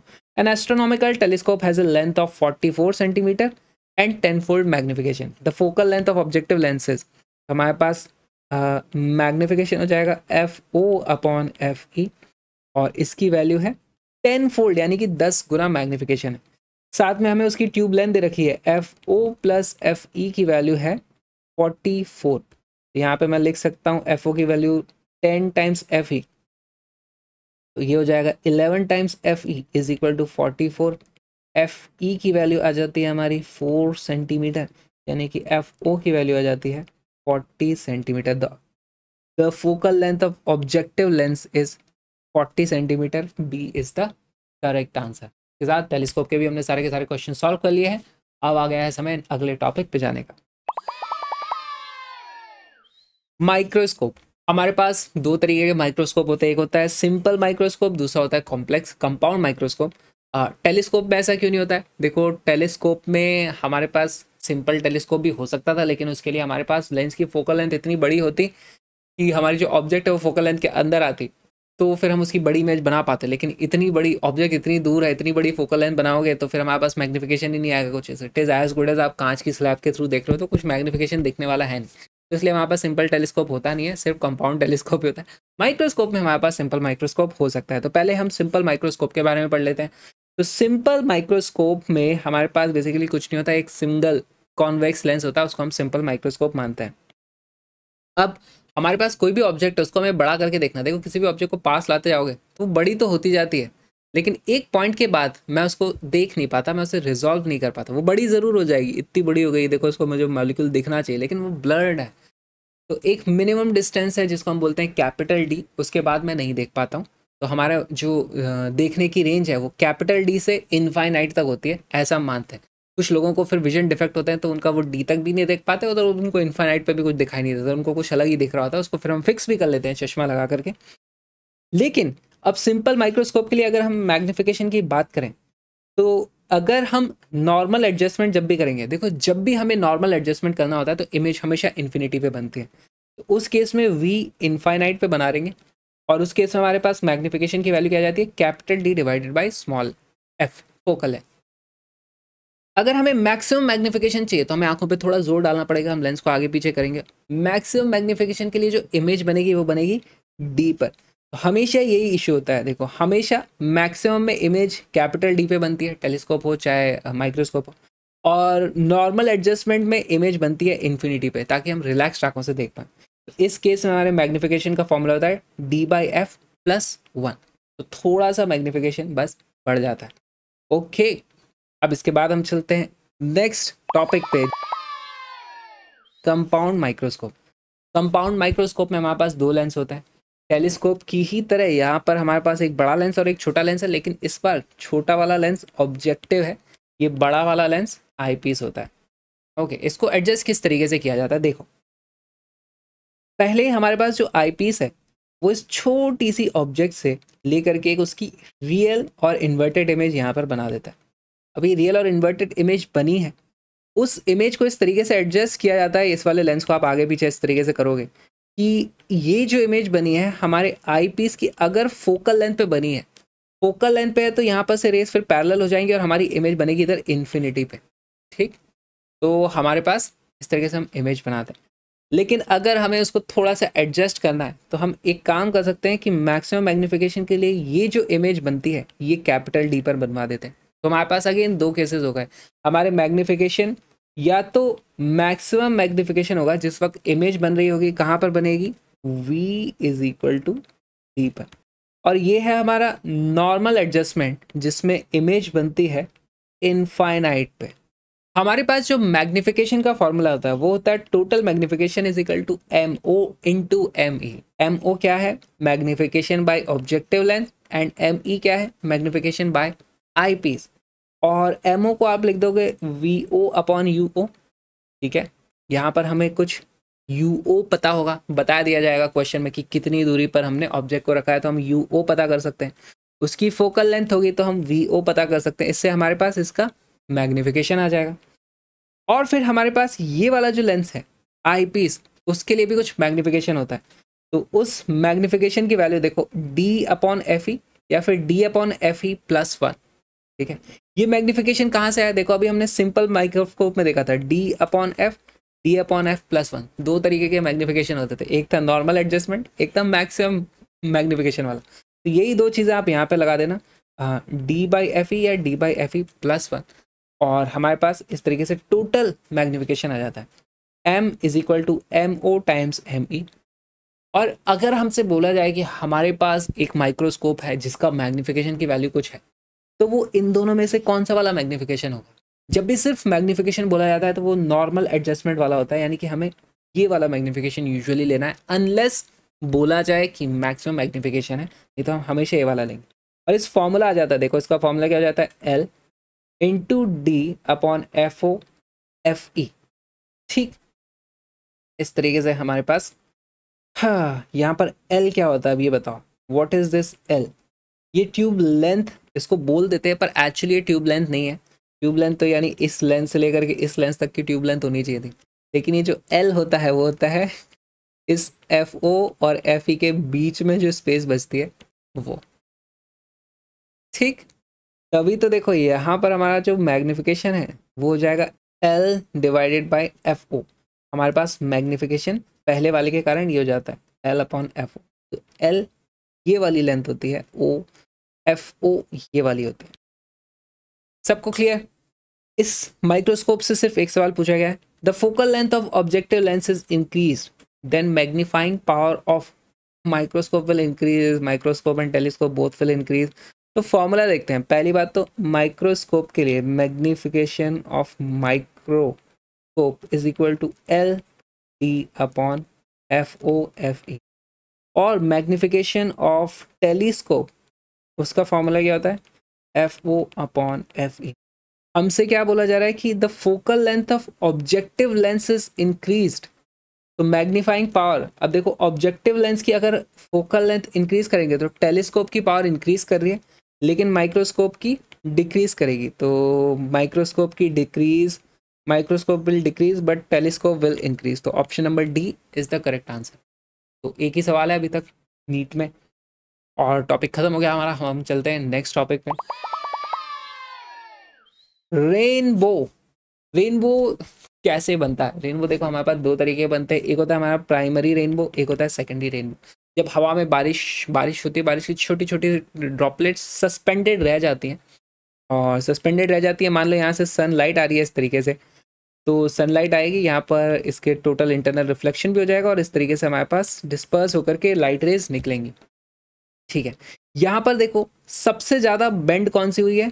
ब्लू वाली और सबसे थोड़ा कम बेंड हुई है रेड वाली। इस तरीके से हमारी रेज आती है।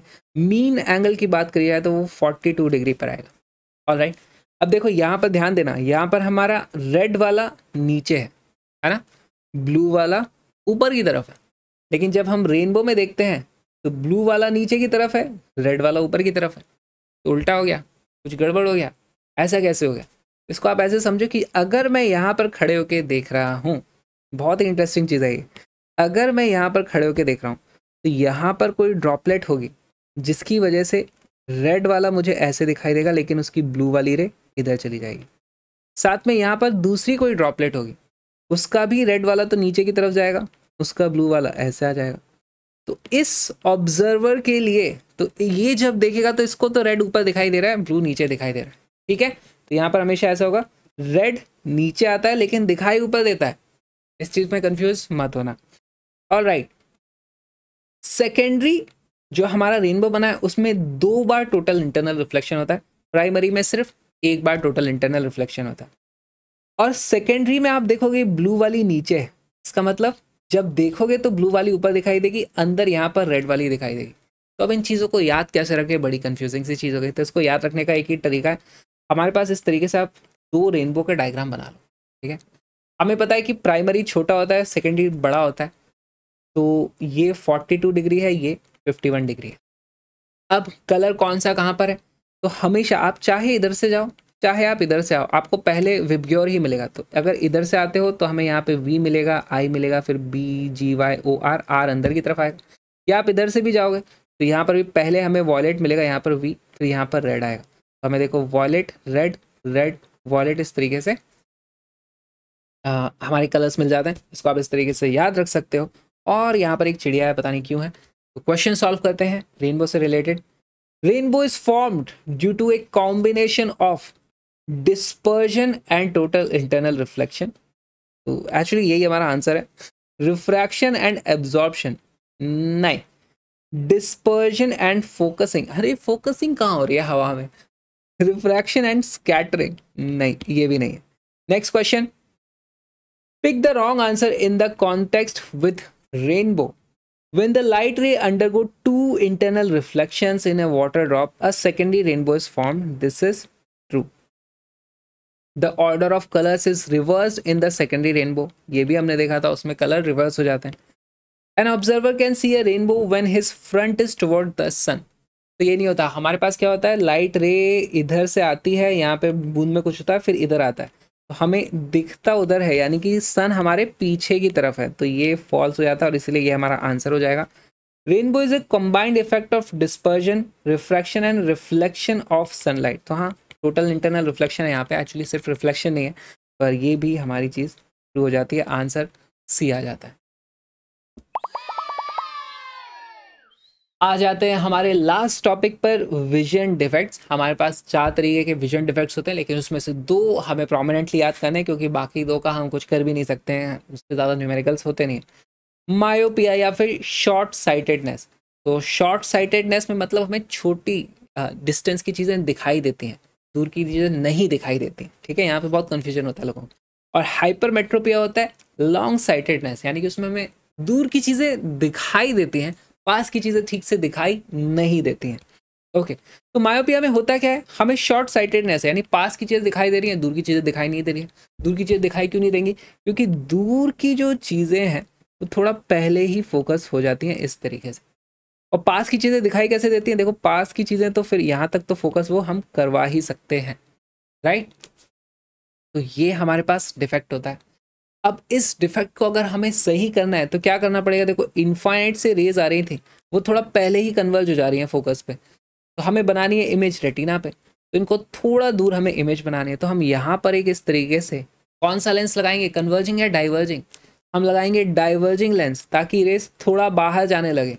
और यहाँ पर हमारे पास ज़्यादा पावरफुल हो रखा है हमारी आँख का लेंस तो वो उसको अब फिर से फोकस कर देगा, लेकिन इस बार रेस ऑलरेडी थोड़ा डाइवर्ज हो रही थी तो वो अब रेटिना पे इमेज बना रही तो हमारे पास डाइवर्जिंग लेंस लगाया जाएगा, यानी कॉन्केव लेंस लगाया जाएगा तो जिनके चश्मे की पावर नेगेटिव होती है, उनको मायोपिया हो जाता है, यानी कि करेक्ट हाइपरमेट्रोपिया इसमें क्या होता है, हमारे पास लॉन्ग साइटेडनेस तो इसका मतलब हमें दूर की चीज़ें दिखाई दे पाती हैं तो मान लो पास की चीज़ें नहीं दिखाई दे रही, पास की चीज़ों में क्यों नहीं दिखाई दे रही है? यहाँ से रे ऐसे गई होगी और थोड़ा पीछे जाकर के इमेज बनती है। अगर दूर से रे आ रही होती तो हमारी रे यहाँ पर कन्वर्ज हो जाती रेटिना पे इमेज बन जाती, लेकिन पास की ही ऑब्जेक्ट है तो इमेज थोड़ा ज़्यादा पीछे बन जाती है, हमारी उसकी पावर थोड़ी कम पड़ जा रही है कन्वर्जिंग पावर कम पड़ रही है। तो कैसे इसको सही करें?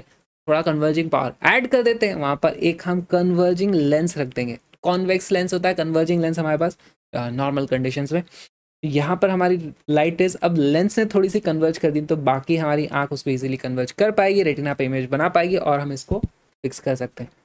मान लो कि हमारे पास मायोपिया और हाइपरमेट्रोपिया दोनों हो गया। हमारी आँखों से ना दूर का दिखता है, ना पास का दिखता है, बीच में कहीं का शायद दिखा तो दिखा, नहीं तो कुछ भी दिखना, सब बंद हो गया। तो उसको हम बोलते हैं प्रेस बायोपिया यानी हमें दोनों डिफेक्ट्स हैं तो उस केस में हम अलग अलग चश्मे पहनते हैं। दूर के लिए कोई और, पास के लिए कोई और, या फिर आप स्प्लिट वाला चश्मा पहनते हो, जिसमें नीचे अलग से वो होता है ना, पास का पढ़ने के लिए अलग चश्मे का पार्ट ऐसे ऐसे लगा के हम पढ़ते हैं। और एक चीज़ होती है एस्टिगमेटिज्म अब ये क्या डिफेक्ट है? एस्टिगमेटिज्म वो डिफेक्ट होता है जिस वक्त हमारे पास आँखों में जो लेंस है, वो सिमेट्रिक नहीं रहता। सिमेट्रिक नहीं रहता मतलब अगर इस एक्सिस पे कोई चीज़ है तो उसकी लेंथ हमें कुछ और दिखाई देती है। दूसरे एक्सेस पे लेंथ कुछ और दिखाई देती है तो वो थोड़ा चपटा हो जाता है एक तरीके से, आप ऐसा बोल सकते हो। स्ट्रेच इमेज दिखाई देंगी। सर्किल होगा तो वो एलिप्स बन जाएगा स्क्वायर होगा तो वो रेक्टेंगल बन जाएगा ऐसे ऐसी चीज़ें होने लगती है। और ऐसे ऐसे मुंडी घुमाओगे तो थोड़ा अजीब सा भी दिखता है। कोई चीज़ लंबी थी, अब अचानक से चौड़ी कैसे हो गई? तो ये होता है, इसको फिक्स करने के लिए हम सिलेंड्रिकल लेंसेज का यूज़ करते हैं और इस पर बेस्ड कोई भी कैलकुलेशन कहीं भी नहीं होती है। तो हमने सारे के सारे विजन डिफेक्ट्स के बारे में पढ़ लिया। अब चलते हैं क्वेश्चन पे।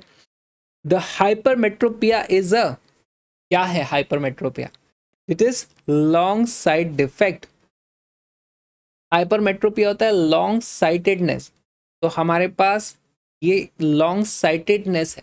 हम लॉन्ग तो देख सकते हैं। तो हमारे पास ये शॉर्ट साइड डिफेक्ट होगा ना? राइट?